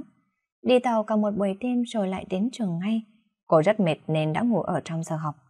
Lúc tỉnh dậy đã là tiết thứ tư. Trong giảng đường đã chẳng còn ai nữa. Cô ngơ ngác nhìn giảng đường vắng tanh rồi tẫn thờ. Sực nhớ tới tối ngày hôm trước.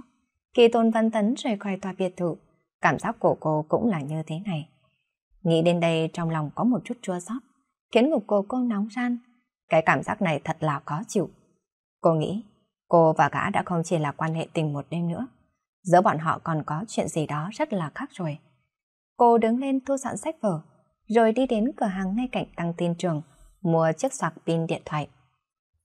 Đường Du quyết định mua chiếc sạc phản năn giá 10 tệ.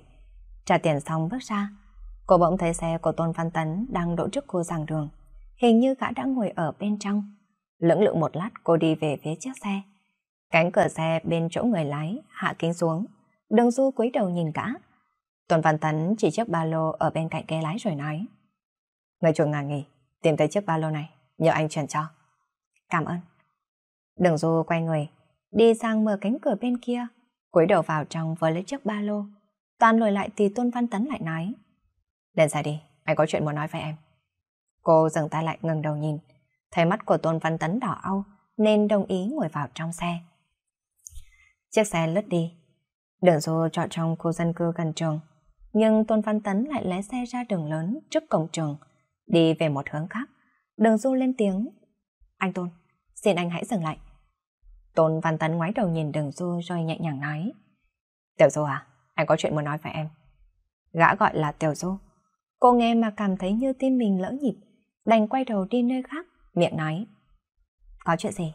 Mong anh hãy nói luôn đi. Tôn Văn Tấn không đáp lời, xe cũng chẳng dừng lại. Lúc này đường Du bỗng dưng mở cửa xe. Tuần Văn Tấn hoảng sợ lập tức phanh gấp. Đường Du liền mở cửa bước xuống. Tuần Văn Tấn vội vàng bước ra, vòng qua đầu xe đuổi theo, một tay giữ chặt lấy tay cô, tay kia xoay mặt đối phương lại, để mặt của cô hướng vào gã.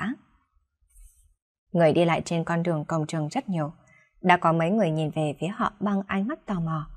Đường Du vừa không ngừng dãy ruộng vừa nén giọng thật thấp. Tuần Văn Tấn, đây là công trường, mong anh hãy tôn trọng một chút. Tôn Văn Tấn nói. Anh buông tay, nhưng em hãy nghe kỹ những lời anh nói. Được rồi, anh buông tay ra đi. Đường Du đành phải đồng ý. Tôn Văn Tấn vừa mới buông tay, cô lập tức quay người tan chạy, nhưng cả đã nhanh hơn. Cô vợ nhất chân đã bị Tôn Văn Trấn kéo lại, ôm chặt vào trong lòng. Đường Du có dạy dội như thế nào, gã cũng không buông ra, cô cuống đến phát khóc. Tôn Văn Tấn, anh muốn làm gì? Mạo buông tay ra. Hai bàn tay của Tôn Văn Tấn ôm lấy khuôn mặt của cô, nhìn thẳng vào mắt của cô nói từng chữ. Tiểu Du, em đừng như vậy. Buổi tối không có chuyến bay, anh phải lái xe cả đêm về thành phố nữa, chỉ muốn trông thấy em.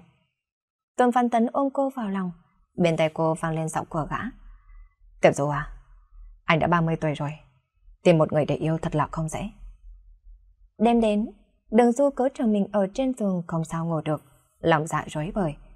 Cảm giác đó đã không xuất hiện từ rất lâu rồi. Giống như ngày còn nhỏ, cha không quan tâm, người cậu thì di cư đi nước ngoài. Lúc ấy cô có cảm giác mình bị bỏ rơi. Cô bơ vơ sợ hãi. Dù bây giờ đã trưởng thành, nhưng cảm giác khủng khiếp đó vẫn khiến cho cô run rẩy.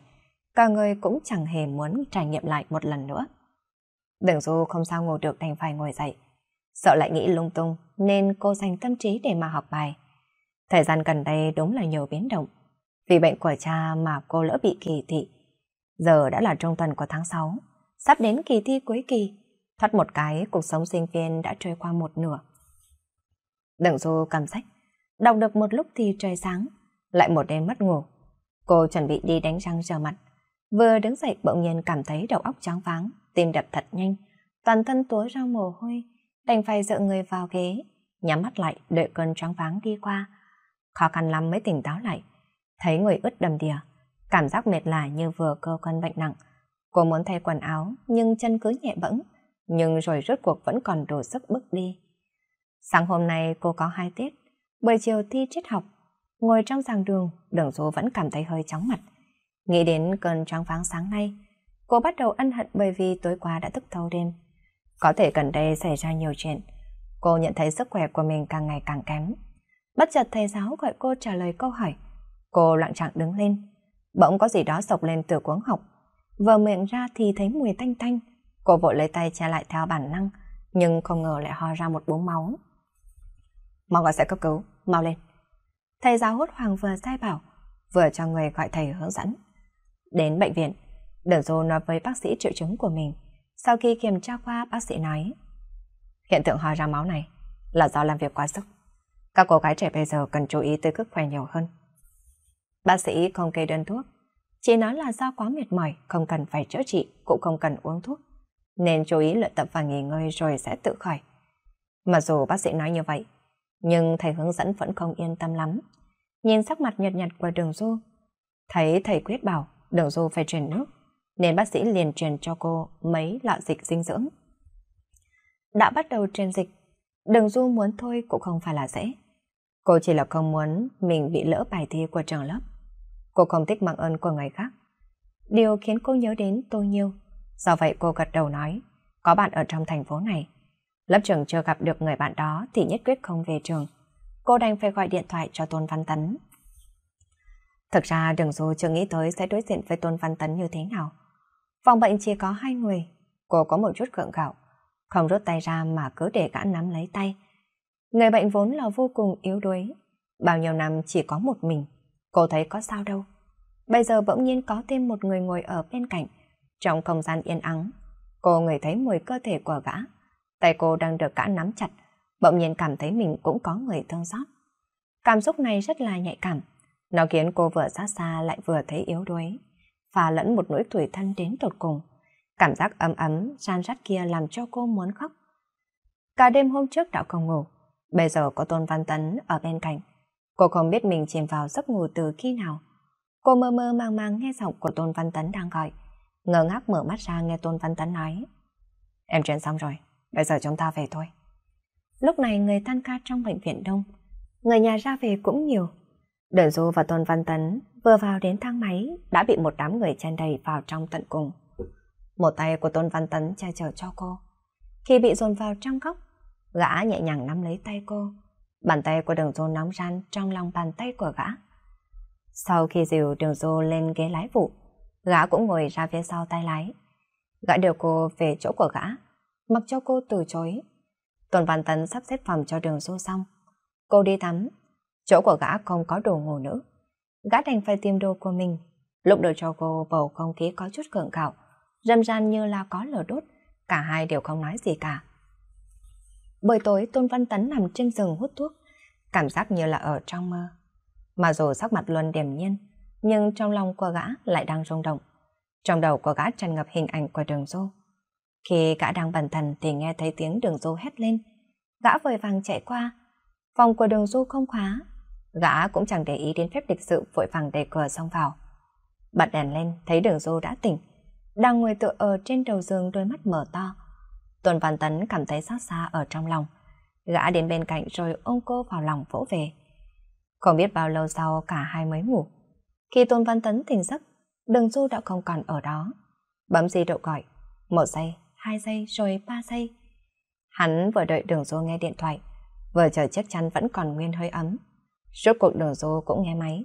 Cả bảo cô yên tâm đi học, nhớ ăn sáng. Chiều nay cả sẽ đón cô tan học. Suốt tiết cuối của buổi chiều, đường du không biết có nên đợi Tôn Văn Tấn đến đón hay không. Trong lòng bồn chồn mà thời gian vẫn cứ trôi đi. Tiếng chuông báo hết giờ vang lên. Các sinh viên lần lượt ra khỏi giảng đường. Cô là người cuối cùng ra khỏi đó. Mỗi bước đi đều mang nặng tâm trạng. Cô giáo nghĩ cô không hiểu bài nên gọi cô lại. Họ cùng nhau đi xuống dưới lầu. Nhìn thấy cô thì Tôn Văn Tấn nở nụ cười. Xuống xe mở cửa. Rồi sau đó gã ngồi vào ghế tay lái. Rất là tự nhiên kéo tay cô đặt trên đầu gối của mình. Rồi nhìn cô khẽ mỉm cười. Đây là khu giảng đường. Lúc này có một nhóm người đang nhòm ngó vào bên trong xe. Cô không dám phản kháng gì chỉ cái nói. Chúng ta đi nhanh thôi. Bọn họ đã ở bên nhau như thế. Một khoảng thời gian sau, đường sư chuyển đến chỗ của Tôn Văn Tấn. Cô không muốn cả đến đón, mà mỗi ngày đều đi tàu điện ngầm về. Căn phòng cô thuê ở bên ngoài trường vẫn nộp tiền hàng tháng. Vấn đề nhạy cảm nhất chính là tiền. Đường Du chưa từng xin tiền qua gã. Tôn Văn Tấn biết những điều này, rất thương Đường Du, nhưng cũng không dám nói gì cả. Cả hai đều dè dặt cẩn thận, tôn trọng nguyên tắc riêng của lẫn nhau. Đầu tháng 7, trường cho nghỉ học. Việc kinh doanh của Trần Thích ở châu Phi gặp trục trặc. tôn Văn Tấn phải qua bên đó một tuần. Hôm trở về thành phố B, Thẩm tử tịnh bụng mang dạ chửa lái xe đến đón, khiến Trần Tích sợ hết quả hồn, luôn miệng cất lời trách. Thầm tư tịnh cười nói, đây chẳng phải là một chút thể hiện thành ý của em hay sao? Anh Văn Tấn giúp chúng mình chuyện lớn như vậy, đã bận bịu cả tuần ở châu Phi rồi. Mà đúng rồi, hôm nay em đã chuẩn bị rất nhiều món ngon ở nhà, bỏ lên xe trước đi, bọn em không thưởng công anh hậu hĩnh nha. Tuần Văn Tính nghe vậy thì bật cười. Hôm nay mình bận một chút việc nên sẽ không đến chỗ của cậu được. Ồ, làm mất mặt bạn bè quá đi. Vừa mới từ máy bay xuống thì bận việc gì cơ chứ? Hay là đang có người đẹp đợi ở nhà hả? Thầm tư tịnh cũng cười. Văn Tấn à, nếu thật sự là ý vừa rồi thì giới thiệu để mọi người biết mặt đi. Đừng có dấu diếm khiến con gái nhà người ta tuổi thân. Hơn nữa anh cũng đâu còn trẻ, nên nghiêm túc xem xét lại vấn đề này rồi. Cuối cùng Trân Thích vẫn tự mình lái xe đưa Đôn Văn Tấn về nhà trước, rồi mới cùng vợ trở về. Xe dừng lại ngay dưới bên tòa biệt thự của Tôn Văn Tấn. Tô Văn Tấn mở cửa xe, vòng ra cốp lấy hành lý. Không ngờ Trần Thích cũng đi theo phía sau mà cất tiếng hỏi. Có phải là đường xô không? Trần Thích cố ý hạ thấp giọng nói. Trong thời gian cậu giải quyết công việc ở châu Phi, mình đã đoán ra được. Có phải cô ấy đang ở nhà đợi không? Một hôm tử quất đi uống rượu, say xỉn bị tự tiện mắng một trận. Nó vừa khóc vừa nói. trông thấy cậu cùng với một cô sinh viên học viện ngoại ngữ, khoa tiếng Pháp. Tuần Văn Tấn không nói gì cả. Chuyện cả và chú nhiễm trước đây, Trần Thích cũng đã từng khuyên, nhưng lúc đó gã không nghe. Giờ đây Trần Thích vẫn dùng giọng điệu đó. Gã thấy có một chút không thích hợp, muốn phản bác lại gã và đường du không giống như Trần Thích nghĩ, nhưng chẳng thể nào nghĩ ra được lý do nên đành phải im lặng. Trần Thích như đoán được phản ứng của bạn nên cười chăm chọc. Mình chẳng biết phải nói gì cả. Bây giờ cậu cũng không còn trẻ, vì sao phải khổ sở như vậy? Trái tim của cậu còn chinh chiến được mấy lần sóng gió nữa chứ. Trên đường trở về, thầm tố tịnh tò mò hỏi chuyện chồng mình. Trần Thích mới rầu rĩ kể lại mọi chuyện của Chu Nhiễm, cũng như chuyện của Đường Du. Tôn Văn Tấn gõ cửa, một lúc sau Đường Du mới ra mở. Nhìn qua mắt thân cắn ở trên cửa, cô nhìn thấy gã thì hơi ngạc nhiên, bởi vì gã bảo sẽ ở châu Phi trong vòng nửa tháng. Sao anh về sớm vậy? Xong việc là anh về ngay. Vừa nói vừa đi vào nhà, hắn đặt túi tài liệu đang cầm ở trên tay và để vali sang một bên, nói anh đi tắm. Đừng dô biết cả là người sạch sẽ. Vào phòng tắm rồi, Tôn Văn Tấn vẫn nghĩ về những lời Trần Tích vừa nói khi nãy. Lại nghĩ đường dô đang ở bên ngoài. Lòng của gã rối bời. Bấy giờ, hắn nghe thấy đường dô gõ gõ vào cánh cửa kính. Em vẫn còn có một chút đồ để ở nhà trọ, bây giờ sẽ đi lấy. Gã nghĩ mà cảm thấy chán. Lên đi đến tủ rượu lấy rượu, vừa uống vừa nghĩ những lời Trần Tích nói, cảm giác mọi thứ thật là vô vị. Bỗng nhiên gã đặt ly rượu xuống, cầm bộ chìa khóa ở trên bàn toàn đi đâu đó. Lúc này túi tài liệu đập vào mắt hắn. Gã sực nhớ là lúc nãy khi vào nhà, tiện tay đã đặt ở trên bàn. Đây chính là bàn hợp đồng đường du dịch mà Trần thích vừa mới đưa. Gã lo lắng và một chút sợ hãi, hiểu lý do vì sao đường du bỏ đi. Gã giận bản thân mình, không kịp nghĩ ngợi liền gọi điện thoại ngay. Cô không nghe, số máy cứ nhảy nhót ở trên màn hình điện thoại. Một giây, hai giây không có phản ứng. Cuối cùng mới vang lên câu trả lời tự động. Thì bao quý khách vừa gọi, không có tín hiệu trả lời. Xin quý khách vui lòng gọi lại sau. Cô không nghe máy, cả tiếp tục gọi. Mắt nhìn chằm chằm vào màn hình ở di động. Gọi đến lần thứ ba, cô mới nghe. Alo, là anh ạ? Hôm nay có lẽ em phải ở đây sẽ không về. Muộn quá rồi cũng không có tàu điện ngầm. Một mình em. Mà đúng rồi, điện thoại của em sắp hết pin, em dập máy đây. Vừa mới uống rượu xong, gã cũng chẳng nghĩ là sau khi uống rượu là không lái xe được. Vẫn đi như bay ở trên đường. May mà đêm khuya, lượng xe không nhiều lắm. Đến trước khu nhà trọ của đường dô, gã gọi điện thoại cho cô, chỉ nói đúng một câu. Anh ở ngoài cổng, mau ra mở cửa rồi tắt máy. Một lúc sau tiếng chuông điện thoại của gã vang lên là đường dô. Em đi ngủ rồi, không ra mở cửa đâu, anh về đi. Lúc này, Tuần Văn Tấn không thể nhẫn nại thêm nữa, gã cất tiếng cười lạnh lùng. Anh biết em vẫn chưa ngủ. Em có mở cửa hay không? Em nghĩ nếu không mở cửa thì anh sẽ không vào được sao? Đừng dô do dự một lát, cuối cùng cũng đi ra mở cửa. Ánh đèn ở trong phòng khách đùng đục. Cô cố gắng nặn ra một nụ cười. Bóng của cô lờ mờ trong ánh sáng u ám, nhưng cả không quan tâm. Nụ cười miễn cưỡng của cô khiến cả càng tức tối. Cổng vừa đóng, cả kéo cô đi về phòng. Vào đến nơi, gã liền đóng cửa lại. Ấn cô dựa lưng vào tường rồi mắt nhìn thẳng vào mắt cô. Anh ngồi trên máy bay mười mấy tiếng đồng hồ từ châu Phi về đây. Một ngụm nước cũng chưa kịp uống. Em nói đi là đi. Em giận dỗi thì giận dỗi. Muốn không nghe điện thoại thì không nghe sao hả? Ở trong phòng không bật đèn, cửa vừa đóng thì có một chút ánh sáng trong phòng khách cũng gần như tắt hẳn. Trong không gian tối đen chỉ người thấy mùi rượu nồng nặc trên người của gã. Cô không dám nhìn gã, chỉ đẩy gã ra rồi nói. Không phải, em không giận dỗi. Mà muộn rồi không có tàu điện ngập nên không về nữa. Chẳng phải em đã nói là điện thoại của em sắp hết pin rồi sao? Một lát sau, Tôn Văn Tân nhớ lời của Trần Tích nói. Cô gái này không đùa cợt được đâu. Lòng cô gã bỗng nhiên cảm thấy xót xa. Cô quá nhạy cảm tự tôn. Vì sự bắt đầu tệ hại nhất kia mà giờ đây chỉ cần một biến cố nhỏ cũng khiến cô chạy trốn. Gã nhớ tới túi tài liệu. Cô họng nghèn nhẹ thô ráp, nói không thành tiếng. Một lúc sau hắn mới cất lời. Tiểu Du à, tình cảm anh dành cho em là nghiêm túc. Cậu không nói gì bất chợt ôm lấy cô. Cô run rẩy ở trong lòng gã. Cái ôm rất là chặt, như thể buông ra cô sẽ tuột mất. Và cũng như thể cả muốn xua tan sự sợ hãi và bất an trong lòng của cô. Trong bóng đêm mờ mịt, chỉ nghe thấy tiếng thở cay kẽ và tiếng trái tim đang đập thình thịch của hai người. Họ cứ ôm chặt nhau như thế. Mặt của gã vùi vào tóc cô. Gã chờ đợi. Nhưng đừng xô không nói gì. Gã lo lắng buông cô ra. Mới phát hiện nước mắt đã nhạt nhòa ở trên khuôn mặt. Gã đau đớn lau đi những giọt nước mắt, rồi lại ôm chặt lấy cô, nói kẽ càng ở bên tai. Tiểu dâu à, anh ơi sau này nhất định sẽ đối tốt với em. Cô không biết đã khóc ở trong lòng gã bao lâu, cuối cùng mệt quá mà thiếp đi. Tuần Văn Tấn cẩn thận bê cô đặt ở trên giường. Trong bóng tối, đã giặt chiếc khăn lau cho cô rồi mới ôm cô ngủ. Sáng ngày hôm sau Đường Du tỉnh dậy trước. Cô vốn sẽ tỉnh giấc. Tôn Văn Tấn vẫn đang ngủ. Hai ngủ ngủ trên chiếc giường đơn nhỏ hẹp. Gã ngủ trong tư thế không thoải mái. Chân tay không duỗi ra được nhưng vẫn ôm chặt lấy cô. Không muốn làm cho gã tỉnh giấc, nên phải khéo léo lắm cô mới được ra khỏi giường. Vừa mới đánh răng rửa mặt xong, khi quay vào cả cũng đã tỉnh dậy. Thấy cô đang quấy người lấy quần áo trong tủ. Ở trên sàn có một chiếc vali đang mở sẵn. Trong đó có sách và một số đồ dùng hàng ngày. Hình như cô đang dô dọn hành lý. Gã vẫn hơi mơ hồ. Dù đây là phòng của cô thuê.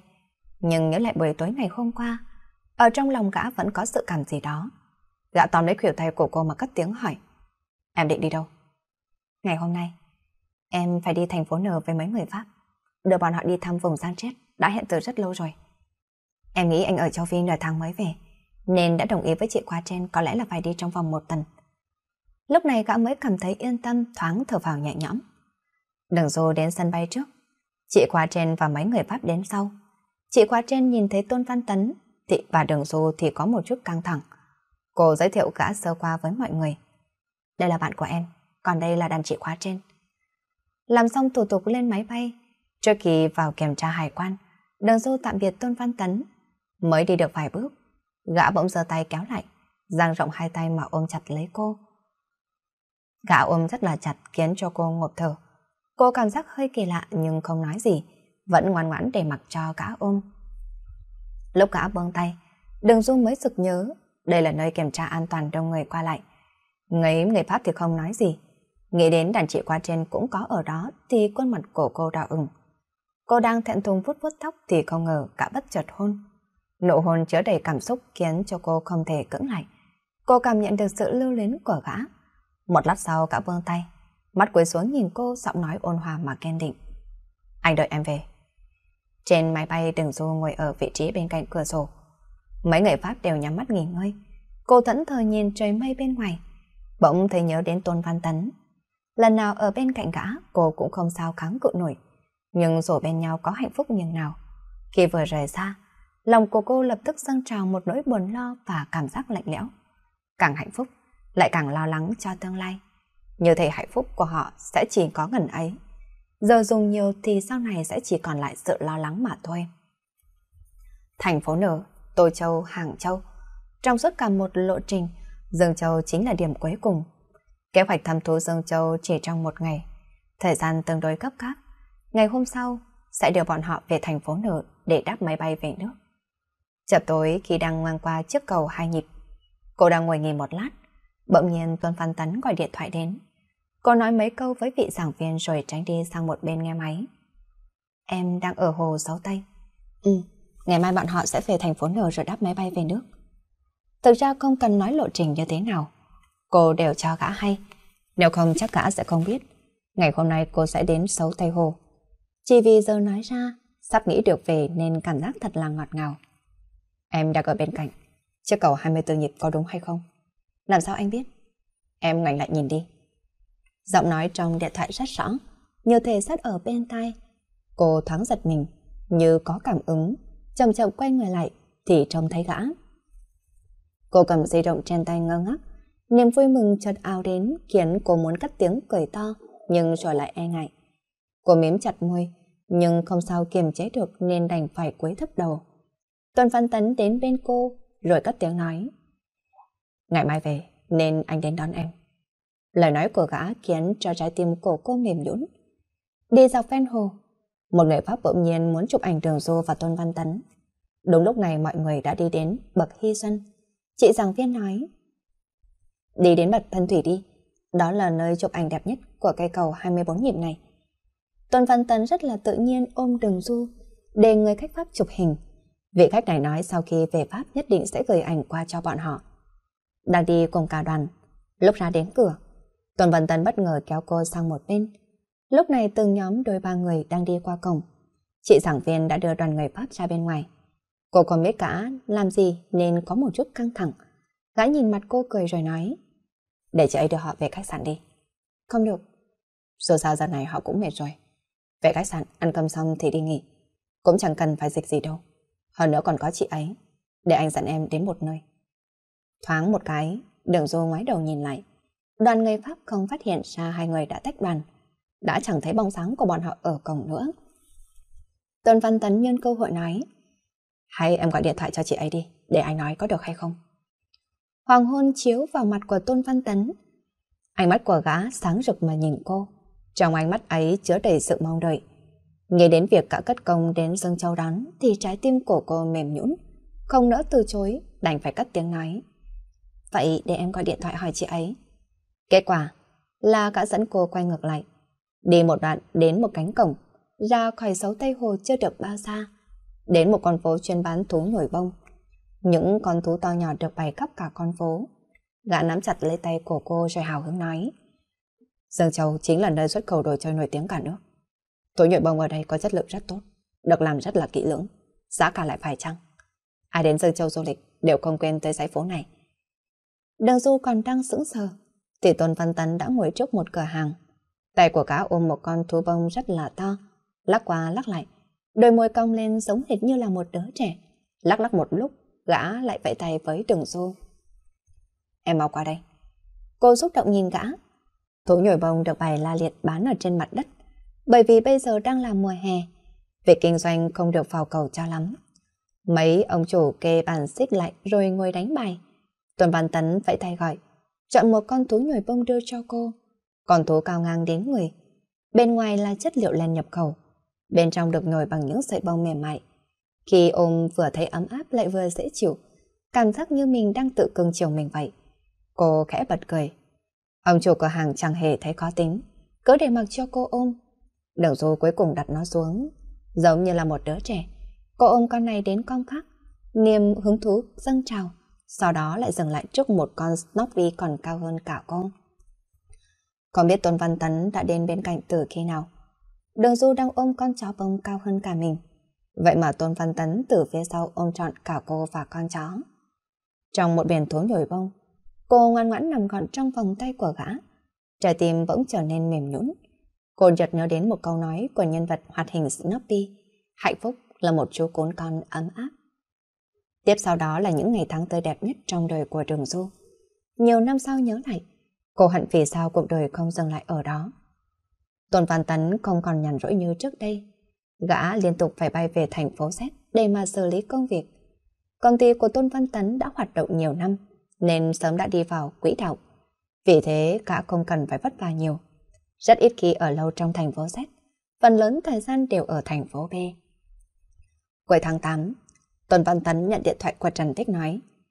Sắp đến sinh nhật của chị Thăng, Sẽ tổ chức ở nông trại. Chị ấy có nghe nói đến đường du rồi, Nên bảo cậu dẫn theo cô ấy đến đây. Tuần Văn Tấn chắc chắn sẽ đi sinh nhật của Thăng Dĩnh. Gã chỉ báo trước với đường du để dành thời gian một ngày. Để đến sáng sớm hôm đi, Vẫn đang ở trên giường. Cậu bỗng nhiên nói phải đi dự tiệc sinh nhật của một người bạn khiến cô giật mình. Đừng quá căng thẳng. Ngày này là em của chị dâu anh hơn nữa con dâu xấu cũng phải gặp bố mẹ chồng chứ. Gã nháy mắt trêu chọc. Từ khi chuyển đến sống cùng với Tôn Văn Tấn, giữa hai người như có một thỏa thuận ngầm. Gã chưa từng dẫn cô đi gặp bạn bè. Gã đã suy nghĩ rất nhiều, nhưng bất ngờ như vậy có tránh cô sẽ tất thỏm. Là có những ai vậy? Là chị thang Trần Tích và hai chúng mình. Yên tâm đi, sẽ không có người ngoài đâu. Gã vừa nói vừa ôm cô. Thay đổi thôi, mặc bộ quần áo bóng truyền lần trước mình mua ấy đừng quá căng thẳng. Lên xe Đường Du vẫn thất thỏm không yên. Kết quả đúng là đến một nông trại. Đường Du vô cùng kinh ngạc. Nông trại này nằm ở ngoại ô của thành phố B, ruộng khoảng 7-60 mẫu.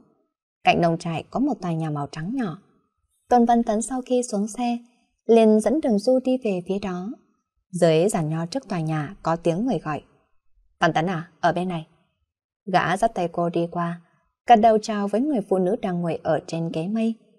Chị Thăng Người phụ nữ nhếch mép cười. Bạn Tấn à, dạo này bạn bịu gì thế? Lâu lắm rồi không gặp cậu nha. lại có thể kiếm được đâu một cô gái xinh đẹp như thế này chứ? Đường Du mỉm cười gật đầu chào. Do ánh mặt trời không gắt nhiệt độ thấp, nên sau khi mọi người đến đầy đủ, thằng Dĩnh liền bảo mọi người ra vườn hái sơ hấu về ăn, rồi nhân tiện mang về. Trong nông trại đương nhiên có người làm thuê, nhưng thằng Dĩnh không gọi họ đến hái giúp, mà bảo mọi người tự chọn. Hai người đàn ông là Trần Thích và Tôn Văn Tấn xuống ruộng tròn, Đường Du và Thẩm Tử Tịnh che ô đợi ở phía trên. Thẩm Tử Quất cùng với thằng Dĩnh ngồi dưới giàn nho. Giờ hấu vừa mới lái lên ăn thơm và ngọt. Thằng Dĩnh cười vui vẻ nhìn mọi người ăn. Ăn giờ hấu xong, bên kia có người gọi ăn cơm. Tất cả lại đi vào phòng khác để mà dùng bữa. Đồ ăn đều được làm từ thứ nuôi trồng ở trong nông trại. Như rau xanh, hoa quả, cà đồng, mùi vị đều rất là thơm ngon. Mọi người ăn no đến nỗi không thể ngủ cho nổi. Sau đó lại tụ tập chơi mặt trượt dưới sàn nho. Đừng Du không biết chơi, thẩm tử tuất cũng không biết nhiều. Chỉ có Tôn Văn Tấn, thẩm tử tịnh, Trần Thích và Thang Dĩnh ngồi thành một bàn chơi. Tuổi tác của thẩm tử quất và đường du ngang nhau. Nhưng do thẩm tử quất từ nhỏ sống ở bên Mỹ, đường du thì không giải giao tiếp, nên cũng chẳng biết nói gì. Bỗng nhiên thẩm tử quất nói, chỉ cô xem chỉ tay, xem được một lúc thì Tôn Văn Tấn với tay bảo, cũng muốn cô xem cho gã. Đường du duỗi thẳng những ngón tay thon dài của gã, bắt chước sáng vẻ khi nãy của thẩm tử quất chăm chú phân biệt. Tay cô chạm vào tay gã tạo nên một cảm giác ngơ ngỡ, mang theo một cảm giác rất riêng. Cả bỗng nhiên cúi đầu cười, lật bàn tay của mình lại tóm gọn tay cô. Đường Du ngạc nhiên ngẩng đầu nhìn, gã đang cười rồi dùng sức kéo mạnh Đường Du ngồi trên đùi của mình. Một tay gã ôm vai, tựa đầu trên vai cô rồi nói. Xem bảo cái gì chứ? Nên máy bài cùng anh. Em xem nên đánh con nào hả? tuần Văn Tấn như vậy không có gì là lạ. Nhưng ở trước mặt nhiều người, Đường Du lại hay xấu hổ, khuôn mặt của cô ửng đỏ. Cô liếc mắt nhìn người vẫn đang bình thản. Cô sợ rằng mình quá để ý sẽ trở thành nhỏ mọn, nên đành vừa thản nhiên cỡ tay của gã vừa lắc đầu nói. Anh cũng biết, em không biết chơi mặt trượt mà. Gã mỉm cười nói. Vậy em ngồi đây giúp anh xếp bài đi. Thầm tự tịnh cười. Anh ấy muốn tranh thủ lúc này trêu chọc cô đường đó. Đừng có xếp giúp bài anh ta con người này rất là xấu xa nha. Thang Dĩnh ngồi đối diện cũng đang cúi đầu cười. Trần Tích nhìn mọi người nói. Cái cậu này từ nhỏ đã biết gạt phụ nữ rồi.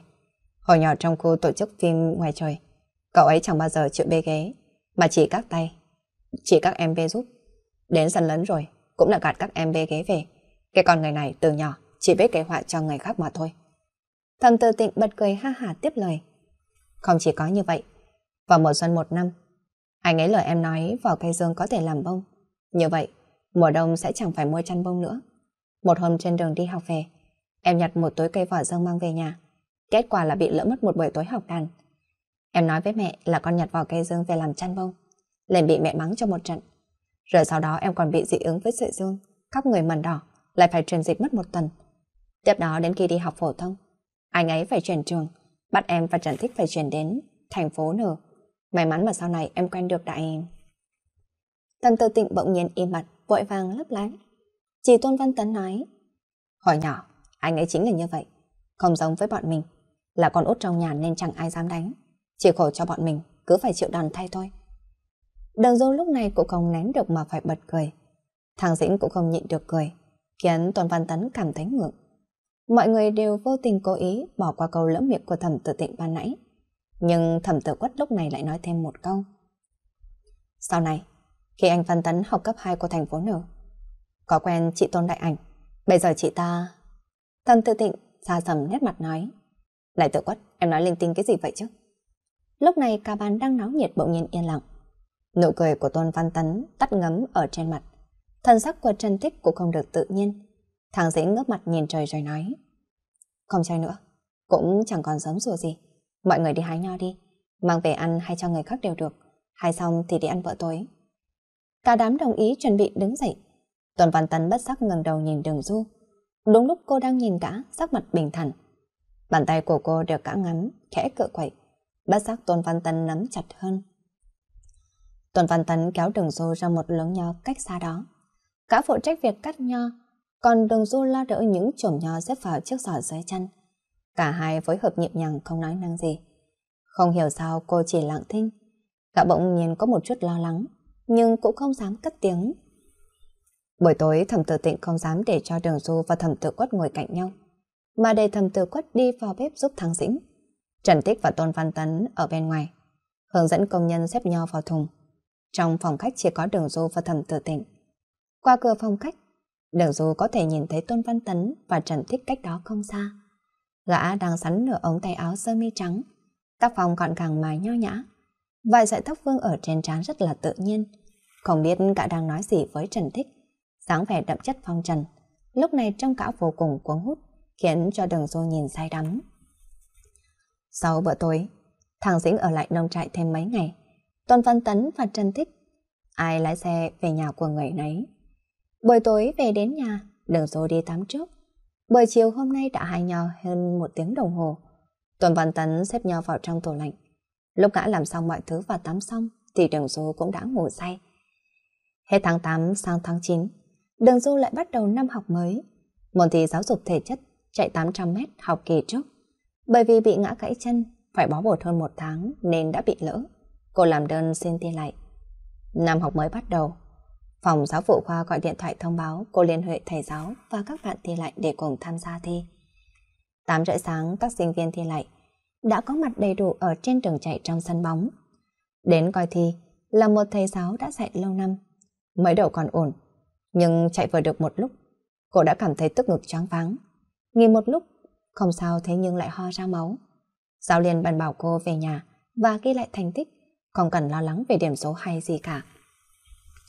Từ văn phòng của bác sĩ đi ra, bước chân cổ cô nhẹ bẫng. Những lời của bác sĩ đột ngột như là tiếng sét giữa trời quang, khiến cho cô bàng hoàng mãi. Cô lảo đảo, mới đi được vài bước chờ đến thang máy đã ngồi sụp xuống chiếc ghế dựa ở trên hành lang. Cảm giác sức lực trong cơ thể hoàn toàn đã bị rút kiệt. Cơ hồ là phản xạ tự nhiên. Cô rút điện thoại gọi cho Tôn Văn Tấn. Nhưng ngón tay cứ run lên bần bật, ấn sai số mấy lần. Cuối cùng cô đành phải bỏ cuộc. Phải lật từng trang trong danh bạ mới tìm được số của gã. Vội vàng ấn số không một chút do dự. Nhưng điện thoại vừa kêu lên, cô lại hoang mang tắt máy. Tiếng chuông điện thoại trong túi cứ vang lên từng hồi. Cô không nghe máy. Ở đầu dây bên kia lòng dạ của Tôn Văn Tấn buồn chồn như có lửa đốt.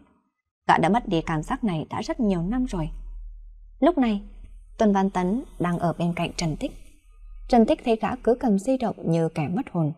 Cũng đoán ra được vừa rồi ai gọi điện thoại đến. Kỳ từ lần gặp nhau ở nông trại, Trần Tích đã hẹn nói chuyện cùng gã mấy lần. Lần nào gã cũng lấy đủ lý do để mà từ chối. Nếu không phải có chuyện công việc ở thành phố Z thì chính là mệt không muốn đi ra ngoài. Hôm gặp Đường Du ở nông trại, Tử Quất chỉ nói qua một câu. Đường sinh mệnh của cậu lộn xộn quá đi. Thì gã liền kéo cô qua. Trong mắt của mọi người, cách biểu lộ tình cảm giữa Đường Du và Tôn Văn Tấn không hề giống nhau.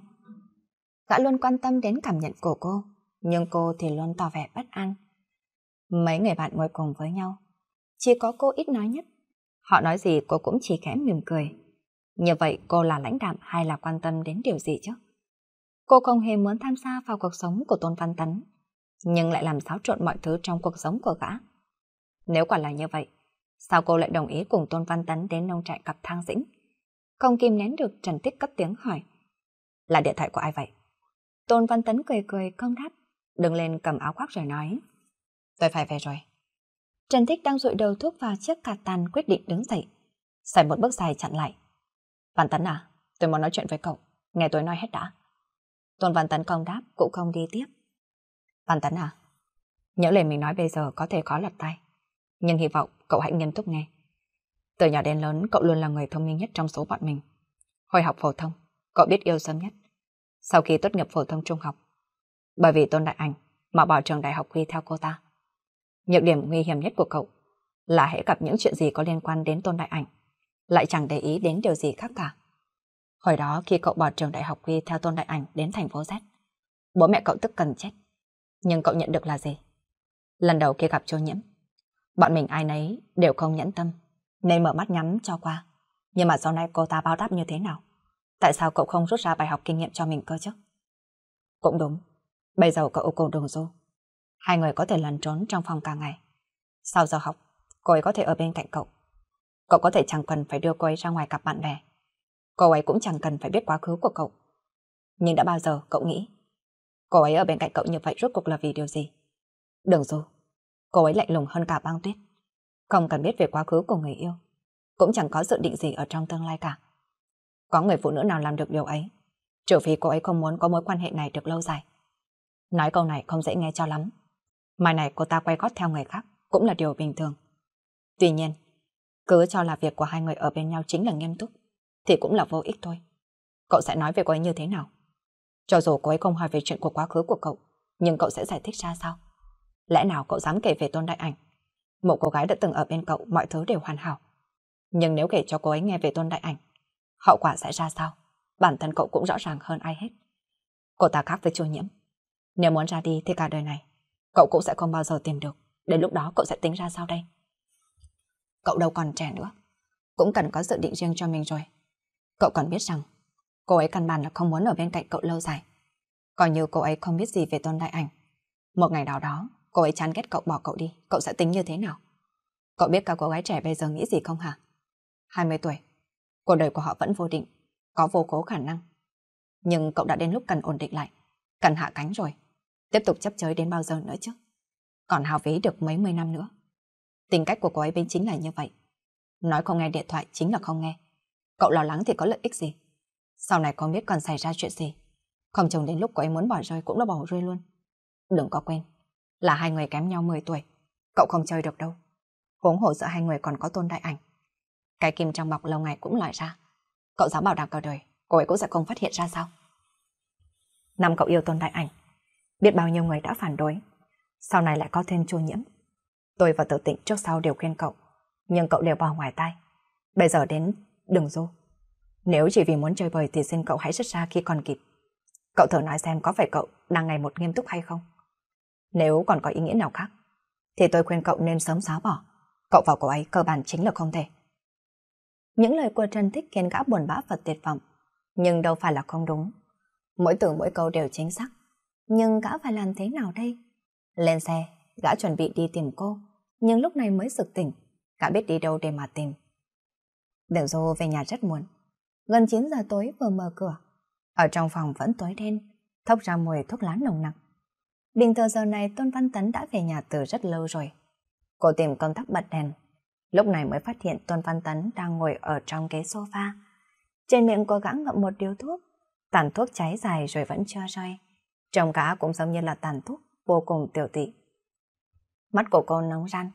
Không người tìm kiếm đôi dép trong tủ giày ra thay. Rồi cúi đầu đi qua. Gã đưa mắt nhìn cô. Giọng nói lẫn cùng với tiếng nấc. Tiểu dù à, hôm nay em đi đâu vậy? Gã giống như một đứa trẻ bị mẹ bỏ rơi cả ngày ở nhà. Mẹ về rồi thì mọi hờn dỗi đều tan biến. Chỉ còn cảm giác bị bỏ rơi sợ hãi. Ngay đến cả sự tuổi thân trong lời nói cũng được cẩn thận kiềm chế. Đừng du cười rồi cất tiếng trả lời. Ngày hôm nay, trong trường có buổi tọa đàm nên em về muộn. Đi vào. Cô dừng một lúc trước cửa phòng rồi lại nói tiếp. Em đi tắm trước nhé. Lúc nằm ở trên giường ngủ, giọng nói của cô nhẹ nhàng ở trong lòng của gã. Phan Tấn à, ngày mai đi cùng em có được hay không? Gã sững sờ ngạc nhiên. Sao chứ? Ngày mai em không phải đến trường sao? Ngày mai được nghỉ, là cuối tuần mà. Vậy thì đi chơi ở đâu đây? Buổi sáng dạo phố, đến chợ ăn cơm. Buổi chiều đến trung tâm giải trí. Tôi đi xem phim có được hay không? Cô liệt kê ra chi tiết từng việc. Tôn Văn Tấn cúi đầu nhìn nét mặt nghiêm trang của cô. Trong lòng nóng nóng, vừa son sót. Họ tuy ở bên cạnh nhau, nhưng chưa từng giống như đôi tình nhân bình thường. Chưa bao giờ cùng nhau xem phim dạo phố hay gặp gỡ bạn bè. Cô chưa từng chủ động yêu cầu gã. Hai người chỉ như là tạm bỡ cho xong. Giờ nghe cô nói như thế, nghĩ đến những ngày trước đây, gã không cảm thấy vui mà cứ cảm giác tê lương. Có một chút gì đó thương cảm pha lẫn với tuổi thân. Cô họng của gã khô khan rồi khàn khàn giọng đáp một tiếng được. Ngày hôm sau, Tôn Văn Tấn dậy rất sớm, đánh răng rửa mặt xong, bữa sáng đã chuẩn bị tươm tất. Quay vào phòng thì thấy Đường Du đang thẫn thờ dựa vào đầu giường. Không hiểu vì sao, sự đỡ đẫn trên khuôn mặt cô khiến hắn cảm giác sợ hãi. Vội vàng chạy đến bên cạnh cất tiếng gọi. Đường Du lúc này mới sực tình, mỉm cười với gã rồi bước ra khỏi giường. Thời tiết trung thần tháng 9 không lạnh không nóng, là mùa xuất hành đẹp nhất. Trước khi ra khỏi nhà, tuần Văn Tấn hỏi đường Du dự định đi đâu. Cô do dự một lát, bấy nhiêu năm ở thành phố B, vậy mà thành phố này với cô vẫn là vô cùng xa lạ. Cô suy nghĩ trong giây lát. Nghe nói vào dịp nghỉ hè, thung lũng Hoàn Lạc là khu vui chơi sinh thái quy mô lớn nhất ở thành phố B, đã chính thức mở cửa. Vào dịp cuối tuần đầu năm học, các sinh viên khóa trên để thuê nhau kéo đến đây, nên cô liền cất tiếng nói. Bọn mình đi đến thung lũng Hoàn Lạc trước nhé. Xe thẳng tiến, ngồi vào trong xe, nhìn từ phía xa đã thấy thung lũng Hoàn Lạc đặc kín người. Xuống xe nhìn, quả thực là người đông đến nỗi nước cũng không thể nào chảy qua. Vậy là bọn họ đành phải chọn một địa điểm khác. Lúc cả nghe nói hẹn lần sau đến đây, thì trong mắt của cô vương vấn một tia buồn bã. Tiếp tục lên xe, cũng không biết là sẽ đi đâu. Đi ngang qua khu thương mại quốc tế, bọn họ tìm một bãi đỗ xe gần đó, rồi dạo quanh siêu thị lớn. Đi dạo cả một buổi sáng, mà hai người không mua gì cả. Thời gian vẫn còn sớm, vốn định đến rạp chiếu phim, nhưng chưa đến giờ chiếu đành phải đi lấy xe. Tôn Văn Tấn cất tiếng nói. Anh dẫn em đến một nơi uống cà phê. May mà Tôn Văn Tấn là người sinh ra và lớn lên ở thành phố B. Rẽ chưa được bao xa lại chui vào một con ngõ nhỏ, dáng vẻ cổ kính. Họ tìm được một chỗ đỗ xe ở trước cổng rồi sau đó đi bộ. Đi một quãng, thì đến một ngôi nhà kiểu tứ hợp viện. Trên cửa treo một miếng gỗ, ghi bốn chữ, bánh xe tịnh mệnh. Nếu chỉ nhìn cách trang trí sơ sài ngoài cổng, thì không thể nghĩ được rằng đây chính là quán cà phê. Tôn Văn Tấn nắm tay cô bước vào. Trong sân có giếng trời, một người phụ nữ đang ngồi ở trên ghế mây. Thấy bọn họ bước vào thì liền mỉm cười nói. Văn Tấn, khách quý khách quý. Còn vị bên cạnh... Gã qua la cất lời giới thiệu. Đây là Đường Du. Người phụ nữ lịch sự gật đầu với Đường Du như thay lời chào hỏi. Mà Đường Du cũng gật đầu chào, chị nói. Lần trước đi Brazil, có mang về cho anh ít hạt cà phê, bây giờ vẫn đang để ở đây. Nếu nhanh không đến, thì có lẽ em phải kêu người mang qua đó. Mà phải rồi, ngày hôm nay anh uống gì? Lâu rồi mới gặp nhau. Chẳng mấy khi anh đến lại dẫn ai theo, em sẽ tự tay pha. Tôn Văn Tấn mỉm cười rồi nói, cứ ngồi xuống đây đi, ngày hôm nay để tự anh pha. Trước bàn bọn họ ngồi có đặt một chiếc tivi, hai người bật đèn lên xem. Lúc này trên tivi đang phát ra tin tức. Nhà báo kiêm tác giả nổi tiếng Italia đã qua đời trong bệnh viện tư nhân tại quê nhà vào đêm nay do bệnh hiểm nghèo hưởng thọ 77 tuổi. Tay của cô run lên, cà phê bắn vào áo một mảng lớn. Cô vội vàng lấy tờ giấy lau lau, nhưng màu nâu của cà phê đã dấm vào áo, lau thế nào cũng là không sạch. Cô nghiêng mặt lỗ mũi hơi đỏ. Tuần Văn Tấn cầm lấy khăn giấy từ trong tay cô toàn lau hộ. Bàn tay của gã bỗng run run, hơi thở cũng nghẹn nghẹt. Trên tay của gã là một giọt nước mắt. Rồi tiếp theo đó, nước mắt của cô như chiếc vòng ngọc đứt dây, lã chả thuần rơi xuống. Đường Du nhìn nước mắt của mình trên tay của gã. Về mặt hoang mang tự như một đứa trẻ làm sai chuyện gì bị bắt quả tăng. Vừa sợ hãi lại vừa tủi thân. Vội vã đưa tay ra lau nhưng lau mãi không hết. Nước mắt vẫn rơi ướt đẫm cả tay. Tôn Văn Tấn hốt hoảng. Cô mỉm cười cả ngày hôm nay. Từ thùng lũng hoàng lạc trở về đi dạo siêu thị. Lòng vòng ở trong dãy đồ bán nội thất, thở nhẫn. Rồi sau đó đến đây uống cà phê. Còn dự định nói rằng tối nay sẽ đi xem phim nữa nhưng giờ đây bỗng chốc lại bật khóc. Cô vốn không phải là người thích khóc trước mặt của người khác, nên đã vội vã muốn che giấu đi nhưng đã không kịp. Tôn Văn Tấn nhìn cô hoang loạn lau nước mắt. Càng lau thì mắt càng đỏ. Trái tim cả như bị ai đó quất mạnh, sông mũi cay cay. Vội vàng nắm chặt lấy tay cô, giọng nói nhàn nhạt Không sao, lần nữa chúng ta sẽ đi mua chiếc áo khác. Lau không sạch cũng chẳng sao cả. Nước mắt ngừng rơi, cô dựa vào trong lòng của gã, Ánh sáng yếu ớt chiếu rọi vào căn phòng cổ kính. Hương của cà phê thoang thoảng bao phủ cả khoảng không gian. Cô nhìn vào cây ngọc lan ở bên ngoài cửa sổ mà kẻ cất tiếng gọi. Thằng Tấn à, có điều gì khiến anh sợ không? Có.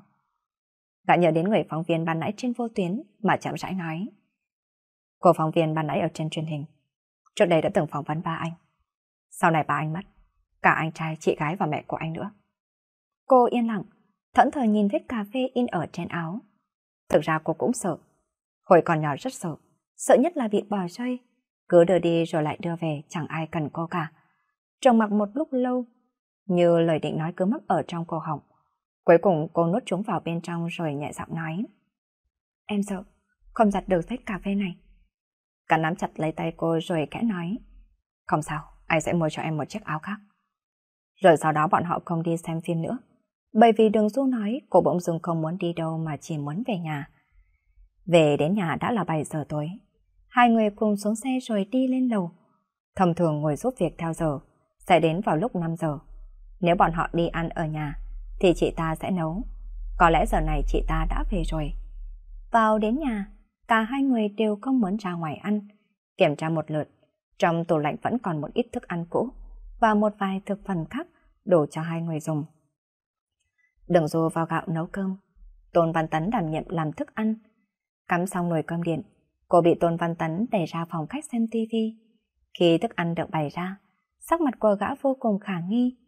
Nồi thức ăn vẫn đang còn đầy vung. Đừng dù mở ra xem, Tôn Văn Tấn ngượng ngùng nói. Lửa to quá, thịt hình như bị cháy rồi. Đừng dù nhìn đĩa thức ăn đen gì, không nghĩ rằng đây là món đậu đũa xào thịt. Cô chợt nghĩ, mấy năm nay Tuần Văn Tấn rất ít khi ở nhà, chủ yếu là ở khách sạn, được phục vụ hoàn hảo, nên nào biết đến mùi khói. Đã làm được như thế này quả không dễ dàng một chút nào cả. Ăn mì ôm tôm nhé, em nấu món này rất là ổn đó. Đun nước rồi thả mì vào rồi cho gia vị. Tuần Văn Tấn đứng bên cạnh nhìn. Cô biết cả ở đó, bỗng sực nhớ ra điều gì cần nói.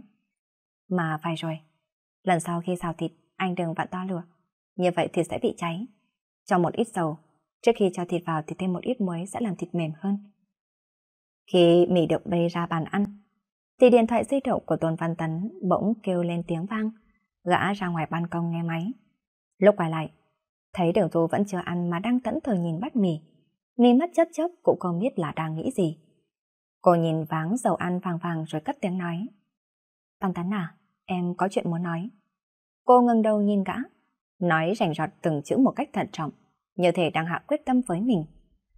Tuần sau, khoa em sẽ cử một nhóm sinh viên đi thăm Đại học Hồng Kông. Thầy giáo đã chọn em. Có lẽ em sẽ không ở nhà vài ngày. Tuần Văn Tần nghĩ đến cuộc điện thoại của Trần Thích khi nãy, dò dự một lát rồi mới cất tiếng. Ngày mai anh cũng phải đi châu Phi. Việc kinh doanh của Trần Thích lần trước do anh giúp, giờ sắp kết thúc rồi. Có một chút việc cần anh qua bên đó. Cô cười gượng cạo nói. Vậy thì tốt quá. Ăn mì xong, Tuần Văn Tấn chuẩn bị hành lý. Bởi vì Trần Thích không báo trước, ngày mai đã khởi hành nên đành phải chuẩn bị thâu đêm. Cả tất bật trong phòng. Đường rồi rửa bát xong đứng trước cửa phòng ngồi nhìn. Gã vừa lật từng thứ gì đó ở trong tủ. Em sang phòng khách, lấy dùm tập tài liệu cho anh.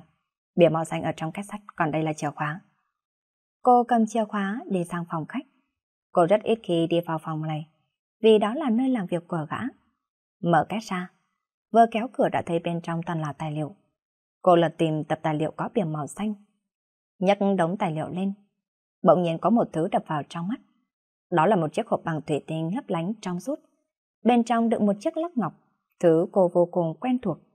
Sững sờ một lát, cô mới mở chiếc hộp ra, lấy chiếc lắc tay đeo vào. Chiếc lắc này cô đã đeo mười mấy năm. Lúc này mọi cảm giác đan xen rối loạn. Cô nhớ có lần đã hỏi gã có nhìn thấy nó hay không. Gã nói chắc chắn rằng không thấy. Nhưng hóa ra lại ở đây, nơi cất giấu tất cả mọi thứ tài liệu quan trọng. Cô suýt bật khóc. Đợi khi bình tĩnh lại mới cập lấy tầm tài liệu đi ra, rồi đưa chìa khóa trả lại cho gã.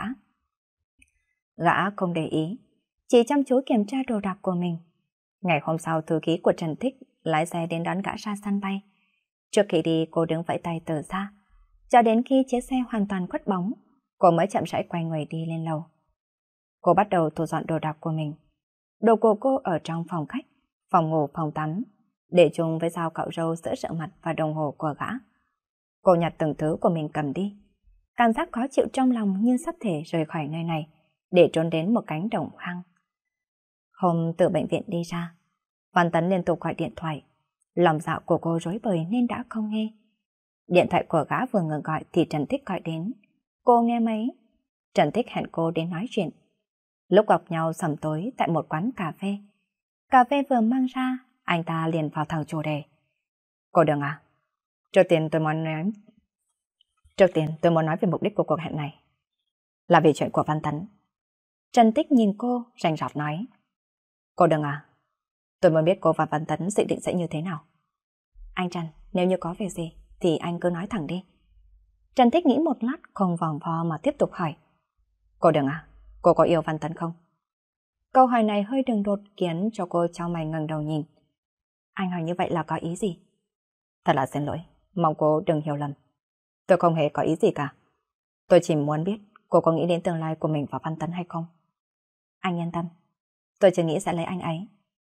Chính vì cô không nghĩ sẽ kết hôn với Văn Tấn, nên tôi mong cô hãy rời xa cậu ấy. Đừng dù có lẽ là đoán được Trần Thích sẽ nói thẳng như thế. Cô cười lạnh lùng, Trần Thích tỏ ra nghiêm túc nói. Chuyện của cô và Văn Tấn, lẽ ra không đến lượt tôi can thiệp. Nhưng tuy con người của Văn Tấn năng động, thông minh tâm lý, có sức hấp dẫn và cuốn hút phụ nữ. Song nhược điểm lớn nhất lại là có quan trọng tình cảm. Nếu như không yêu cậu ấy, xin cô đường hãy buông tha đừng tiếp tục nữa. Cô đường còn trẻ có thể chơi vời, nhưng Văn Tấn cậu ấy rất là nghiêm túc. Như vậy e rằng sẽ không tốt cho cả hai. Cuộc đời của cô chỉ mới bắt đầu. Tương lai còn có vô vàn khả năng. Nhưng Văn Tấn thì khác. Cuộc đời cậu ấy đã đi quá nửa rồi. Sẽ không có thời gian để quay trở lại nếu như là lầm đường lạc lối. Nếu như cô đường chỉ muốn chơi bời thì xin cô đừng gây thêm phiền phức nữa. Con người đều có tình cảm. Ở cùng với nhau lâu ngày sẽ nảy sinh tình cảm. Lúc xa nhau sẽ đau khổ, sẽ buồn bã. Muốn quên đi thì cũng cần phải có thời gian. Nhưng cậu ấy đâu còn trẻ. Cô đường cũng biết, cho dù cuộc sống như thế nào, một khi đã thay đổi đều sẽ không dễ gì quen. Anh Trần à, anh dựa vào đâu mà nói mối quan hệ giữa tôi và Văn Tấn chỉ là chơi bời chứ? Cô nhìn thẳng về phía Trần Tích, không thấy buồn về cách nói chuyện của Trần Tích khi muốn bọn họ chia tay. Chỉ vì câu nói đó mà trong lòng cảm giác xót xa, sợ cay đắng dâng trào trong hốc mắt khiến cho cô muốn bật khóc. Đừng Du trước giờ rất là bình tĩnh lãnh đạm. Trần Tích không ngờ cô lại phản ứng mạnh như vậy. Thấy cô xúc động mạnh, anh chỉ lặng thinh, rồi sau đó chuyển giọng lạnh lùng nói. Cô đừng à? Cô nghĩ Văn Tấn thích hợp với một cô gái như thế nào? Cô hiểu Văn Tấn ư? Cô có biết gì về quá khứ của cậu ấy không? Cô có biết cậu ta sợ nhất điều gì không? Cậu ta có từng nói với cô điều này hay không? Cậu ấy đã 30 tuổi. Đã từng vì một cuộc tình mà hao phí nhiều năm, cho đến tận bây giờ vẫn chưa quên được. Cuộc đời cậu ấy không thể lại tiếp tục bị tổn thương, phản bội và mạo hiểm. Mọi thứ trong cái thế giới này đều đang biến đổi. Cô đừng còn trẻ, tình cảm có thể mãnh liệt, nhưng cô có bảo đảm sẽ khiến cho Văn Tấn hạnh phúc không? Cô cả dám chắc là cậu ấy sẽ sống cùng với cô, không cần phải lo lắng những chuyện như thế này hay không? Cô có chắc tình cảm của cô dành cho cậu ấy sẽ mãi mãi không thay đổi hay không? Cô đường trẻ trung xinh đẹp, mạnh mẽ năng động, có thể thấy trước được một tương lai sáng lặng, lo gì không tìm được một đức lăng quân, sống như ý với nhau trọn đời chứ. Nhưng Văn Tấn thì khác. Bây giờ cậu ấy cần một người phụ nữ khỏe mạnh ôn hòa, có hoàn cảnh gia đình tốt, biết bao dung, biết đem lại sự ấm áp và sự an toàn. Nói thẳng ra cô Đường là người không thích hợp. Cô có người thích hợp với cô, cậu ấy có người thích hợp với cậu ấy, nhưng hai người tuyệt đối là không hợp với nhau. Không đợi anh ta nói hết thì đường số đã đột nhiên đứng dậy. Anh Trần à, anh yên tâm, tôi sẽ rời xa anh ấy. Nói xong liền muốn đi ngay. Đây là phản ứng rất là điển hình của cô. Cô không dám trực diện, sợ nước mắt của mình lại trào ra, nên vội vàng muốn đi ra khỏi đó. Đến phòng chờ của nhà ga, người người quay lại đều xách hành lý, dáng vẻ rất là vội vã. Đồng Du từ chối sự sắp xếp của Trần Tích. Cô không muốn xuất ngoại. Tuy nhiên Trần Tích nói đúng, nếu cô thật sự rời xa, thì tốt nhất là đừng gặp lại nhau nữa. Cô đi đến trước ô cửa kính to mà nhìn ra bên ngoài. Thấy sắc trời tuột nhiên sầm xì, tự như có vật gì đó bao phủ.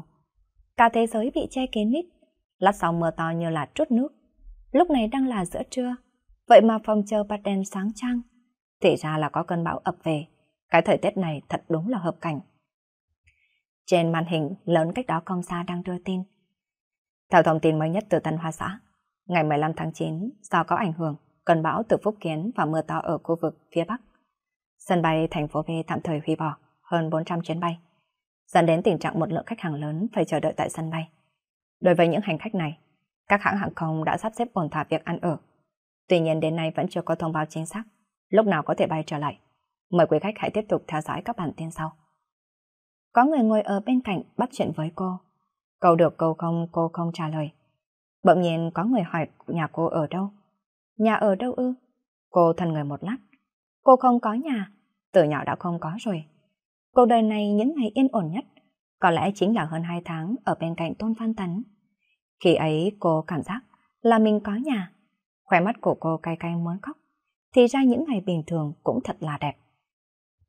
Sân bay của thành phố B Ngày 15 tháng 9, 10 giờ sáng, thông báo ở trên loa vang lên. Hành khách chú ý, Vì lý do máy bay trôi chuyển, nên thời gian khởi hành của tất cả các chuyến bay vào lúc 10 giờ sáng sẽ chuyển thành 11 giờ sáng. Trần Thích ngồi ở bên cạnh Tôn Văn Tấn ở trong lòng cảm giác lo lắng. Anh ta đã mấy lần lấy cớ vào nhà vệ sinh để gọi điện thoại, nhưng chẳng thấy ai nghe máy cả. Tôn Văn Tấn nghe xong thông báo thì liền đứng dậy. Chúng ta về thôi, mưa thế này thì chắc là khó tạnh đó. Trên đường về nhà có tài xế lái xe. Trần Thích tự như là mất hồn bởi vì Tôn Văn Tấn ngồi bên cạnh không ngừng bấm điện thoại. Đầu dây bên kia luôn đáp lại một câu lạnh như băng. Xin lỗi, số máy quý khách vừa gọi hiện đã tắt máy. Gã có một chút lo lắng. Trần Thích trong lòng vừa buồn chồn vừa cho xạ. Trong xe bao phủ một bầu không khí kỳ lạ. Xe đưa Tôn Văn Tấn về nhà trước. Vừa đến tại nhà, gã vội vàng xuống xe như thể bị ai đó rượt đuổi. Trần Thích đã từng thấy gã trong bộ dạng này. Hễ không gọi được điện thoại cho Đường Du, là gã lại như thế, hoảng loạn, không yên tự như một chú mèo bị nhốt ở trong lòng. Trần Tích thấp thẳng nhìn lên tầng nhà của Tôn Văn Tấn, rồi dục tài xế lái xe đi. Thang máy vang lên một tiếng cong, cửa từ từ mở, gã vội vàng bước ra, không ấn chuông cửa mà trực tiếp rút chìa khóa ra, cố tình phất lờ linh tính ở trong lòng. Hôm nay là cuối tuần, cô vẫn thường ở nhà rất ít khi ra ngoài. Cô nói ngày mai mới phải đi Hồng Kông. Phòng khách và phòng ngủ, cùng với những nơi khác không có gì thay đổi nhiều. Thiết kế còn càng điển hình, đồ đạc vốn là không nhiều, chỉ thiếu những thủ thuộc về cô. Đồ dùng của cô ở trong tủ, trên bàn học, đầu giường, phòng tắm đều không thấy đâu cả. Hay là cô đã đi Hồng Kông rồi? Đi trước mà cũng không nói một lời, điện thoại thì lại tắt máy. Ngồi ở trong phòng khách trống trải, cảm thấy có một chút án thán, một chút tuổi thân. Lát chanh ở trong lòng quán dần tiết ra vị chua chát. Gã lên mạng, tìm được số điện thoại của văn phòng khoa tiến pháp nơi cô đang học. Gọi điện thoại đến, chuông kêu hết hồi này đến hồi khác mà không có ai nhấc máy. Lúc này mới sực nhớ ngày hôm nay là chủ nhật, văn phòng khoa không có ai cả. Gã không biết mình còn có thể làm được gì. Cứ bồn chồn đi đi lại lại ở trong văn phòng. Lúc này, cả mới phát hiện chùm chìa khóa ở trên tủ. Đó là chìa khóa căn hộ. Gã giống người tự như một cây gậy bị đặt ở giữa khoảng không. Tim đau nhói, đầu nhức bút. Một lúc lâu sau hắn mới phản ứng. Cô đã đi. Gã lái xe đến thẳng trường của cô. Văn phòng khoa tiếng Pháp không có ai cả. Phòng quản lý sinh viên cũng vậy. Chỉ có người các cổng. Gã hỏi người này số điện thoại của phòng bảo vệ. Rồi tìm ra được số điện thoại của thầy giáo phòng quản lý sinh viên. Cuối cùng mới liên lạc được với thầy hướng dẫn. Ban đầu thầy hướng dẫn tỏ ra cảnh giác. Xin hỏi, anh có quan hệ gì đối với Đường Du? Em là người yêu của cô ấy ạ. Vậy tại sao cậu lại không biết cô ấy đi đâu chứ? Câu hỏi này càng khiến cho Tôn Văn Tấn thêm phần nôn nóng. Cả chưa bao giờ có năng lộn xộn như thế này. Có thể do cả đã cất công khổ sở tìm kiếm cách thức liên lạc với trường. Hoặc cũng có thể là do lúc này giọng nói đầy vẻ lo lắng hoảng loạn của hắn đã tác động đến thầy hướng dẫn. Ông thơ dài rồi cất tiếng nói. Triệu hôm thứ sáu, sinh viên đường du đã nộp đơn xin tôi học. Khi đó tôi đi học không có mặt ở phòng. Nhưng em ấy đã làm xong thủ tục ở phòng giáo vụ và phòng quản lý sinh viên rồi. Thôi học ư? Tại sao? Cô ấy bị làm sao ạ? Hình như là sức khỏe không ổn, bị bệnh. Thầy bảo tôi muốn thôi học để điều trị. Lúc đó thủ tục của đường du do thầy hướng dẫn khóa làm chút. Nghe nói là bệnh tình nghiêm trọng. Ông không có mặt ở phòng, nên một thầy giáo khác đã lập tức phê chuẩn đơn xin thôi học. Bây giờ nhớ lại dáng vẻ của cô thì trong lòng ông không khỏi than tiếc. Cô gái ấy lúc nào cũng ngồi ở góc sàng đường. Chẳng bao giờ tham gia hoạt động gì ở trong khoa cả. Không thích đến văn phòng khoa, không thích cây phiền hà đến cho người khác. Cảm giác sự tồn tại của cô rất là mờ nhạt. Còn nhớ khi ông phê chuẩn khoản vay hỗ trợ việc học. Cô vui như một đứa trẻ, sung sướng trao lên rồi rối rít nói lời cảm ơn. Như thể nhận được một ân huệ rất lớn vậy. Thế nhưng không ngờ lại mắc bệnh. Nghe nói trước đây từng nôn ra máu ở trong giờ học, khiến thầy giáo vô cùng hoàng sợ. Tuần Văn Tấn dập máy. Cuối cùng cả đã bình tĩnh để suy nghĩ lại một số chuyện. 3 giờ chiều, Trần Thích đang chủ trì cuộc họp trong văn phòng của công ty. Cô thư ký mở Tôn Văn Tấn vào phòng làm việc của Trần Thích. Bê đến một ly cà phê, bảo gã đợi một chút, cô lập tức sẽ thông báo cho Tổng Giám đốc Trần biết. Lát sau cuộc họp kết thúc, Trần Thích vội vàng chạy đến. Ly cà phê trước mặt Tôn Văn Tấn vẫn còn nguyên. Gã nhìn Trần Thích chằm chằm, mặt xâm lại, Ánh mắt ấy khiến cho Trần Thích dần cả khai ốc. Quen biết Tôn Văn Tấn đã lâu, hiểu con người của gã, Càng trầm mặc càng bình tĩnh thì lại càng đáng sợ. Tự như cái giếng sâu, dù có sóng ngầm đang quần quận dưới đáy, nhưng bề mặt lại chỉ lăn tăn. Cũng có thể, do Trần Thích trột dạ, nên nhìn dáng vẻ của Tôn Văn Tấn bấy giờ, anh ta có cảm giác ngay ngáy lo âu. Tôn Văn Tấn nhìn bạn cất giọng lạnh lùng vô tình. Trần Thích, cậu khiến cô ấy bỏ đi đâu rồi? Trần Thích tức điên lên, ngồi xuống ghế sofa rồi khàn khàn giọng nói. Không biết. Toàn Văn Tấn tiến thêm hai bước rồi tiếp tục hỏi. Rốt cuộc, cậu đã khiến cô ấy bỏ đi đâu rồi?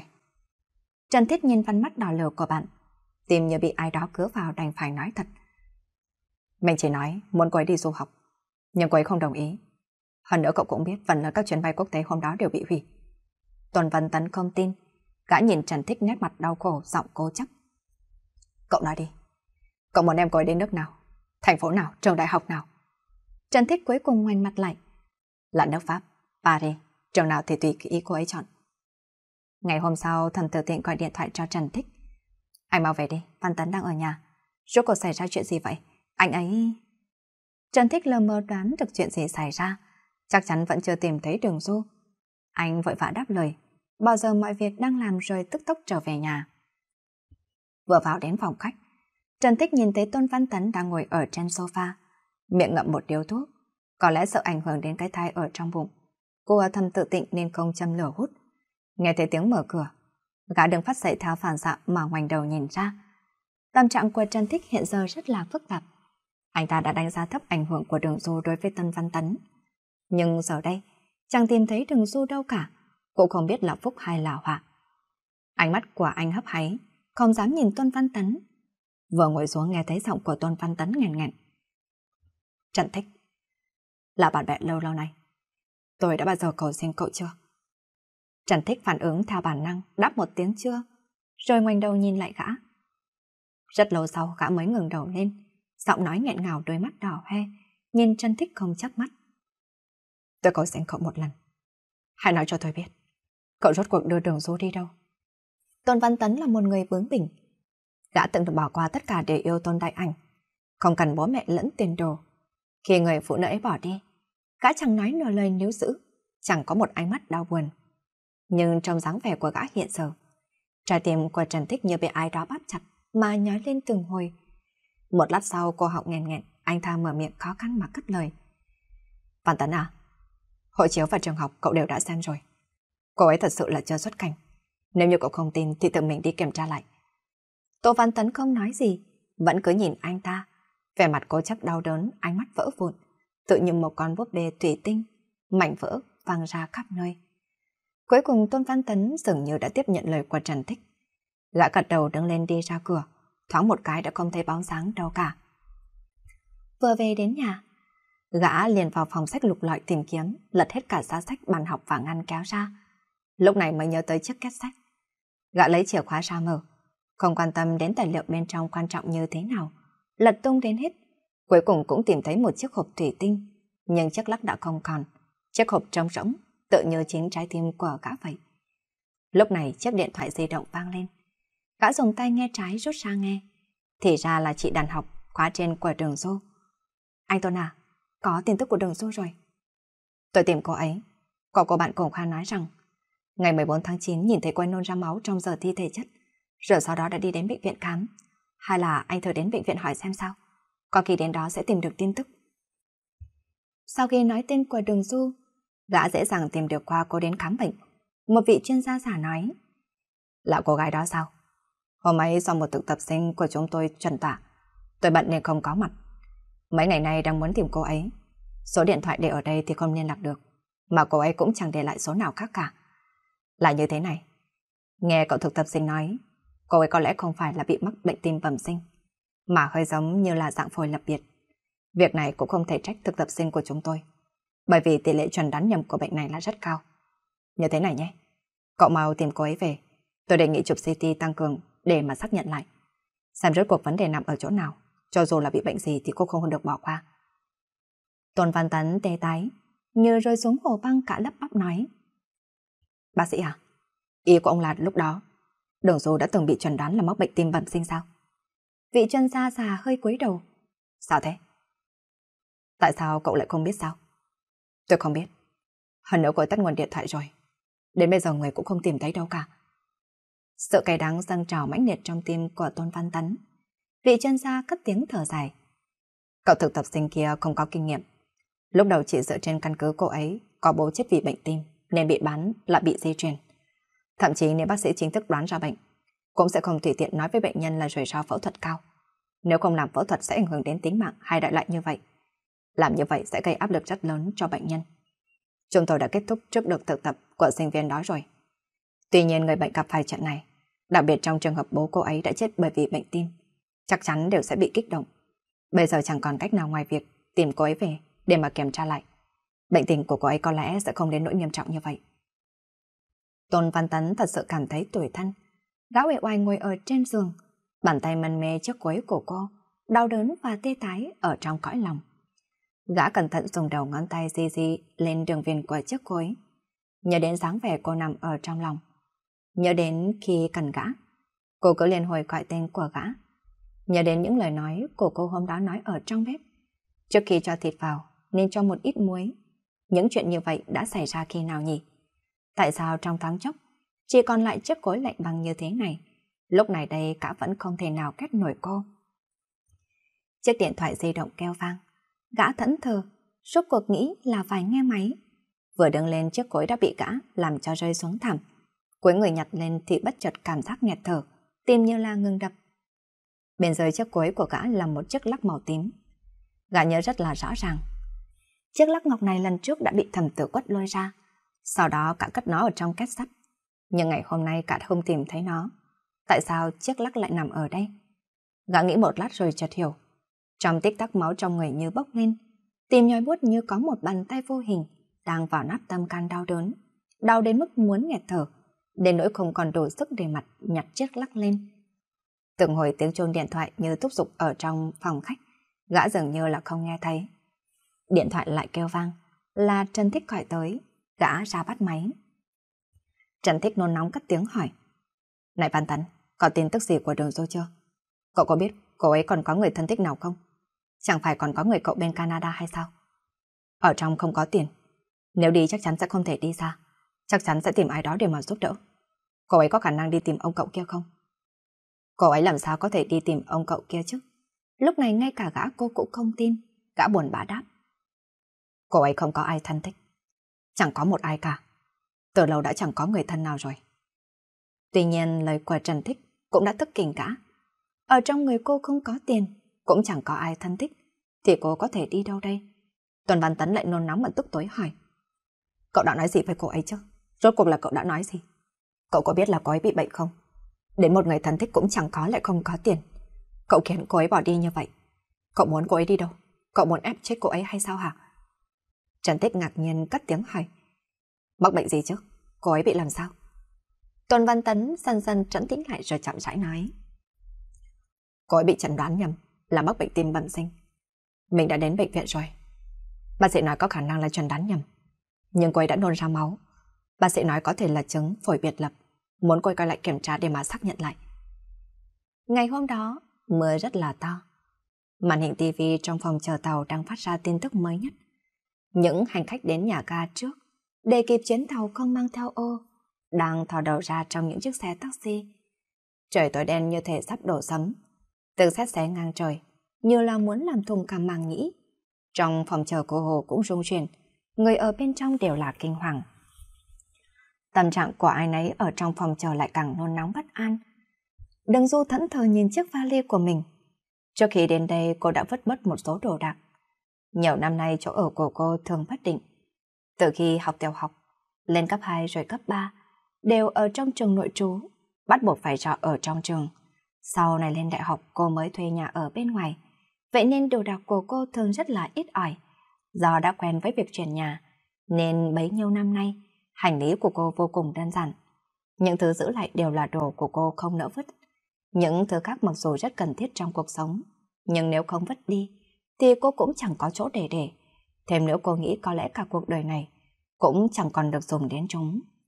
Nghĩ đến đây cô chợt cảm thấy cay đắng ở trong lòng, Cảm giác ấy khiến trái tim của cô nhói vuốt. Cô thu dọn đồ rời xa Tôn Văn Tấn theo cảm tính nhất thời. Nhưng bây giờ nghĩ lại, Cô cũng chẳng biết nên đi đâu cả. Khi chuyến tàu đi Côn Minh đến giờ xuất phát, cô xách hành lý đứng ở giữa dòng người. Nhìn lối vào không ngất người chăn lắn, bước chân của cô bỗng dưng khựng lại. Thông báo thúc giục hành khách lên tàu vang vọng từng hồi. Khi trong phòng chờ cuối cùng chỉ còn lại một mình, cô mới biết thì ra mình đang sợ. Khi chuyến tàu thứ hai đến ga, cô xách hành lý lên thang tàu, không hề ngoái đầu lại. Lúc bổ sung vé mới biết, chuyến tàu này từ thành phố B đi Trạm Giang, Chẳng biết sẽ đi đến đâu nên cứ mua vé đến tận cuối ga. Sau đó cô vừa kiên quyết lại vừa đau xót cáu giận với bản thân. Cùng lắm đến lúc ấy lại xách hành lý mà nhảy cầu hộ môn vậy. Vé cô mua là loại ghế cứng. Đêm đến cô gục ngủ ở trên ghế. Đến nửa đêm thì bị tỉnh giấc. Hà ra một đám thanh niên ở cái giấy bên cạnh đang ẩm ý chơi trò điện tử có tên là sát nhân. Gần như mọi người ở trên toa đều bị đánh thức, nhưng chẳng ai nói gì cả. Mười mấy tiếng đồng hồ lại trôi qua. Buổi chiều tàu đến ga Quế Lâm, nhóm sinh viên ẩm ý kéo nhau xuống. Tòa xe vắng hẳn một nửa, bỗng trở nên yên tĩnh một cách lạ thường. Người thanh niên ngồi cạnh bên đường du cũng xuống. Vé của cô mua là đến trạm sang. Nhưng trong lúc nhân viên tàu đang chuẩn bị đóng cửa toa, cô bộ sách hành lý của mình vừa chạy về phía lối ra ở cuối toa vừa nói với nhân viên. Xin chờ một lát. Sao thế? Đến ga của mình mà cũng không biết sao? Thật là xin lỗi, tôi ngủ quen nên không để ý đến thời gian. Vừa bước xuống tàu, một cơn gió lạnh táp vào mặt. Không ngờ thời tiết phương Nam lại lạnh hơn phương Bắc. Ở bên ngoài đang có một cơn mưa rất to. Cô rụt cổ, tay kéo hành lý ra khỏi ca Quế Lâm. Phía trước mặt là một ngọn núi đẹp, nhưng vì mưa quá to, nên ngọn núi ẩn hiện lờ mờ ở trong làn mưa, không trông được rõ. Cô lấy từ trong chiếc vali ra một chiếc ô, đi dọc theo mái hiên nhà. Khi ngang qua cửa phòng chờ, lại trông thấy nhóm sinh viên. Người nào người nấy đều ủ ê, đầu rũ xuống như là quả cà ở trong sân giá. Cuối cùng đường du cùng nhóm sinh viên đều lên xe đi đến sân sóc. tài tài xế và chủ nhà nghỉ là chỗ thân quen nên đã bố trí chỗ ở cho bọn họ ổn thỏa. Giá phòng cũng không đắt. Sau khi đến nhà nghỉ, họ đi cùng bà chủ vào xem phòng trước. Thấy phòng ốc ổn và sạch sẽ còn càng, nên cả nhóm đồng ý trọ ở lại. Mấy ngày đầu bởi vì mưa to, nên đường du không đi cả. Cả ngày chỉ là quen quẩn ở trong phòng. Nhà ghi ở gần sông, nhìn qua cửa sổ có thể trông thấy dòng Lê giang. Thời điểm này, nước trên sông Lê giang sang đầy, mênh mông mông mông vang đục. Những ngọn núi nhỏ xám xám nhô lên trên nền đất bằng bông lờ mờ, ẩn hiện ở trong màn mưa. Lòng của cô vẫn lạnh lẽo như vậy. Cô ngồi ở bên cửa sổ, nắm chặt chiếc điện thoại di động ở trong tay. Chiếc điện thoại vẫn đang tắt nguồn, nhưng cô chưa bao giờ quên sạc pin. Cô trốn cả ngày ở trong phòng mà đờ đẫn nhìn nó. Bốn ngày sau mưa cuối cùng cũng thành Lúc này bà Jonah đã giới thiệu hết cho cô những nơi thăm thú và ăn uống nổi tiếng, độc đáo của dân sóc. Phố Tây hào hoa, suối hồ điệp, cây đại cổ thụ, núi vầng trăng, ốc hấp rượu, cá hấp bia, phở quế lâm. Cô đi lang thang một mình, mãi tận khuya mới đến phố Tây. Lúc này người ở trên phố rất ít, đêm nào cô cũng ngồi ở quán cà phê cuối phố. Ở đó có nhiều cuốn sổ có thể ghi lại lời nhắn, mỗi cuốn đều chứa được rất nhiều tâm sự. Cô lật ra từng trang cho đến khi ly cà phê nguội lạnh.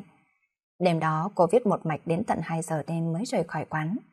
Về đến nhà nghỉ, đang chuẩn bị tắm rửa để đi ngủ.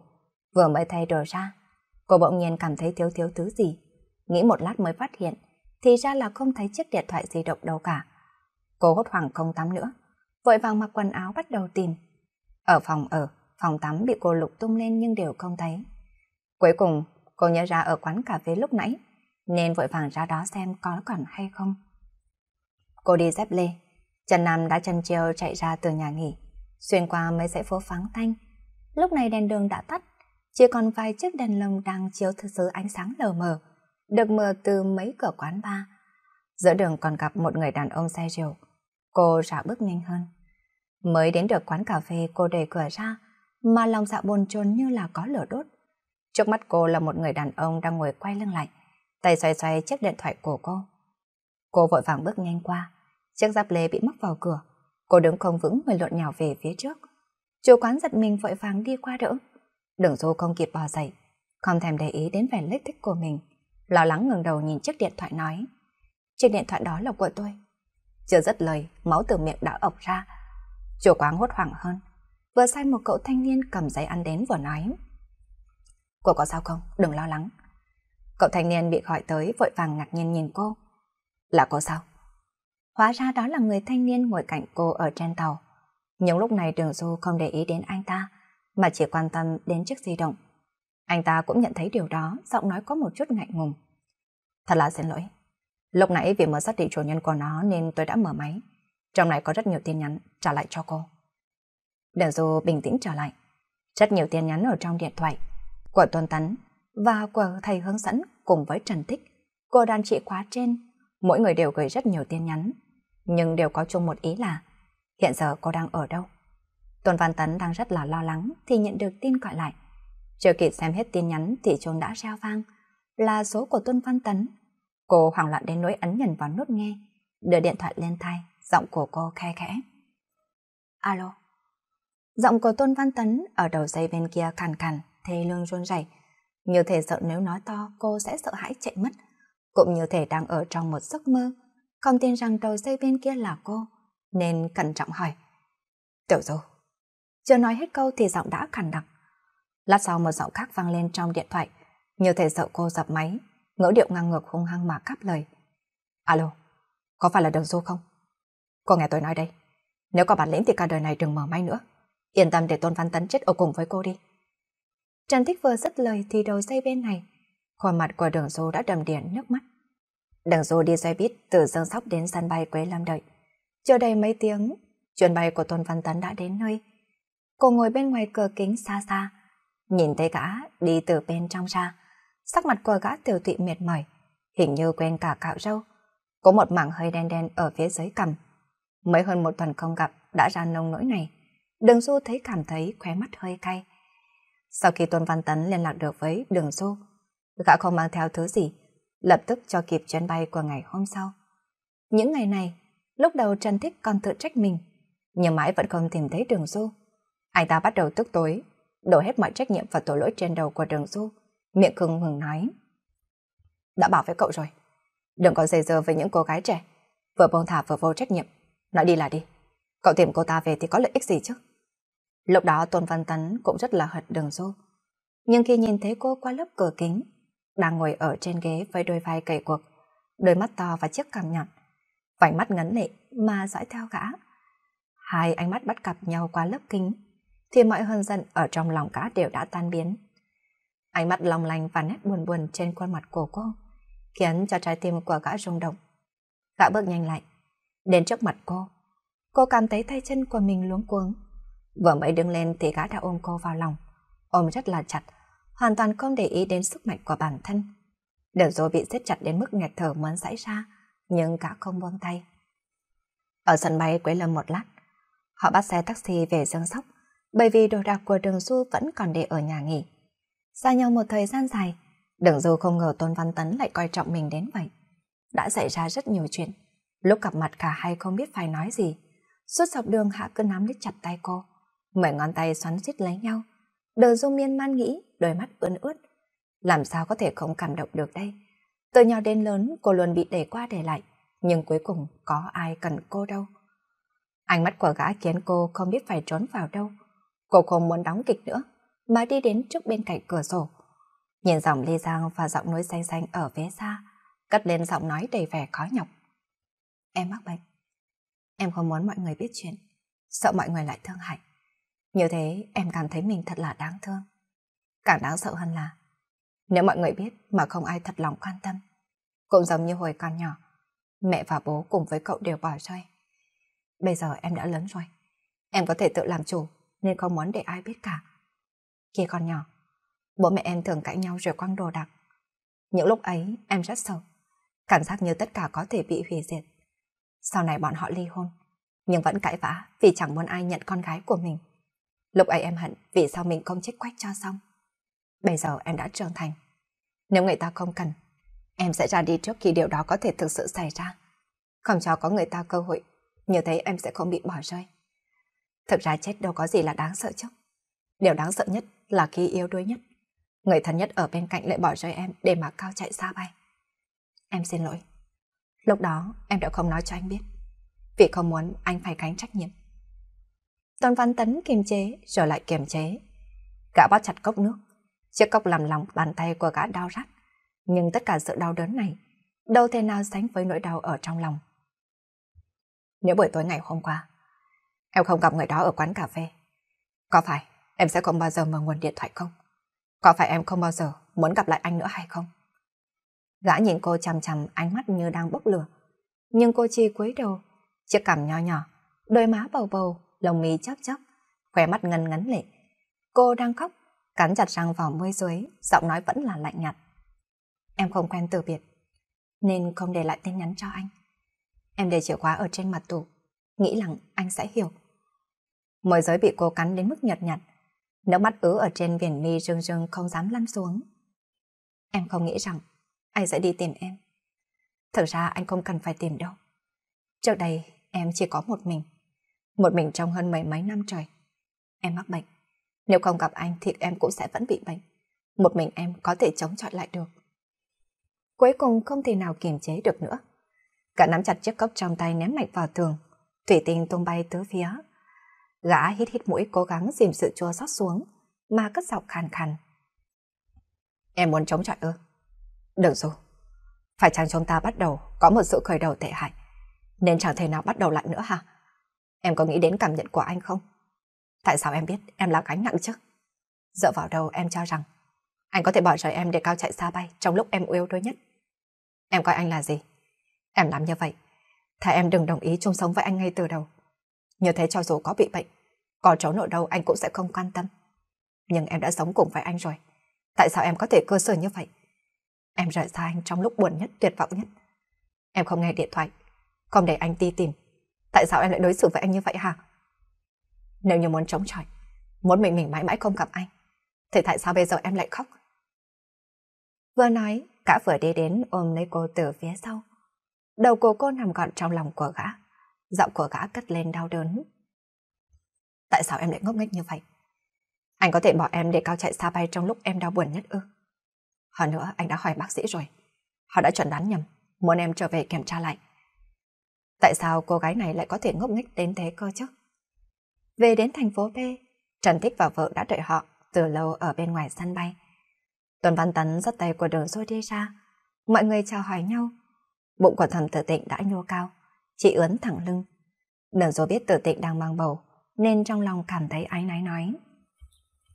Sân bay xa như vậy, sao chị còn đích thân đến đây? Tử tịnh cười nói.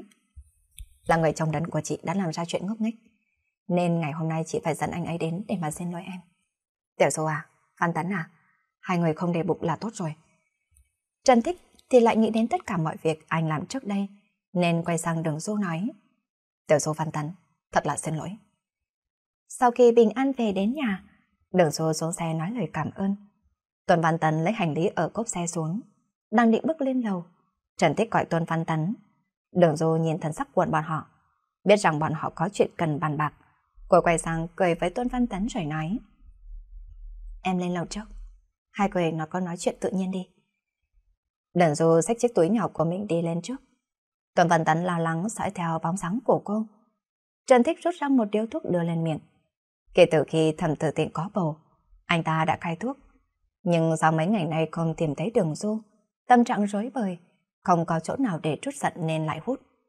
Anh ta hít mấy hơi mà không biết nên bắt đầu như thế nào. Rồi nghĩ ngợi một lát, nhả ra một phòng khói vàng. Ngoảnh đầu lại nhìn thầm tử tịnh đang ở trong xe, vứt thuốc xuống đất dẫm mạnh lên rồi nói thẳng. Mình đã liên lạc với người ở bệnh viện rồi. Cậu có thể dẫn cô ấy đến bất cứ lúc nào. Ý của tử tịnh là, dù là bệnh gì cũng nên sớm đưa cô ấy đi khám. Tiếp đến là chuẩn đoán. Đừng do biết bệnh viện bây giờ càng nổi tiếng, thì càng kéo các vấn đề đến giường bệnh, thuốc thang và bác sĩ. Nhưng khi Tôn Văn Tân dẫn cô đến bệnh viện, như thể đã có người dẫn đường, họ chẳng gặp bất cứ trở ngại nào trong suốt quá trình vì thế dễ dàng tìm được bác sĩ chuẩn đoán cho cô. Bác sĩ xác định là bệnh phổi biệt lập. Tuần Văn Tấn biết Đường Du là người cả nghĩ, nên anh không có ý định giấu giếm cô. Bác sĩ nói cô không cần quá lo lắng, chỉ cần làm một cuộc phẫu thuật nhỏ là ổn thôi. Nhưng sau khi chuyên gia hội trần chính thức xong, kết quả lại là không thể tiến hành mổ. Bởi vì mạch máu thừa, mạch chủ cần cắt bỏ của Đường Du quá ngắn và to. Việc phẫu thuật sẽ rất là khó khăn. Bác sĩ cho rằng nếu sử dụng phương pháp nội soi sẽ tốt hơn, nhưng lựa chọn này là do người bệnh tự quyết định. Cuối cùng quyết định chọn phương pháp nội soi. Trước khi lên bàn phẫu thuật, bác sĩ ngoại khoa sau khi tìm ra ổ bệnh lại không dám làm ống dẫn. Đường Du phải đi lại mấy lần. Bác sĩ vẫn không chắc chắn nên đành lại đưa cô về phòng bệnh. Trong lúc hôn mê, cô nghe thấy Tôn Văn Tấn đang tức giận chắc vẫn bác sĩ ở bên ngoài. Bác sĩ thông cảm với tâm trạng của Tôn Văn Tấn. Còn vì trước khi phẫu thuật đã có người gọi điện thoại đến, nên ông hết sức ôn hòa giải thích với gã. May là có Trần Thích còn ở đó. Anh ta nói vài câu. Tôn Văn Tấn bình tĩnh trở lại dịu giọng xin lỗi. Vị bác sĩ vội vã rời khỏi. Buổi tối đường du bắt đầu không ăn được. Ăn bao nhiêu thì nôn ra bấy nhiêu. Tuần Văn Tấn hoảng sợ phải đi gọi bác sĩ đến ngay. Bác sĩ cũng không chẩn đoán được nguyên nhân. Mặc dù trong lòng rất là buồn, nhưng gã không dám biểu lộ ra trước mặt của cô. Đành đi ra thang máy ở tầng thượng để mà hóng gió. Đường Du nhìn theo bóng sáng của gã, lo lắng muốn gọi lại nhưng cuối cùng chỉ quấy mặt. Tất cả những điều này đều không lọt qua đôi mắt của Trần Thích. Anh ngồi ở trước mặt nhìn cô rồi nói. Đừng tự ép mình ăn nữa. Hãy nghe tôi nói trước đã. Biết phải nói gì đây? Cô có biết chúng tôi đều sinh ra trong những gia đình có thể coi là khá giả. Cha mẹ lúc ấy đều là những cán bộ cấp cao. Bố của Văn Tấn năm đó là một vị quan quyền cao chức trọng. Từ nhỏ cậu ấy chỉ quen với cuộc sống sung túc. Hồi nhỏ, rất nhiều người ở trong trường dị nghị về chúng tôi. Vì mỗi khi đến lớp hay tan học, chúng tôi đều có bảo mẫu và tài giấy đưa đón. Hơn thế Văn Tấn từ bé đã thường xuyên tham gia dự tiệc tùng cùng bố, anh trai và anh rể. Anh trai và chị gái lớn hơn Văn Tấn mười mấy tuổi, nên cậu ấy luôn được cưng chiều và nhường nhịn. Hơn nữa do thông minh đẹp trai, nên ai nấy trong cô đều yêu mến. Mấy người chúng tôi cũng thích nghe lời của cậu ấy. Bố mẹ của cậu ấy lại càng cưng chiều hơn cả. Khi hơn 10 tuổi, anh trai và chị gái đều lập gia đình cả. Nên lúc đó điều kiện của cậu ấy có thể coi là không gì sánh bằng. Những ngày tháng ấy, bây giờ nghĩ lại vẫn cảm thấy sợ. Sau khi tốt nghiệp cấp 3, vì không thể đi học cùng trường với bạn gái, Văn Tấn đã bỏ học tại trường đại học Huy, bỏ nhà ra đi rồi bị lừa một khoản tiền ở thành phố Z. Sau đó được gia đình tìm được, bắt cậu ta đi Mỹ du học. Cũng trong năm đó gia đình xảy ra chuyện. Năm ấy bố của Văn Tấn bị một người cấp dưới hãm hại. Lúc đó cả nhà đều bị liên lụy, lần lượt bị mất chức. Bố và anh trai của cậu ấy đều bị vào tù. Bởi vì khi đó Văn Tấn đang đi du học ở nước ngoài. Hơn nữa do được bố và anh trai bảo vệ rất chặt chẽ nên cô bị liên lụy. Nhưng cậu ấy vẫn quay về. Sau khi trở về nước, chị gái và anh rể lại gặp tai nạn máy bay. Chuyến bay của bọn họ vì sự cố máy móc đâm vào núi vỡ tan. 141 người thiệt mạng là vụ tai nạn hàng không nghiêm trọng nhất thời ấy. Bố và anh trai phải vào tù. Chị gái và anh rể gặp tai nạn máy bay. Lại phát hiện thêm mẹ bị ung thư não. Anh trai cũng bị ung thư não. Chưa kịp tiền án thì đã chết ở trong tù. Chị dâu bởi vì quá đau buồn cũng tự sát ngay vào cái đêm người anh trai mất. Không lâu sau, đứa con gái 4 tuổi của chị cũng đột ngột qua đời. Khi ấy Văn Tấn mới chỉ là sinh viên năm thứ nhất. Mọi tài sản của gia đình cũng đều bị niêm phong. Không biết, cô có cảm nhận hết không? Nhưng cây đã đổ thì khi sẽ đã đám. Khi đó cậu ta không có một đồng sinh tối. Hoàn cảnh gia đình lại như vậy. Người khác không dám tùy tiện cho vay tiền bởi vì sợ liên lụy. Trước khi cậu ta ra nước ngoài, cả đại gia đình vẫn rất là vui vẻ yên ấm. Vậy mà sau khi trở về thì đã tan tác. Người thì tù tội, người thì nằm viện, người thì lại qua đời. Chỉ còn lại một mình cậu ấy. Cuối cùng người em gái của chị dâu là chị Thăng. Trước khi kết hôn đã về thành phố B.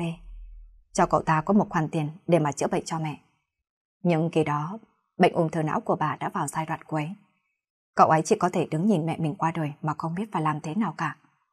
Hơn nữa, người bạn gái mà cậu ấy từng bất chấp tất cả bỏ trốn đi, cũng đã phản bội để lấy đi một người đàn ông giàu có. Nghĩ lại khoảng thời gian ấy, cậu ta thực sự bị suy sụp. Gần như là những tháng ngày đau khổ nhất trong cuộc đời. Nên giờ đây, cậu ấy nhạy cảm đối với bệnh viện và phẫu thuật. Trong thời gian cô nằm viện, tinh thần của Văn Tấn rất là căng thẳng. Cơ thể tiểu thụy chắc chắn cũng sắp suy sụp rồi. Nói ra điều này, tôi không có ý gì khác cả. Lần trước tôi rất ngại. Nếu như chuyện của hai người thành, tôi cũng mừng cho cậu ấy. Bấy nhiêu năm nay, tôi và tự tị chưa bao giờ thấy bởi vì một cô gái mà cậu ấy lại có thể lo lắng như vậy. Cho dù người bị bệnh là cô. Nhưng mong cô hãy cho cậu ấy có một chút niềm tin, đừng sợ hãi. Bác sĩ cũng đã nói rồi. Chỉ là một cuộc phẫu thuật nhỏ thôi, không có gì là nghiêm trọng cả. Cả hai đều không dễ dàng gì. Nên mong cô hãy vì cậu ta mà mạnh mẽ hơn, cố gắng vượt qua. Cuộc đời sau này vẫn còn có mấy mươi năm. Bây giờ cô nhất định phải dũng cảm lên. Sau đó đừng Du nằm nghỉ ngơi, chờ đợi cuộc phẫu thuật thứ hai. Có lẽ những lời Trần Thích nói đã khiến cho Đường Du quan tâm hơn đến cảm nhận của Tô Văn Tấn. Sức khỏe của cô cũng dần khá lên. Cô luôn luôn cố gắng uống hết món canh tầm bổ. Cô không còn mất ngủ về đêm. Trong khoảng thời gian này, Thẩm Tử Tịnh và chị Quá trên có mấy lần mang canh bổ đến. Thỉnh thoảng bọn họ cũng trò chuyện cùng với cô. Lý Văn và mấy chị em khác không hiểu sao cũng tìm được đến đây. Lần đầu đến, trông thấy Tôn Văn Tấn đang nghe điện thoại. Lý Văn trợn tròn mắt, mà những người khác cũng không kém phần ngạc nhiên. Tuần Văn Tấn chỉ còn cách vừa nghe điện thoại vừa nói với Đường Du. Mọi người cứ nói chuyện đi. Anh ra ngoài nghe điện thoại một lát. Đường Du gật gật đầu. Lát sau cả có việc phải đi, nên nhờ mọi người ở lại trong năm cô một chút. Bầu không khí có một chút ngọt ngào. Bước chân của Tôn Văn Tấn trở nên nhẹ tinh, tâm trạng thoải mái. Ở loạn thế sai nhân, cả biết có nhiều người bàn tán sau lưng. Hệ trông thấy gã là lại toát mồ hôi nó năng lắp bắp. Đây đều là phản ứng của các cô gái trẻ. Vì đã quen với cảnh này, nên trước đây cả ít để ý. Ngày hôm nay cả lại cảm thấy vui. Ở trong lòng tháng dâng lên cảm xúc, nhớ đến ánh mắt của những cô gái đó. Nét mặt sẵn rỡ trên gương mặt của đường du. Gã bỗng nhiên bật cười. Vui vì đây là lần đầu tiên tình yêu được công khai. Vui vì quan hệ giữa gã và đường du đã thân mật không còn khoảng cách. Đây là lần đầu hai người công khai quan hệ tình cảm. Tuy chỉ là ở trước mặt vài nhân viên phục vụ của hộp đêm, nhưng trong lòng của họ đều có một cảm giác vui mừng và hạnh phúc. Tuy có phần hơi muộn màng, nhưng vẫn đủ để dậy ấm trái tim của bọn họ. Từ trong sâu thẳm, Đường Du thấy Lan nói một chút hãnh diện. Cô không phải là người thích khoe khoang, nhưng tình yêu vốn đem đến một thứ cảm giác hưởng thụ ấm áp, ngọt ngào xen lẫn hân hoan. Sợ sao yêu gã và được cá yêu đã khiến cô cảm thấy hạnh phúc và hãnh diện. Cuối cùng thì ngành phẫu thuật cũng đến. Bác sĩ ngoại khoa yêu cầu bọn họ ký nhận cam kết. Tuần Văn Tấn đang ở trong phòng bệnh của đường Du. Gã ôm đường Du từ phía sau. Cô không cảm thấy được cảm xúc trên mặt của gã. Chỉ nghe được tiếng thở của gã ở trên đỉnh đầu của mình. Cả mùi cơ thể của gã đang bao bọc lấy cô. Sau khi nghe xong lời của bác sĩ, gã chỉ nói. Mức độ nguy hiểm lớn nhất là khoảng bao nhiêu phần trăm? Được dô nhớ mãi. Trước khi nghe lời đáp của bác sĩ, Tuần Văn Tấn nắm chặt tay cô nín thở, lòng bàn tay ướt đẫm mồ hôi. Vị bác sĩ nhẹ nhàng đáp, dưới 5%. Lúc này, gã mới thở phào nhẹ nhõm. Ca phẫu thuật rất là thành công. Buổi tối đầu tiên sau khi ngủ trong lúc hôn mê, Đờ Dô luôn nghe thấy tiếng của Tôn Văn Tấn thì thầm ở bên tai. Giọng của gã có vẻ vui mừng hớn hở. Hình như gã nói nhịp tim của cô đã hồi phục như lại bình thường. Ngày hôm sau tỉnh lại, cô thấy có rất nhiều người đến thăm. Nào là vợ chồng Trần Tích Tử Tịnh, Thang Dĩnh, và ngay cả Lý Văn cùng đám chị em nữa. Thấy Tử Du tỉnh lại thì Văn Tấn cười, cuối cùng cô cũng yên lòng. Sau khi xuất viện, bác sĩ đã năm lần bảy lượt can dặn, bệnh của đường du phải tuyệt đối tránh mọi sự viêm nhiễm. Nếu bị nhiễm trùng sẽ nguy hiểm đến tính mạng. Bác sĩ còn nói sức khỏe của người bệnh sau khi phẫu thuật thường yếu ớt và thể lực giảm sút. Mức độ hoạt động của vòi hạn hẹp, không thể khỏe như là ban đầu. Cũng có nhiều bệnh nhân vì thế mà có áp lực về mặt tâm lý. Khi ở nhà, bệnh nhân cần được sự động viên và an ủi. Đừng để cho bọn họ có bất cứ khúc mắc gì cả. Thằng Dinh nhớ rằng mình có nhắc đến chuyện cô Châu trước khi Tôn Văn Tĩnh đi, nên cảm thấy hơi chột dạ. Trước đây chỉ vì câu nói của Trần Thích mà cô bỏ đi không để lại dấu vết, khiến Tôn Văn Tấn cuống cuồng tìm kiếm khắp nơi, nên chị ta cũng hơi lo. Bèn kể cho Đường Du một số chuyện về Tôn Văn Tấn. Sau hơn 30 ngày, Tôn Văn Tấn trở về thành phố Z. Thằng Dĩnh đích thân lái xe ra đón. Mới ở căn biệt thự trong nông trại có một ngày, Tôn Văn Tấn cảm thấy không thoải mái, nên quyết định đón Đường Du về nhà. Gã nói ở đây làm gì cũng không tiện. Đường Du đỏ mặt tìm đập trộn rằng vừa như không nghe thấy cả nói gì cả, chỉ chăm chú thu dọn hành lý. Chị Thang cũng đã về, sau khi từ biệt cả hai chuẩn bị lái xe về. Đã là hạ tuần tháng 11, sắp đến kỳ thi cuối kỳ. Trước đây Đường Du không biết bệnh tình của mình, viết bữa đơn xin bảo lưu một năm. Giờ đã phẫu thuật xong, tình trạng hồi phục tương đối tốt, nên cô không muốn tốt nghiệp trễ một năm. Cô định sẽ xin tham gia kỳ thi cuối kỳ như mọi người. Đường Du tìm gặp thầy hướng dẫn. Thầy biết những chuyện xảy ra với cô trong mấy tháng nay, nên cũng tương tình mà đồng ý giúp đỡ. Tuy nhiên, phòng giáo vụ cho rằng các môn học của năm thứ ba phần lớn đều là chuyên ngành. Cô đã bỏ mấy tháng, bây giờ đi thi chị e là không qua được. Chỉ bằng cô làm đơn xin hoãn, tận dụng thời gian còn lại và kỳ nghỉ đông, ôn luyện một cách cẩn thận để năm tới lại thi. Như thế cũng không bị tốt nghiệp chậm một năm, sang năm có thể tiếp tục học như các sinh viên khác. Đó là cách giải quyết tốt nhất. Cô định tranh thủ một tháng còn lại đi học bình thường, rồi về nhà tự ôn thêm. Tuần Văn Tấn có thời gian tị đích thân đưa cô tới trường, còn không thì để cô đi taxi. Nhưng sau khi về nhà, gã kiên quyết không cho phép cô học hành quá sức, sợ sao cô mới làm phẫu thuật. Ngày nào gã cũng ép cô uống rất là nhiều thuốc bổ, cô uống nhiều đến nỗi chỉ muốn nôn. Có điều, gã cũng không thể ở mãi bên cô. Trước đây cứ nửa tháng, gã lại phải đi thành phố xét một lần. Mỗi lần đi đều là nhanh chóng quay về. Nhưng lần trước sau khi trở về đó, gã thường xuyên đi về thành phố xét hơn.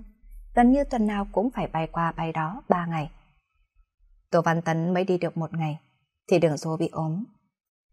Gã đi gọi điện thoại về, chị giúp việc cho biết đường dô bị sốt. Hóa ra do gã không có ở nhà, không ai quản nên cô học quá sức. Đọc sách nhiều hơn mọi ngày vài tiếng đồng hồ. Kết quả tối bị cảm lạnh lên cơn sốt cao. Lúc xuất viện, bác sĩ dặn cô mới phẫu thuật nên rất dễ bị viêm nhiễm. Sốt và cảm đều có thể ảnh hưởng tới tính mạng. Ngộ nhỡ tình trạng này có xảy ra thì phải nhập viện ngay. Tôn Văn Tấn lập tức gọi điện thoại đến sân bay. Do quá muộn không còn chuyến bay về thành phố B, nên gã chỉ còn cách gọi điện thoại nhờ Trần Thích. Đường Du một mực không chịu nhập viện. Cô nói sức khỏe của mình đã khá lên nhiều, không nghiêm trọng giống như bác sĩ nói. Vợ của Trần Thích sắp đến ngày sinh, nên anh ta không thể ở lại quá lâu. Cô không muốn đến bệnh viện, anh ta chỉ còn cách nhờ chị giúp việc chăm sóc. Cậu may là đến hôm sau. Khi Tôn Văn Tấn gọi điện thoại về thì đường Du đã hạ sốt, nhưng cả vẫn bay về thành phố B. Kết quả là tuần đó, gã không dám đi thành phố xét nữa mà suốt ngày ở bên cạnh cô. Đợi sau khi cô đỡ còn dẫn cô đến bệnh viện để mà kiểm tra. Báo cáo kết quả có ngay ở trong ngày. Trên đường trở về, Tuần Văn Tấn tập trung lái xe, không biết đang suy nghĩ gì mà cứ lặng thinh. Do sự việc nằm ngoài dự kiến, trong lòng của đường Xu bỗng chốc nghĩ đến vô số điều, nhưng ý nghĩ nào cũng là mơ hồ, khiến lòng dạ của cô rối bời. Bác sĩ đã kiểm tra xong nói, vết mổ của cô tương đối nhanh, nhưng khi kiểm tra toàn thân thể thì phát hiện cô đã có thai được 35 ngày. Lúc hai người ở bên nhau việc tránh thai thường là do Tôn Văn Tấn chủ động, đường du không hề có kinh nghiệm. Chỉ có lần đầu tiên là cô dùng thuốc tránh thai sau khi quan hệ. Các lần khác Tôn Văn Tấn đều vô cùng cẩn thận, lần nào cũng kiên quyết dùng bao cao su. Như thế dù có hưng phấn kích thích như thế nào đi chăng nữa, gã cũng sẽ không bao giờ quên. Chỉ có một lần, ở trong phòng bếp cả hai đều quên. Xong cũng không nhớ phải uống thuốc tránh thai. Cái thai này là kết quả của lần bất cẩn ấy. Nghĩ đến lần đó thì mặt của đường du lại nóng ran lên. Cô đưa mắt nhìn Tôn Văn Tấn. Bao trùm ở trong xe là sự yên lặng đáng sợ. Sau khi về đến nhà, Tuần Văn Tấn ngồi trên sofa không nói một lời. Chờ đến giờ ăn tối, gã đã lấy áo khoác đi ra ngoài. Đến lúc cô ngủ vẫn chưa thấy gã trở về. Nửa đêm đừng du tỉnh giấc, bên cạnh vẫn không có Tô Văn Tấn. Cô dò dép rồi đi ra khỏi phòng. Vừa mở cửa, thì thấy gã đang ngồi ở trên ghế sofa trong phòng khách. Chiếc ghế lún xuống giống như muốn nuốt chừng cơ thể của gã. Miệng của gã ngậm điếu thuốc, đầu thuốc đã cháy một đoạn dài mà vẫn chưa rơi xuống. Mùi thuốc lá nồng nặc khắp phòng sộc thẳng vào mặt của cô. Còn gã đang ngồi ở dưới ánh đèn, mần mê chiếc lắc tay của cô, liên tục cọ cọ với bao tình cảm nâng niu, dáng vẻ vô cùng nghiêm túc. Sau lưng của đường du là ánh đèn ở trong phòng ngủ sáng trưng. Tuần Văn Tấn ở vị trí ngược sáng, nhìn cô đứng trước cửa phòng sáng vẻ thê lương, hoàng hết trên khuôn mặt của cô như vò nát trái tim của gã. Gã đút điếu thuốc đang ngậm ở trên miệng rồi nhanh chiếc cà tàn rồi cả quyết đứng dậy. Đi vài bước đến bên cạnh cô, rồi ôm trọn cơ thể của cô vào trong lòng. Do gã dùng sức quá mạnh, nên cô cảm thấy xương cốt của mình đau âm ỉ. Bỗng chốc dũng khối cất thành tiếng của Tôn Văn Tấn như là biến mất. Môi động đậy như không dám phát ra âm thanh này. Ngực của gã rôn rôn. Đừng dù chưa từng thấy gã sợ hãi hoảng loạn như thế bao giờ.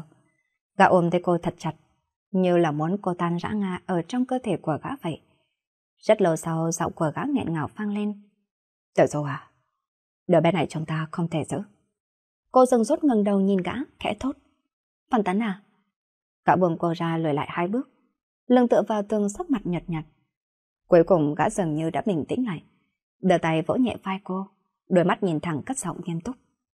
Chúng ta không thể giữ đứa bé này. Tuần này em nghỉ ngơi cho khỏe. Sáng ngày mai anh sẽ đưa em đến bệnh viện. Bởi giờ này anh đã hỏi rồi. Hiện giờ cái thai này chỉ có 35 ngày. Cơ thể của em mới hồi phục giải quyết càng sớm, càng có lợi cho sức khỏe của em. Thì ra chiều nay cả ra ngoài để hỏi việc này. Từ lúc biết tin tới giờ cả chiều nay, cả không biểu lộ điều gì cả mà vẫn cứ trầm mặc. Không ngờ đã tính toán xong xuôi mọi việc. Đầu du vô cùng buồn bã. Cô đưa mắt nhìn cả. Khoảng cách rất gần. Ánh sáng ở trong phòng ngủ treo đến. Đôi mắt của cô mở to, hàng lông mi kẽ run rẩy. Còn người lên xuống nhìn cả. Trong ánh mắt long lanh chứa đựng một nỗi đau buồn đáng thương hại. Cô cứ như thế là nhìn cả. Tuần Văn Tấn cũng không hề lẩn tránh, mà đón nhận ánh mắt ấy. Điều này khiến lòng của cô đau đớn. Nhưng cô không nói gì. Cô hiểu rõ tình cảnh hiện tại không thể giữ đứa bé này. Hai người lặng lẽ quay về giường. Cô nằm gọn trong lòng của gã, nhưng cả hai đều không sao yên giấc được. Tâm sự của cả hai người chất chứa ở trong lòng thao thức cả đêm. Khó khăn chờ đợi mãi trời mới hưởng sáng. Tôn Văn Tấn trở dậy. Tưởng là cô đã ngủ say nên rón rén rời khỏi phòng. Đường Dô nằm một mình ở trên giường, lặng lẽ suy nghĩ. Không hiểu vì sao cô cảm giác tủi thân.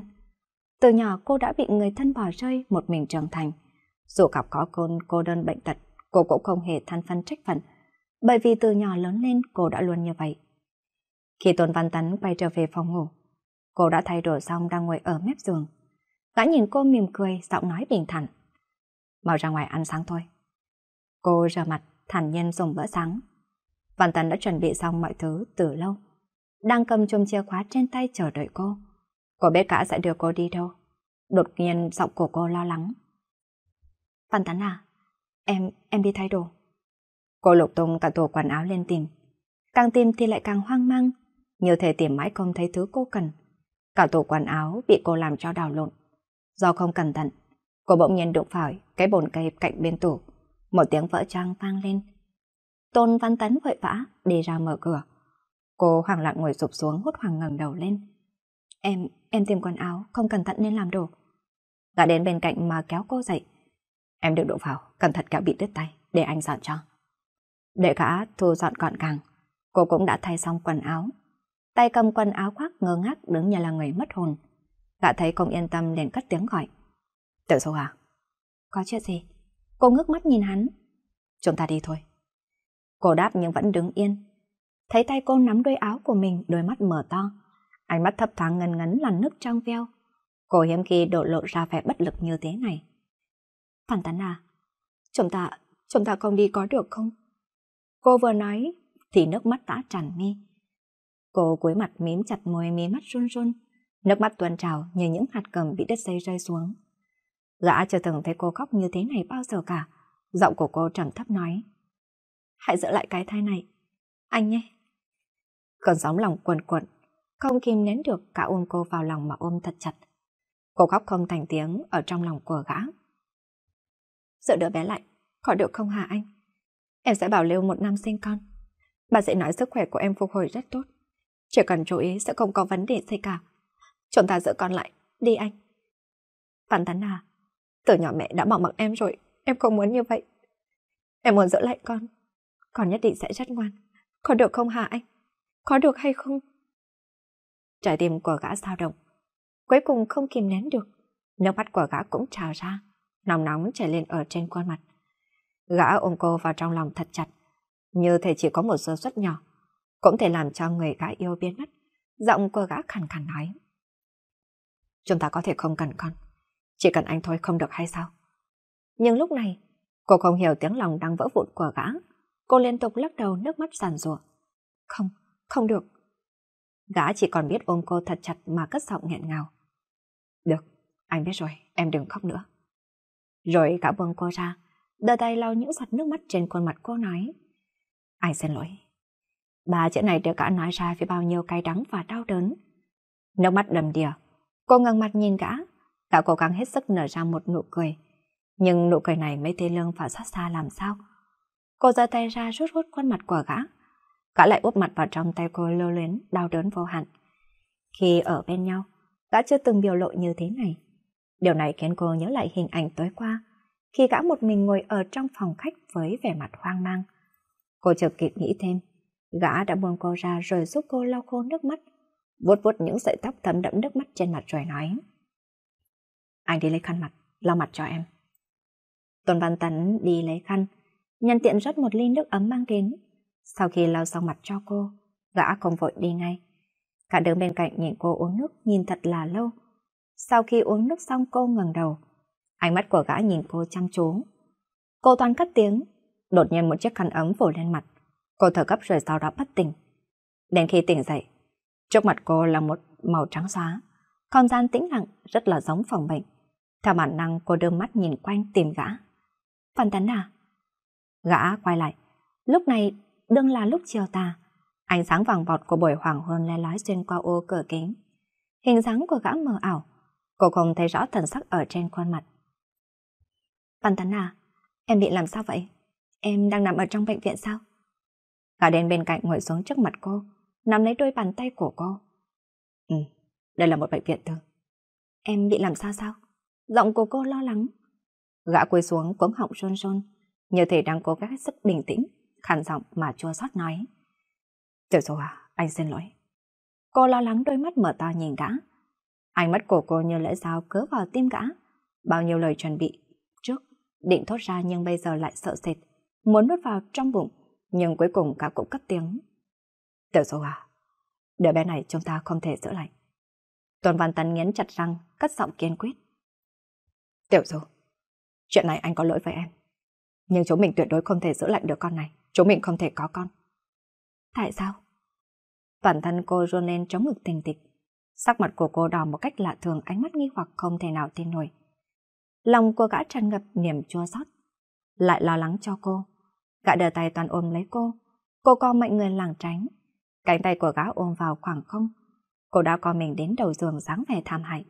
Là bởi vì hốt hoảng lẩn tránh nên chắn của cô đụng vào tường. Không hiểu sao sự kiên quyết của cô lại khiến hắn cảm thấy lo sợ. Một sự sợ hãi mà trước đây chưa từng có. Mặc thái độ phản ứng của cô, gã vẫn sang tay ôm cô vào trong lòng. Gã ôm chặt lấy cô, sực nhớ đến điều gì. Trái tim của cô ớn lạnh, đôi môi run run giọng lắp bắp. Anh dựa vào đâu mà không cho em sinh con? Có phải anh đã sắp đặt trước hay không? Anh, anh đã cho em uống thứ gì vậy? Gã sợ cô chống cự sẽ đau, Tiểu Du à, em hãy bình tĩnh như anh nói. Em không thể sinh ra đứa bé này. Bỗng chốc cô trở nên yên lặng.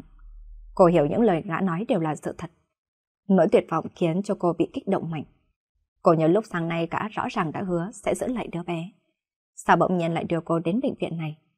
Ý nghĩ ở trong lòng cô giờ đây đã sáng tỏ. Bản năng bảo vệ con của người mẹ lại khiến cô bắt đầu dãy rủa. Tinh thần của cô suy sụp không đủ tỉnh táo để suy nghĩ về thái độ bất thường của gã. Anh đã nói rồi. Anh có chủ định không muốn có con ngay từ đầu. Nhưng anh không cần. Thế nhưng em cần. Cũng là một mình em sẽ sinh con. Em sẽ không để cho anh đụng đến một cọng tóc của con đâu. Nghĩ đến đây cô liền đẩy mạnh gã, rồi nhanh chóng lùi về phía sau. Cuối cùng Tôn Văn Tấn không chịu đựng được thêm nổi. Cả hất mạnh tay khiến mọi đồ đạc trên chiếc tủ cạnh bàn rơi xuống đất, rồi đấm mạnh vào tường. Do đập quá mạnh, chiếc tủ rỗng bên trong phát ra một thứ âm thanh cực lớn. Đờ dô giật nảy cả mình. Trong ký ức của cô cả chưa từng nóng này như vậy bao giờ. Một lúc lâu sau cả bình tĩnh lại ngay, như đã suy nghĩ rất kỹ từ trước. Giọng của cả chắc chắn, kiên quyết, giống như trước đây mỗi lần định đưa ra quyết định. Cái thai này đã không còn nữa. Bác sĩ đã cho em uống thuốc một lần. Bây giờ em hãy nghỉ ngơi đi. Lần nữa bác sĩ sẽ quay lại kiểm tra. Nếu như mọi thứ bình thường, chỉ cần ở bệnh viện theo dõi thêm một ngày. Tối ngày mai, cái thai sẽ ra. Gã nhìn cô khóe miệng run rẩy, rồi lại ôm cô vào lòng mà vỗ về. Tiểu Dô à, anh có lỗi với em. Đợi khi nào xong thì em muốn gì cũng được. Bây giờ hãy nghe lời anh cố gắng nghỉ ngơi đừng quá kích động. Như vậy sẽ tốt cho sức khỏe của em. Cô cắn môi đến nỗi chảy cả máu, nước mắt lưng tròng. Chăm chăm nhìn vào gã. Gã lại cần ôm cô, cô bỗng nhiên vung tay tắt mạnh. Trên mặt của gã in rõ vết nằm ngón tay của cô. Gã chần chừ, cuối cùng vẫn kiên định ôm cô vào lòng. Một cái ôm rất chặt, cho dù cô vùng vẫy như thế nào cũng là không vươn ra. Cái bà tài bàn nãy càng đẩy cô xuống hố sâu tuyệt vọng, nước mắt tuôn ra không có cách gì ngăn nổi. Tuần Văn Tân, đây là con của em. Anh dựa vào đâu? Anh dựa vào đâu? Gã im lặng, mặc cô mắng nhiếc, cao cấu nhằm hà giận, nhưng cánh tay vẫn ôm siết chặt lấy cô không hề buông lơi. Cuối cùng gã phối hợp cùng bác sĩ, tiêm cho cô một mũi an thần, sau đó cô lại đắm chìm ở trong mê man. Lúc tỉnh lại, bên cạnh giường chỉ có thầm tử tỉnh. Chỉ có vẻ cầy hơn, bơi tóc cao, đôi mắt đỏ hoe, hình như là vừa mới khóc xong. Trông thấy đường dù tỉnh lại thì nhìn cô mỉm cười. Thẩm tử tịnh đang phân vân. toàn nói điều gì thì bác sĩ bước vào. Vị bác sĩ chào thầm tự tịnh rồi mới nhắc nhở đường du một vài điều. Cô vừa phá thai, cần phải chú ý nghỉ ngơi ở trên giường, không được để cơ thể quá mức mệt mỏi.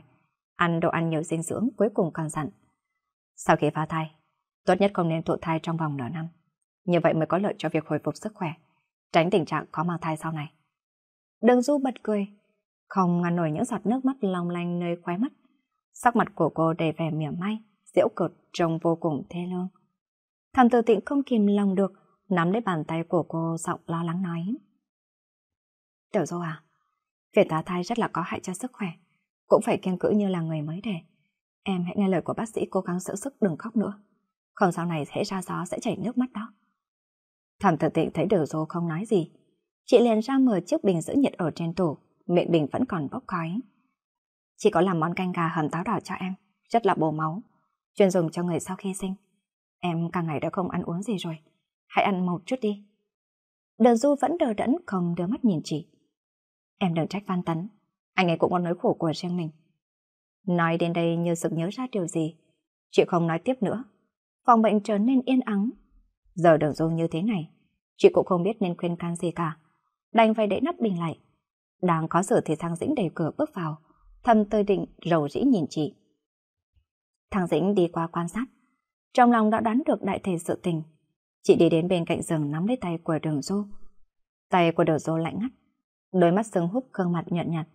Đầu tóc thì rối bù xù ở trên mặt cối, còn có mấy sợi tóc bởi vì thấm nước mắt dính chặt ở trên mặt. Thà Dĩnh cất tiếng thở dài, vừa định đưa tay vuốt gọn lại tóc cho cô, vừa nhẹ nhàng nói. Xem sắc mặt của em nhợt nhạt như thế này, phải ăn nhiều vào. Vừa dứt lời, liền đỡ cô dậy rồi ra hiệu cho thần định mang canh đến. Dẫu sao thằng Dĩnh cũng là một người chị. Giọng của đường du nghẹn ngào. Chị thằng Dĩnh à, em thật sự là không muốn ăn. Thằng Dĩnh về bình canh đến rồi lại đặt xuống. Thấy cô đã chịu nói chuyện, chị chợt thấy yên tâm phần nào. Nhìn đường du đôi mắt rưng lệ, trái tim của chị cũng dần yếu mềm. Chị đưa tay ôm cô vào lòng, đường du cuối cùng cũng bật khóc. Thần tự tịnh cũng cảm giác yên tâm hơn. Thằng Dĩnh vừa vỗ lưng của đường du vừa an ủi, vừa đưa mắt nhìn thầm tự tịnh. Thầm tự tịnh vội vào nhà vệ sinh lấy khăn ấm ra. Thằng Dĩnh dùng chiếc khăn đó giúp đầu dô lau mặt. Có lẽ bởi vì khóc mệt, cô ăn chưa được bao nhiêu thì đã ngủ tiếp đi. Thẩm tự tịnh phải chăm sóc con nhỏ nên trở về trước. Thằng Dĩnh ở lại với cô một tiếng đồng hồ sau mới đi về. Tôn Văn Tấn đứng dựa lưng ở bên ngoài phòng bệnh sắc mặt xám xịt, miệng ngậm theo một điếu thuốc lá. Mắt nhìn điếu thuốc sắp cháy đến miệng, nhưng cả vẫn chẳng hề nhúc nhích. Thấy thằng Dĩnh đi ra, liền vứt vội điếu thuốc vào thùng rác bên cạnh. Rõ ràng cả muốn hỏi han tình hình ở bên trong phòng. Nhưng khi thấy chị cả không dám mở miệng, cứ đứng như là trời trồng. Cả hai đều im lặng. Một lát sau thằng Dĩnh hạ giọng nói. Tại sao cậu lại không nói rõ cho cô ấy chứ? Bộ dạng gã của như thế này khiến cho thằng Dĩnh mùi lòng. Xảy ra việc như thế này, cậu cần phải nói rõ cho cô ấy biết. Nếu như không nói bây giờ, sau này lại tiếp tục thì sao? Sẽ không có sau này nữa. Thằng Dĩnh còn chưa nghe ra, nhưng muốn hỏi rồi lại thôi. Cuối cùng chị định ra về mà không nói gì thêm cả. Ngày hôm sau, thằng Dĩnh lại đến chăm sóc cho đường du. Cô vẫn không chịu ăn. Khoảng 10 giờ sáng, Lý Văn đến. Tuần Văn Tấn chỉ dám đưa cô tới cửa phòng mà không dám vào. Thằng Dĩnh nghĩ hai người có chuyện cần tâm sự nên vội vàng nói. Ngày hôm nay chị có một chút việc bận, phải đi về trước. Hai chị em ngồi nói chuyện nhé. Nhìn bộ dạng của đường du, Lý Văn vô cùng kinh ngạc buột miệng hỏi. Sao cậu lại ra nông nỗi này? Đột nhiên sực nhớ tới bệnh tình của cô. Nghĩ là do ảnh hưởng sau khi làm phẫu thuật. Lòng của cô nặng trĩu không nói nên lời. Chỉ có sắc mặt là truyền từ sắc thái này sang sắc thái khác. Đờ dô cố gắng kìm nước mắt, giọng yếu đuối cất lên. Không phải. Đờ dô vẫn luôn là như vậy. Nếu cô không muốn nói, thì có hỏi cũng chẳng có ích lợi gì. Lý Văn an ủi cô vài câu, rồi nói lý do vì sao cô đến đây. Hóa ra cô đến để kể về chuyện của Chu Nhiễm. Cô ta không biết bị nhiễm căn bệnh ết từ khi nào. Sau khi phát hiện ra được mấy hôm liền tự sát ngay ở trong phòng trọ. Tuy từng ngày cô ta tắc ai tắc quái, kết cục như thế này là đáng đời.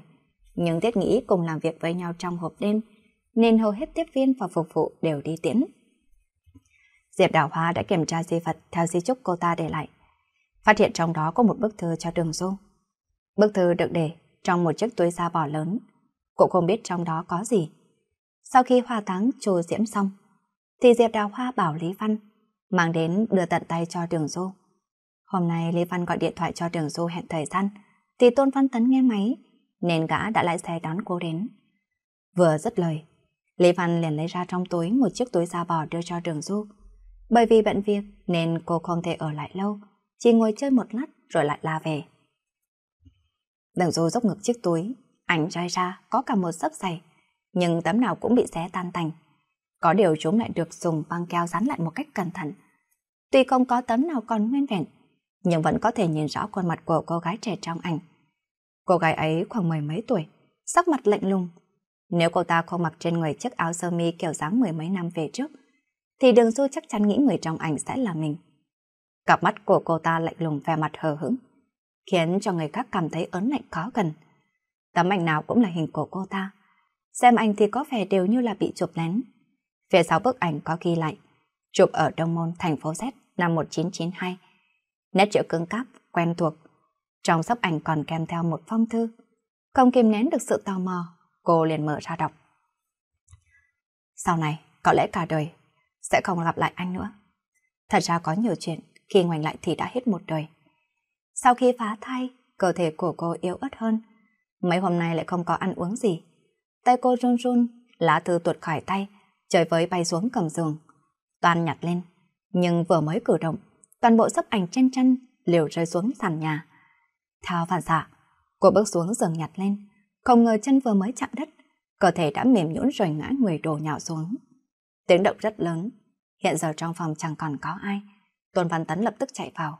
Cô gượng đứng dậy, tóc tai rối bù che khuất cả nửa khuôn mặt. Tôn Văn Tấn trao mày, nhanh nhẹn chạy đến, toàn đỡ cô dậy, nhưng không ngờ cô bỗng nhiên quát lớn. Đừng đụng vào tôi. Gã mặc kệ, nhưng khi tay vừa chạm đến người của cô, cô lăn lộn hòng tránh khỏi đôi tay của gã. Lúc này cô pha cài cái giá bằng hợp kim bên cạnh. Chiếc bình giữ nhiệt lắc lư rồi rơi xuống. Nước canh văng lên đầy nền nhà. Bây giờ gã mới nhìn thấy những bức ảnh ra la liệt ở trên nền thảm. Đầu óc của gã ong ong, như thể có thứ gì đó vừa đổ ập xuống dưới tận đáy lòng. Gã đứng như là trời trồng không dám đến gần cô. Nhưng một lát sau, gã ngừng đầu đối diện với cái nhìn của cô. Ánh mắt của gã vô cùng thản nhiên và không hề lảng tránh. Dường như gã cũng đã thừa nhận rất nhiều những thứ khác. Không chỉ là những tấm ảnh ở trên nền nhà. Gã nhìn thẳng vào cô như đang chờ đợi một sự phán quyết. Tôn Văn Tấn vẫn đứng yên. Gã nhìn cô, cất giọng bất lực. Anh xin lỗi. Cô viện tay vào tủ đứng lên, như không hề trông thấy gã. Cô vòng tay rồi đi ra ngoài cửa. Dù như thế nào đi chăng nữa, cô cũng nhất định phải giữ lại cho mình một chút tự trọng cuối cùng. Cô vừa toàn đi đã bị gã bắt lại. Ánh mắt của cô lạnh lùng nhìn gã nói. Tránh ra. Khỏe mắt của Tôn Văn Tấn đỏ ngầu cất giọng khàn khàn. Em muốn đi đâu? Tôi đi đâu, không cần anh quan tâm. Anh mau tránh ra. Gã không nói gì, nhưng cũng không tránh đường. Cô đi vòng qua, cánh tay cô bị gã kéo lại, nước mắt tuôn ra mau hơn. Cô ngoảnh đầu nhìn gã, cọt dậy tràn ở trong mắt cất giọng xôn xôn. Buông ra.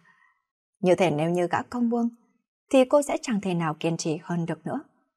Bộ dạng của cô khiến gã run tay. Nhân lúc ấy cô vùng thoát ra khỏi gã rồi chạy ra bên ngoài. Tuần Văn Tấn nhanh nhẹn phản ứng. Chỉ vài bước đã đuổi kịp. Cả nắm chặt lấy kiểu tay của cô, sắc mặt trở nên lạnh lùng nói. Em không được khỏe, đừng làm liều. Gã nắm rất là chặt.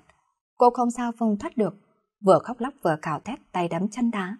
Mọi vẻ sắc sơ khốn khổ đều phơi bày. Cô đành ngồi sụp xuống đất bất lực cào lên. Tuần phản thần, tôi cậu xin anh hãy buông tôi ra. Thầm tự tịnh vừa từ trong thang máy bước ra. Chị giật mình khi nghe thấy tiếng khóc đều tuyệt vọng của đường du. Kể từ khi quen biết đến nay, Đường Du luôn tỏ ra lạnh lùng lãnh đạm. Chị chưa từng thấy cô tuyệt vọng cầu xin như thế này bao giờ. Chị vội bước qua. Tôn Văn Tấn hạ giọng sỗ sành. Tiểu Du à, bây giờ em không được khỏe, hãy nghe anh. Sau này em muốn gì anh cũng sẽ không cần. Thẩm tử thịnh không biết giữa hai người đã xảy ra chuyện gì, nên không dám đi vào khen can. Khi Tôn Văn Tấn ngoài đầu lại nhìn thấy chị, tự tịnh mới tiến đến mà đỡ lấy đường du, nhẹ giọng cất lời an ủi. Thấy đường du đã bình tĩnh trở lại, chị nhảy mắt ra hiệu với Tôn Tấn đi chỗ khác.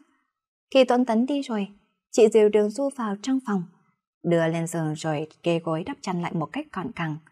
Lúc này thẩm tự thịnh mới để ý đến những tấm ảnh la liệt đầy phòng. Chị nhặt lên, cảm giác đầu óc ong ong, bây giờ mới vỡ lẽ. Chị lo lắng nhìn đường du, khuôn mặt của cô đỏ cay nước mắt đẫm gối. Cả con người không còn một chút sinh khí nào cả. Việc này xem ra nghiêm trọng hơn lần trước rất nhiều. Thẩm tử tịnh cất tiếng thở dài, đưa tay ra nắm lấy tay cô. Tiểu dâu à, muốn nói điều gì lại không biết nói tiếp, chị cứ ấp a ấp úng. Lúc này đường du bỗng nhiên nắm tay chị mà cất tiếng nghẹn ngào. Chị Tử Tịnh à, hãy để em đi. Em không thể ở đây thêm một phút giây nào nữa. Đường du cảm thấy tuyệt vọng vô cùng. Cô không ngừng cầu xin thẩm tự tịnh. Nước mắt tự như chuỗi hạt cầm bị đứt dây lã chã tuôn rơi. thẩm tự tịnh không cầm làm được. Chị nghĩ, để cô thay đổi môi trường cũng tốt nên đành nói. Hay em đến nhà của chị đi. Như vậy cũng tiện cho chị chăm sóc em. Nhưng đường du lắc đầu liên tục. Cổ hận là mình đã không thể biến mất ngay trước mặt của Tôn Văn Tấn. Ở nhà của thầm tự tịnh thì có gì là khác so với ở đây chứ? Thầm tự tịnh cảm thấy khó xử nói. Vậy thì em muốn đi đâu? Bây giờ em không được khỏe, không được phép liều lĩnh. Đường dù thấy giọng của thầm tự tịnh đã mềm mỏng hơn. Một tia hy vọng chợt le lói. Không kịp suy nghĩ cô liền cất tiếng. Chỉ gọi điện thoại cho Lê Văn dùm em. Em muốn đến chỗ của cô ấy.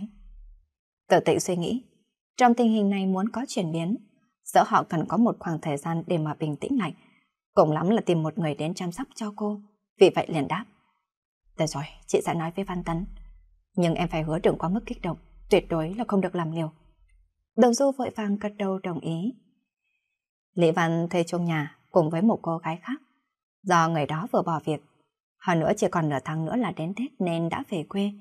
Vừa đúng còn có một phòng trống. Sau khi thu xếp xong cho đường Du, cô định đi chợ. Trước khi về nhà, thẩm tử tịnh đã dặn dò cô phải chăm sóc đường Du cẩn thận, thậm chí còn lấy từ trong ví ra một sấp tiền bắt Lý Văn phải cầm lấy. Lý Văn chỉ biết rằng Đường Du vừa mới bị sảy thai, ngoài ra không biết gì hơn nữa. Nhìn sắc mặt của Đường Du, nghĩ rằng cô mới làm phẫu thuật được mấy tháng nên cũng cảm thấy thương. Đến tối Lý Văn phải đến hộp đêm làm nốt những ngày cuối. Ban ngày cô ở nhà, khi thần tử tịnh và Thao Dĩnh đến thăm, Đường Dô đều không muốn gặp. Không thấy tầm hơi của Tôn Văn Tấn đâu cả. Lý Văn lờ mờ đoán rằng giữa hai người bọn họ đã xảy ra chuyện gì. Nhưng cụ thể ra sao thì cô ấy cũng không biết, chỉ biết tần tân để mà chăm sóc cho đường du. Thoáng một cái, một tuần đã trôi qua, Tôn Văn Tấn vẫn chưa xuất hiện. Đã gần đến trung tuần tháng riêng, Lý Văn vốn định về nhà về ăn Tết, mới xin nghỉ về làm sớm. Thành phố B cũng giống như những nơi khác, càng gần Tết lại càng khó mua vé. Cô bỏ luôn ý định tìm việc, mà hỏi ý kiến của Đường Du rồi nhờ bạn mua giúp hai vé đi về miền Nam. Cô đưa Đường Du về Quảng Tây nhà mình, định cho cô ấy ở lại ăn Tết chung. Ở Quảng Tây chưa đầy hai ngày, Đường Du bỗng nhiên nhận được điện thoại của thầy hướng dẫn, yêu cầu cô về trường gấp. Lúc này trường đã nghỉ đông, thầy hướng dẫn chỉ nói là có việc, cần phải gặp trực tiếp, Đường Du đành phải đồng ý. Ngày hôm sau, cô đi tàu lên miền Bắc. Khi đến cửa phòng của thầy, ở trong phòng đã có hai sinh viên khác đang ngồi ở đó. Trông thấy cô thì thầy liền nói. Thật đúng lúc, em đến rồi. Có việc này thầy muốn nói với các em. Chuyện là như thế này. Bộ Giáo dục có chương trình hợp tác bồi dưỡng các sinh viên năm ba với trường học ở bên Pháp. Hàng năm chúng tôi đều cử những sinh viên xuất sắc nhất để sang Pháp du học. Năm nay khoa ta tiến cử ba em. Bề ra các em cần nhanh chóng chuẩn bị. Vừa dứt lời, thầy đưa cho mỗi người hai tờ đơn. Trước hết phải điền vào tờ đơn này. Những vấn đề khác một lát nữa thầy sẽ nói hệ thống hơn. Mấy sinh viên nhìn nhau không kịp phản ứng. Vừa nhận được giấy triệu tập lên thoa, bây giờ lại bảo chuẩn bị đi du học Pháp. Mọi việc với bọn họ cứ như là một giấc mơ vậy. Sau khi điền đơn xong, thầy lại cầm theo một tờ lịch trình đã được in sẵn, rồi dặn dò mọi người phải làm thủ tục và visa. Sau khi ba người chia tay ra khỏi cánh cổng trường, đầu Du bỗng cảm thấy bâng khuâng. Cô sắp được sang Pháp. Cô không ngờ cô lại được cử đi du học. Khi các sinh viên khác quay về trường sau kỳ nghỉ đông, cả ba người đều đã được chứng nhận. Giấy báo nhập học ở bên Pháp, bảo lãnh chỗ ở, hộ chiếu visa.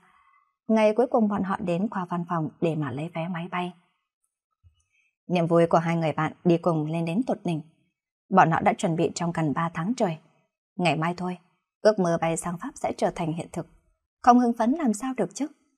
Thầy chủ nhiệm khoa và thầy hướng dẫn đều có mặt. Chủ nhiệm khoa chân thành nói. Hoàn cảnh gia đình của ba em đều khó khăn, nhưng đều là sinh viên xuất sắc được khoa tuyển chọn. Việc du học ở nước ngoài rất là vất vả, nhưng đây cũng là cơ hội hiếm có. Các em phải cố gắng học tập, giúp đỡ lẫn nhau. Sau khi thành tài thì trở về giúp ích cho nước nhà. Đường Du một mình lang thang ở trên đường, nhìn những tòa nhà cao tầng quen thuộc xung quanh, nhìn dòng xe tấp nập qua lại, nghĩ đến việc ngày mai mình sẽ lên máy bay để mà bay sang Pháp. Từ nay về sau con người và sự việc nơi đây sẽ cách xa cô ngàn vạn dặm. Đường Du gọi điện thoại báo cho Lý Văn trước tiên. Nói là mình sắp sang nước ngoài rồi. Kể từ hồi Tết đến bây giờ, Lý Văn vẫn chưa quay lại thành phố B. Hình như là ở nhà, đi xem mặt rồi định lấy chồng luôn. Lý Văn mừng cho cô rồi luôn miệng chúc mừng. Sau khi cúp máy, suy nghĩ một lát, cô mới gọi điện thoại cho thầm tự tỉnh. Lúc đầu hai người hỏi thăm qua loa vài câu, không ai dám nói nhiều. Nếu không có Tôn Văn Tấn thì giữa bọn họ chẳng hề có một chút liên quan. Nhắc đến chuyện gì cũng chỉ là liên quan đến gã mà thôi. Thẩm tự tiện càng không dám nói, bởi vì sẽ chạm vào nỗi đau trong lòng của cô. Kiểu hỏi thăm xe chừng này, chỉ dăm ba câu là hết chuyện rồi chào tạm biệt nhau. Đang định cúp máy, thì đường du đột nhiên nói với tử tỉnh. Ngày mai, em sang Pháp du học rồi. Cô đứng ở trên cân cầu vượt, đèn đường ở dưới chân rực sáng, dòng xe quần quật qua lại. Một cơn gió tháng 3 thổi đến, giọt nước mắt của cô rơi trên thành vịt của cầu. Cố gắng lắm mới giữ vững được chiếc điện thoại di động ở trong tay. Thầm tự tịnh ngập ngừng, chị cũng không dám hỏi nhiều chỉ nói. Chúc em thượng lộ bình an. Cảm ơn chị. Lại là một hồi im lặng. đều dù tính nói rồi lại thôi. Thầm tự tịnh hỏi dò. Ngày mai chị tiện em nhé. Không cần đâu, cảm ơn chị. Tạm biệt. Tạm biệt. Sau khi cúp máy, cô không sao cầm được nước mắt cả. Cô sang Pháp rồi. Có lẽ lần này sẽ thật sự là một đi con quay trở lại. Cũng giống như những người gặp ở trong đời trước đây. Qua vài năm thời thế thay đổi. Bạn tiểu học, bạn cấp 2, bạn cấp 3. Sau khi nói câu tạm biệt, thì đúng là sẽ không còn gặp lại nhau nữa. Phải chăng sau lần đi này, Tuần Văn Tấn cũng sẽ mãi mãi biệt tích giữa biển người bao la, không còn có thể gặp lại. Cuối tháng 3, Đường Du cùng hai người bạn học lên đường sang thủ đô Paris, nước Pháp. Một năm sau, vào tháng 6, Đường Du đi trong sân trường, nơi cô đã cách xa suốt một khoảng thời gian dài, ngang qua những nơi cô từng vô cùng quen thuộc, dãy giảng đường và ký túc xá cùng với những con đường. Chốc chốc lại có vài em sinh viên quá dưới cười nói vui vẻ đi ngang qua. Có một cảm giác vừa quen thuộc lại vừa xa lạ ùa về. Cô khẽ cất tiếng thở dài. Thời gian thấm thoát, cô đã từ nước Pháp trở về. Và những vui buồn cô từng trải qua dưới ngôi trường này lại ngỡ như là vừa mới xảy ra ngày hôm qua. Ngày thứ hai sau khi về nước, cô đến công ty của chị Phổ Thanh, mang quà cho chị rồi về trường chào thầy hướng dẫn. Khi vào đến văn phòng khoa, bên trong có một cô gái trẻ, hình như là giảng viên mới chuyển về. Đường Du nói lý do mình đến đây. Cô giảng viên mới nhà trường đang tổ chức lễ cắt ban khánh thành tòa văn phòng mới, nên thầy đã đi qua bên đó rồi. Nếu như cô muốn đi thì sẽ tiện đường dẫn cô qua đó. Đường Du không ngờ rằng mới về nước hai ngày đã gặp lại cả. Cô đứng ở chỗ không xa lắm, thẫn thờ nhìn người đó ở giữa đám đông. Ánh mắt nụ cười của gã đều đẹp đều quen thuộc. Quá khứ chợt ùa về, chỉ như thế mới đây thôi. Nghĩ đến khoảng thời gian xa cách thì mắt của cô chợt rưng rưng. Sợ mình không kìm nén được, đứng ở đó một lát cô đưa gói đồ cho một sinh viên khóa dưới, nhờ em đó chuyển cho thầy hướng dẫn rồi ra về. Trong thời gian ở Pháp, cô luôn giữ liên hệ với Phủ Thanh. Sau khi tốt nghiệp, Đường Du không có ý định học tiếp, nên Phủ Thanh mời cô về làm việc ở công ty dịch thuật mà chị mới thành lập. Không lâu sau, Phù Thanh tổ chức sinh nhật gọi điện thoại cho Đường Du mời đến dự. Chị nói cô không biết nhiều đồng nghiệp ở trong công ty. Nhân cơ hội này, mọi người đều có thể làm quen với nhau. Phù Thanh đã giúp đỡ cô rất nhiều. Từ việc làm thêm khi cô còn đang đi học và đến công việc ở nhà sau khi cô về nước, tất cả đều có công sức của chị. Hôm đó Đường Du mang quà đến rất sớm. Sau khi ăn ở nhà hàng, mấy người lại đội địa điểm đến hát karaoke. Ai nấy đều là cứng khởi. Đường Du không muốn mọi người mất vui nên cũng đi cùng. Ngày hôm sau, khi Đường Du đến công ty lấy bàn thảo, chị Chu cố tình níu cô lại, tỏ vẻ bí mật nói. Tiểu Du à, có phải em chưa có bạn trai không? Vâng ạ. Không hiểu vì sao chị Chu lại quan tâm tới chuyện đời tư của cô, khiến cho cô cảm giác ngại ngại. Lại như thế này, chị có quen một anh chàng, năm nay cậu ta 27 tuổi, làm việc ở phòng thí nghiệm rất là tốt tính. Thấy em chưa có bạn trai, hay hôm nào chị hẹn cậu ta ra ngoài gặp mặt nhé. Cô không biết từ chối như thế nào, cúi đầu lặng thinh. Thấy cô im lặng, chị Chu cũng cảm thấy cỡ cạo, liền cất lời giải thích. Em đừng có hiểu lầm, chị cũng không phải là người thích làm mai mối. Thật ra thời tuổi bây giờ, chẳng mấy ai còn thích làm việc ấy nữa. Một chút sơ suất sẽ biến người ta thành kẻ thù. Lúc ấy cả hai đều hận bà mối. Còn chị việc này cũng là... Chị như là muốn chứng minh mình khác với những người kia. Nhưng nói đi nói lại mới thấy mình càng giấu càng lộ nên vội vàng nói thẳng ngay. Lại như thế này, cậu ấy là em học của chị, hình thức cũng không chê vào đâu được, tính tình cũng tốt, mỗi tội nhút nhát. Hễ gặp con gái là câm như thóc, đến bây giờ vẫn chưa yêu ai cả. Chị nghĩ em bây giờ vẫn chưa có bạn trai, hay là cứ thử gặp đi, biết đâu hai người lại có duyên. Phù Thanh bỗng nhiên từ đầu xuất hiện bỗng nhiên cười nói. Có phải là cậu em họ, làm việc tại phòng thí nghiệm ở trong trường đại học B không? Em cũng gặp qua rồi, đúng là một anh chàng tốt nha. Trình Lãng và Đường Du quen nhau như thế. Ngày đầu tiên gặp nhau anh còn có vẻ nhút nhát. Nhưng về sau anh đối với cô rất tốt. Cô ốm, anh mua thuốc qua chăm sóc. Còn nói với cô, thuốc cho trẻ em thì ít tác dụng hơn so với thuốc của người lớn. Anh còn giúp cô sửa chữa một số phục dụng ở trong nhà. Kể ra có hai người cũng vui, nấu cơm rồi không sợ ăn không hết. Có lúc buồn thì có người có tâm sự, lúc mệt mỏi có người để mạt nương tựa. Cuối năm, Trình Lãng muốn dẫn cô đến dự lễ mừng thọ 80 tuổi của ông nội. Đừng dù từ chối mãi, anh cũng không dám miễn cưỡng, đành phải nhờ Phù Thanh nói hộ. Phù Thanh gọi điện thoại cho cô, đừng dù nói. Đến một nơi đông người như vậy, em vẫn chưa chuẩn bị tinh thần tốt. Phù Thanh nói, bọn em cũng đã quen nhau lâu, Trình Lãng là người như thế nào em cũng biết. Nói đến đây chị bỗng nhiên sực nhớ điều gì mà cất tiếng thở dài. Tiểu Du à, nếu chuyện đã qua, mà em cứ nhớ nhung ở trong lòng thì cuộc sống sau này của em sẽ ra sao? Hôm mừng thọ ông nội của Trình Lãng, Đường Du cuối cùng cũng đến. Tiệc mừng thọ có rất nhiều vị thành đạt ở trong giới thượng lưu tham dự. Đường Du được dẫn đến trước mặt của một ông cụ già mặc áo lễ, mái tóc bạc phơ, Trình Lãng cất lời giới thiệu. Ông nội à, đây là bạn gái của cháu, cô ấy tên là Đường Du. Cụ già ngắm nhìn trong giây lát rồi vỗ tay cô. Được, được lắm. Không khí ở bên ngoài ồn ào. Mấy người đang cầm rượu bước vào. Một người đàn ông đứng sau lưng nâng ly rượu, miệng khẽ cười tư thế rất ung dung. Đờ dô quay mặt lại. Nét mặt của người đàn ông này đang cầm ly rượu chợt biến sắc. Rượu sánh ra ngoài ra một nửa. Nhìn thấy cô thì mọi thứ xung quanh, khách cửa ở trong phòng, đồ nhậu bừa bãi ở trên bàn, người ngồi ở bên cạnh, tất cả đều trở nên hư ảo. Gã chỉ nhìn thấy khuôn mặt nhỏ bé của cô, cùng vẻ hoang mang hoảng hốt trong đôi mắt to. Dưới cặp mày nhạt, làn môi hé hé như đang nhìn gã ở trong mơ. Cô gầy đi rất nhiều, chiếc cằm đầy đặn như trẻ con giờ đây đã thon nhọn, khiến cặp mắt của cô trông lại càng co hơn. Mái tóc dài thẳng được uốn lọn sóng buông xõa. Cô trang điểm nhẹ, trông chín chắn hơn trước rất nhiều. Nhưng thần sắc bằng hoàng, ánh mắt hoang mang, nghi hoặc đã quá quen thuộc đối với gã.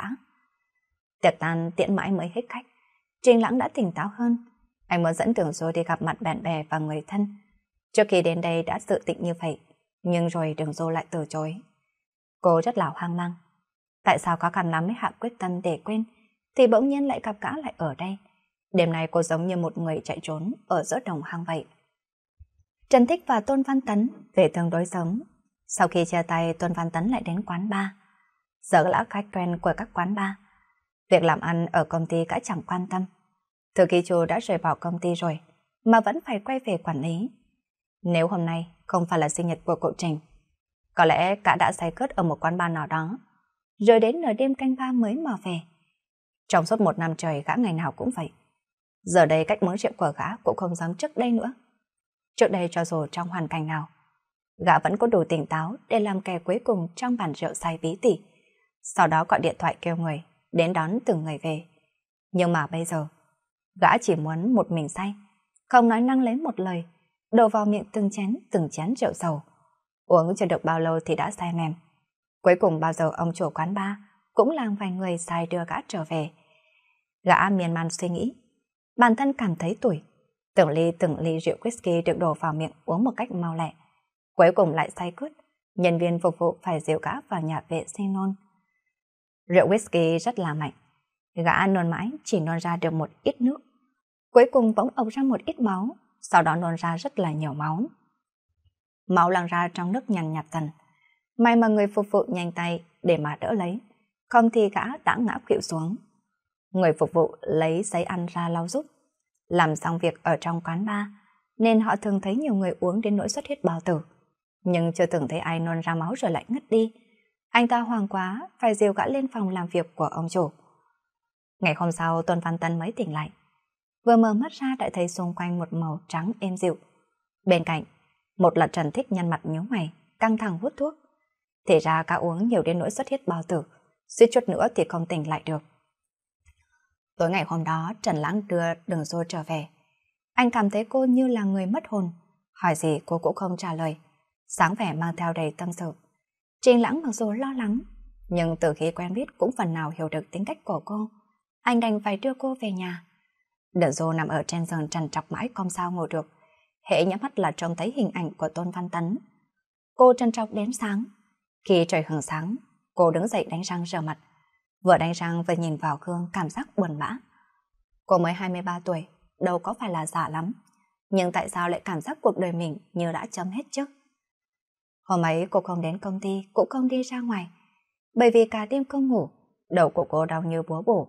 Nhiều lần ép mình tập trung vào các bàn dịch, nhưng chỉ vài phút sau lại như là người mất hồn. Ngay lúc đó tiếng chuông cửa vang lên dồn dập. Cô sợ Trình Lãng đến, sợ sự quan tâm tận tình của anh, sợ lương tâm của mình bị cắn rứt, lại càng sợ phải nghe anh nhắc đến việc cưới hỏi đã định sẵn trước đây. Chuông cửa vẫn cứ kêu, như thế người bên ngoài biết chắc cô đang có ở nhà. Đến tận khi cô ra mở cửa thì mới chịu dừng lại. Có lẽ không phải là Trình Lãng, anh ta không phải là người biết lịch dị như vậy.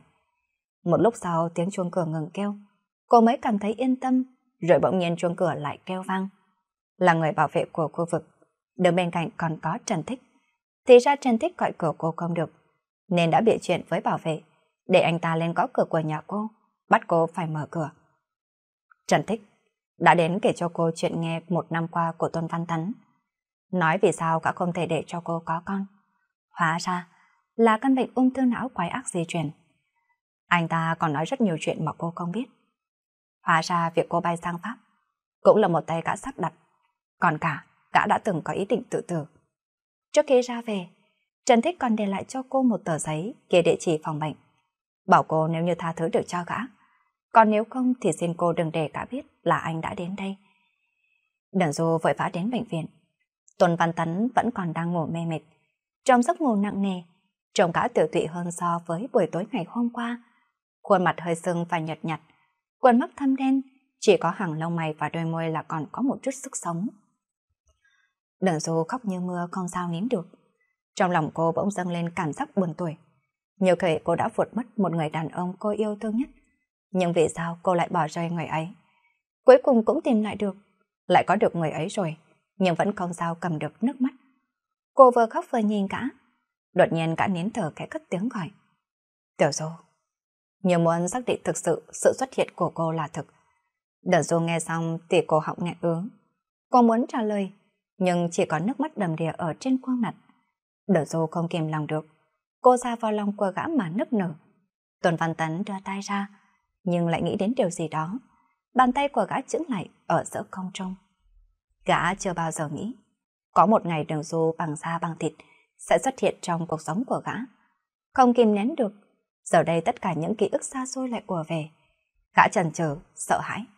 Cô đã trở về rồi, nhưng gã lại không dám ôm cô. Đường Du như cảm nhận được sự sợ hãi của gã. Cô chua xót càng ôm chặt cả hơn. Cô sụt xít nói trong tiếng khóc. Anh đừng đưa em đi đâu nữa.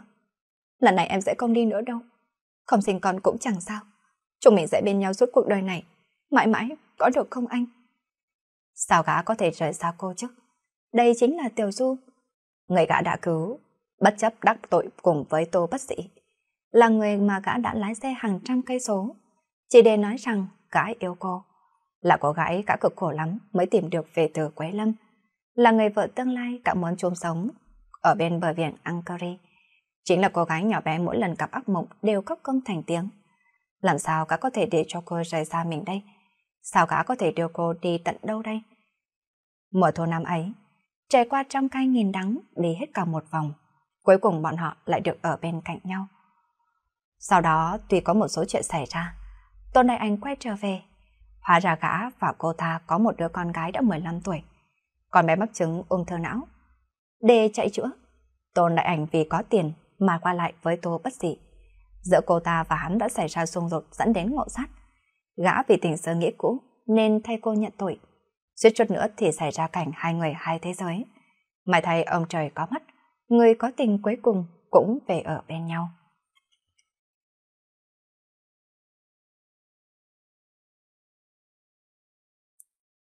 Vậy là vừa rồi các bạn vừa nghe xong bộ truyện Tình yêu đau đớn thế. Cảm ơn các bạn đã chú ý lắng nghe.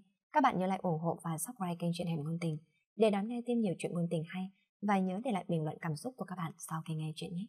Chúc các bạn có một ngày làm việc thật vui vẻ và tràn đầy năng lượng và hẹn gặp lại các bạn trong những bộ truyện.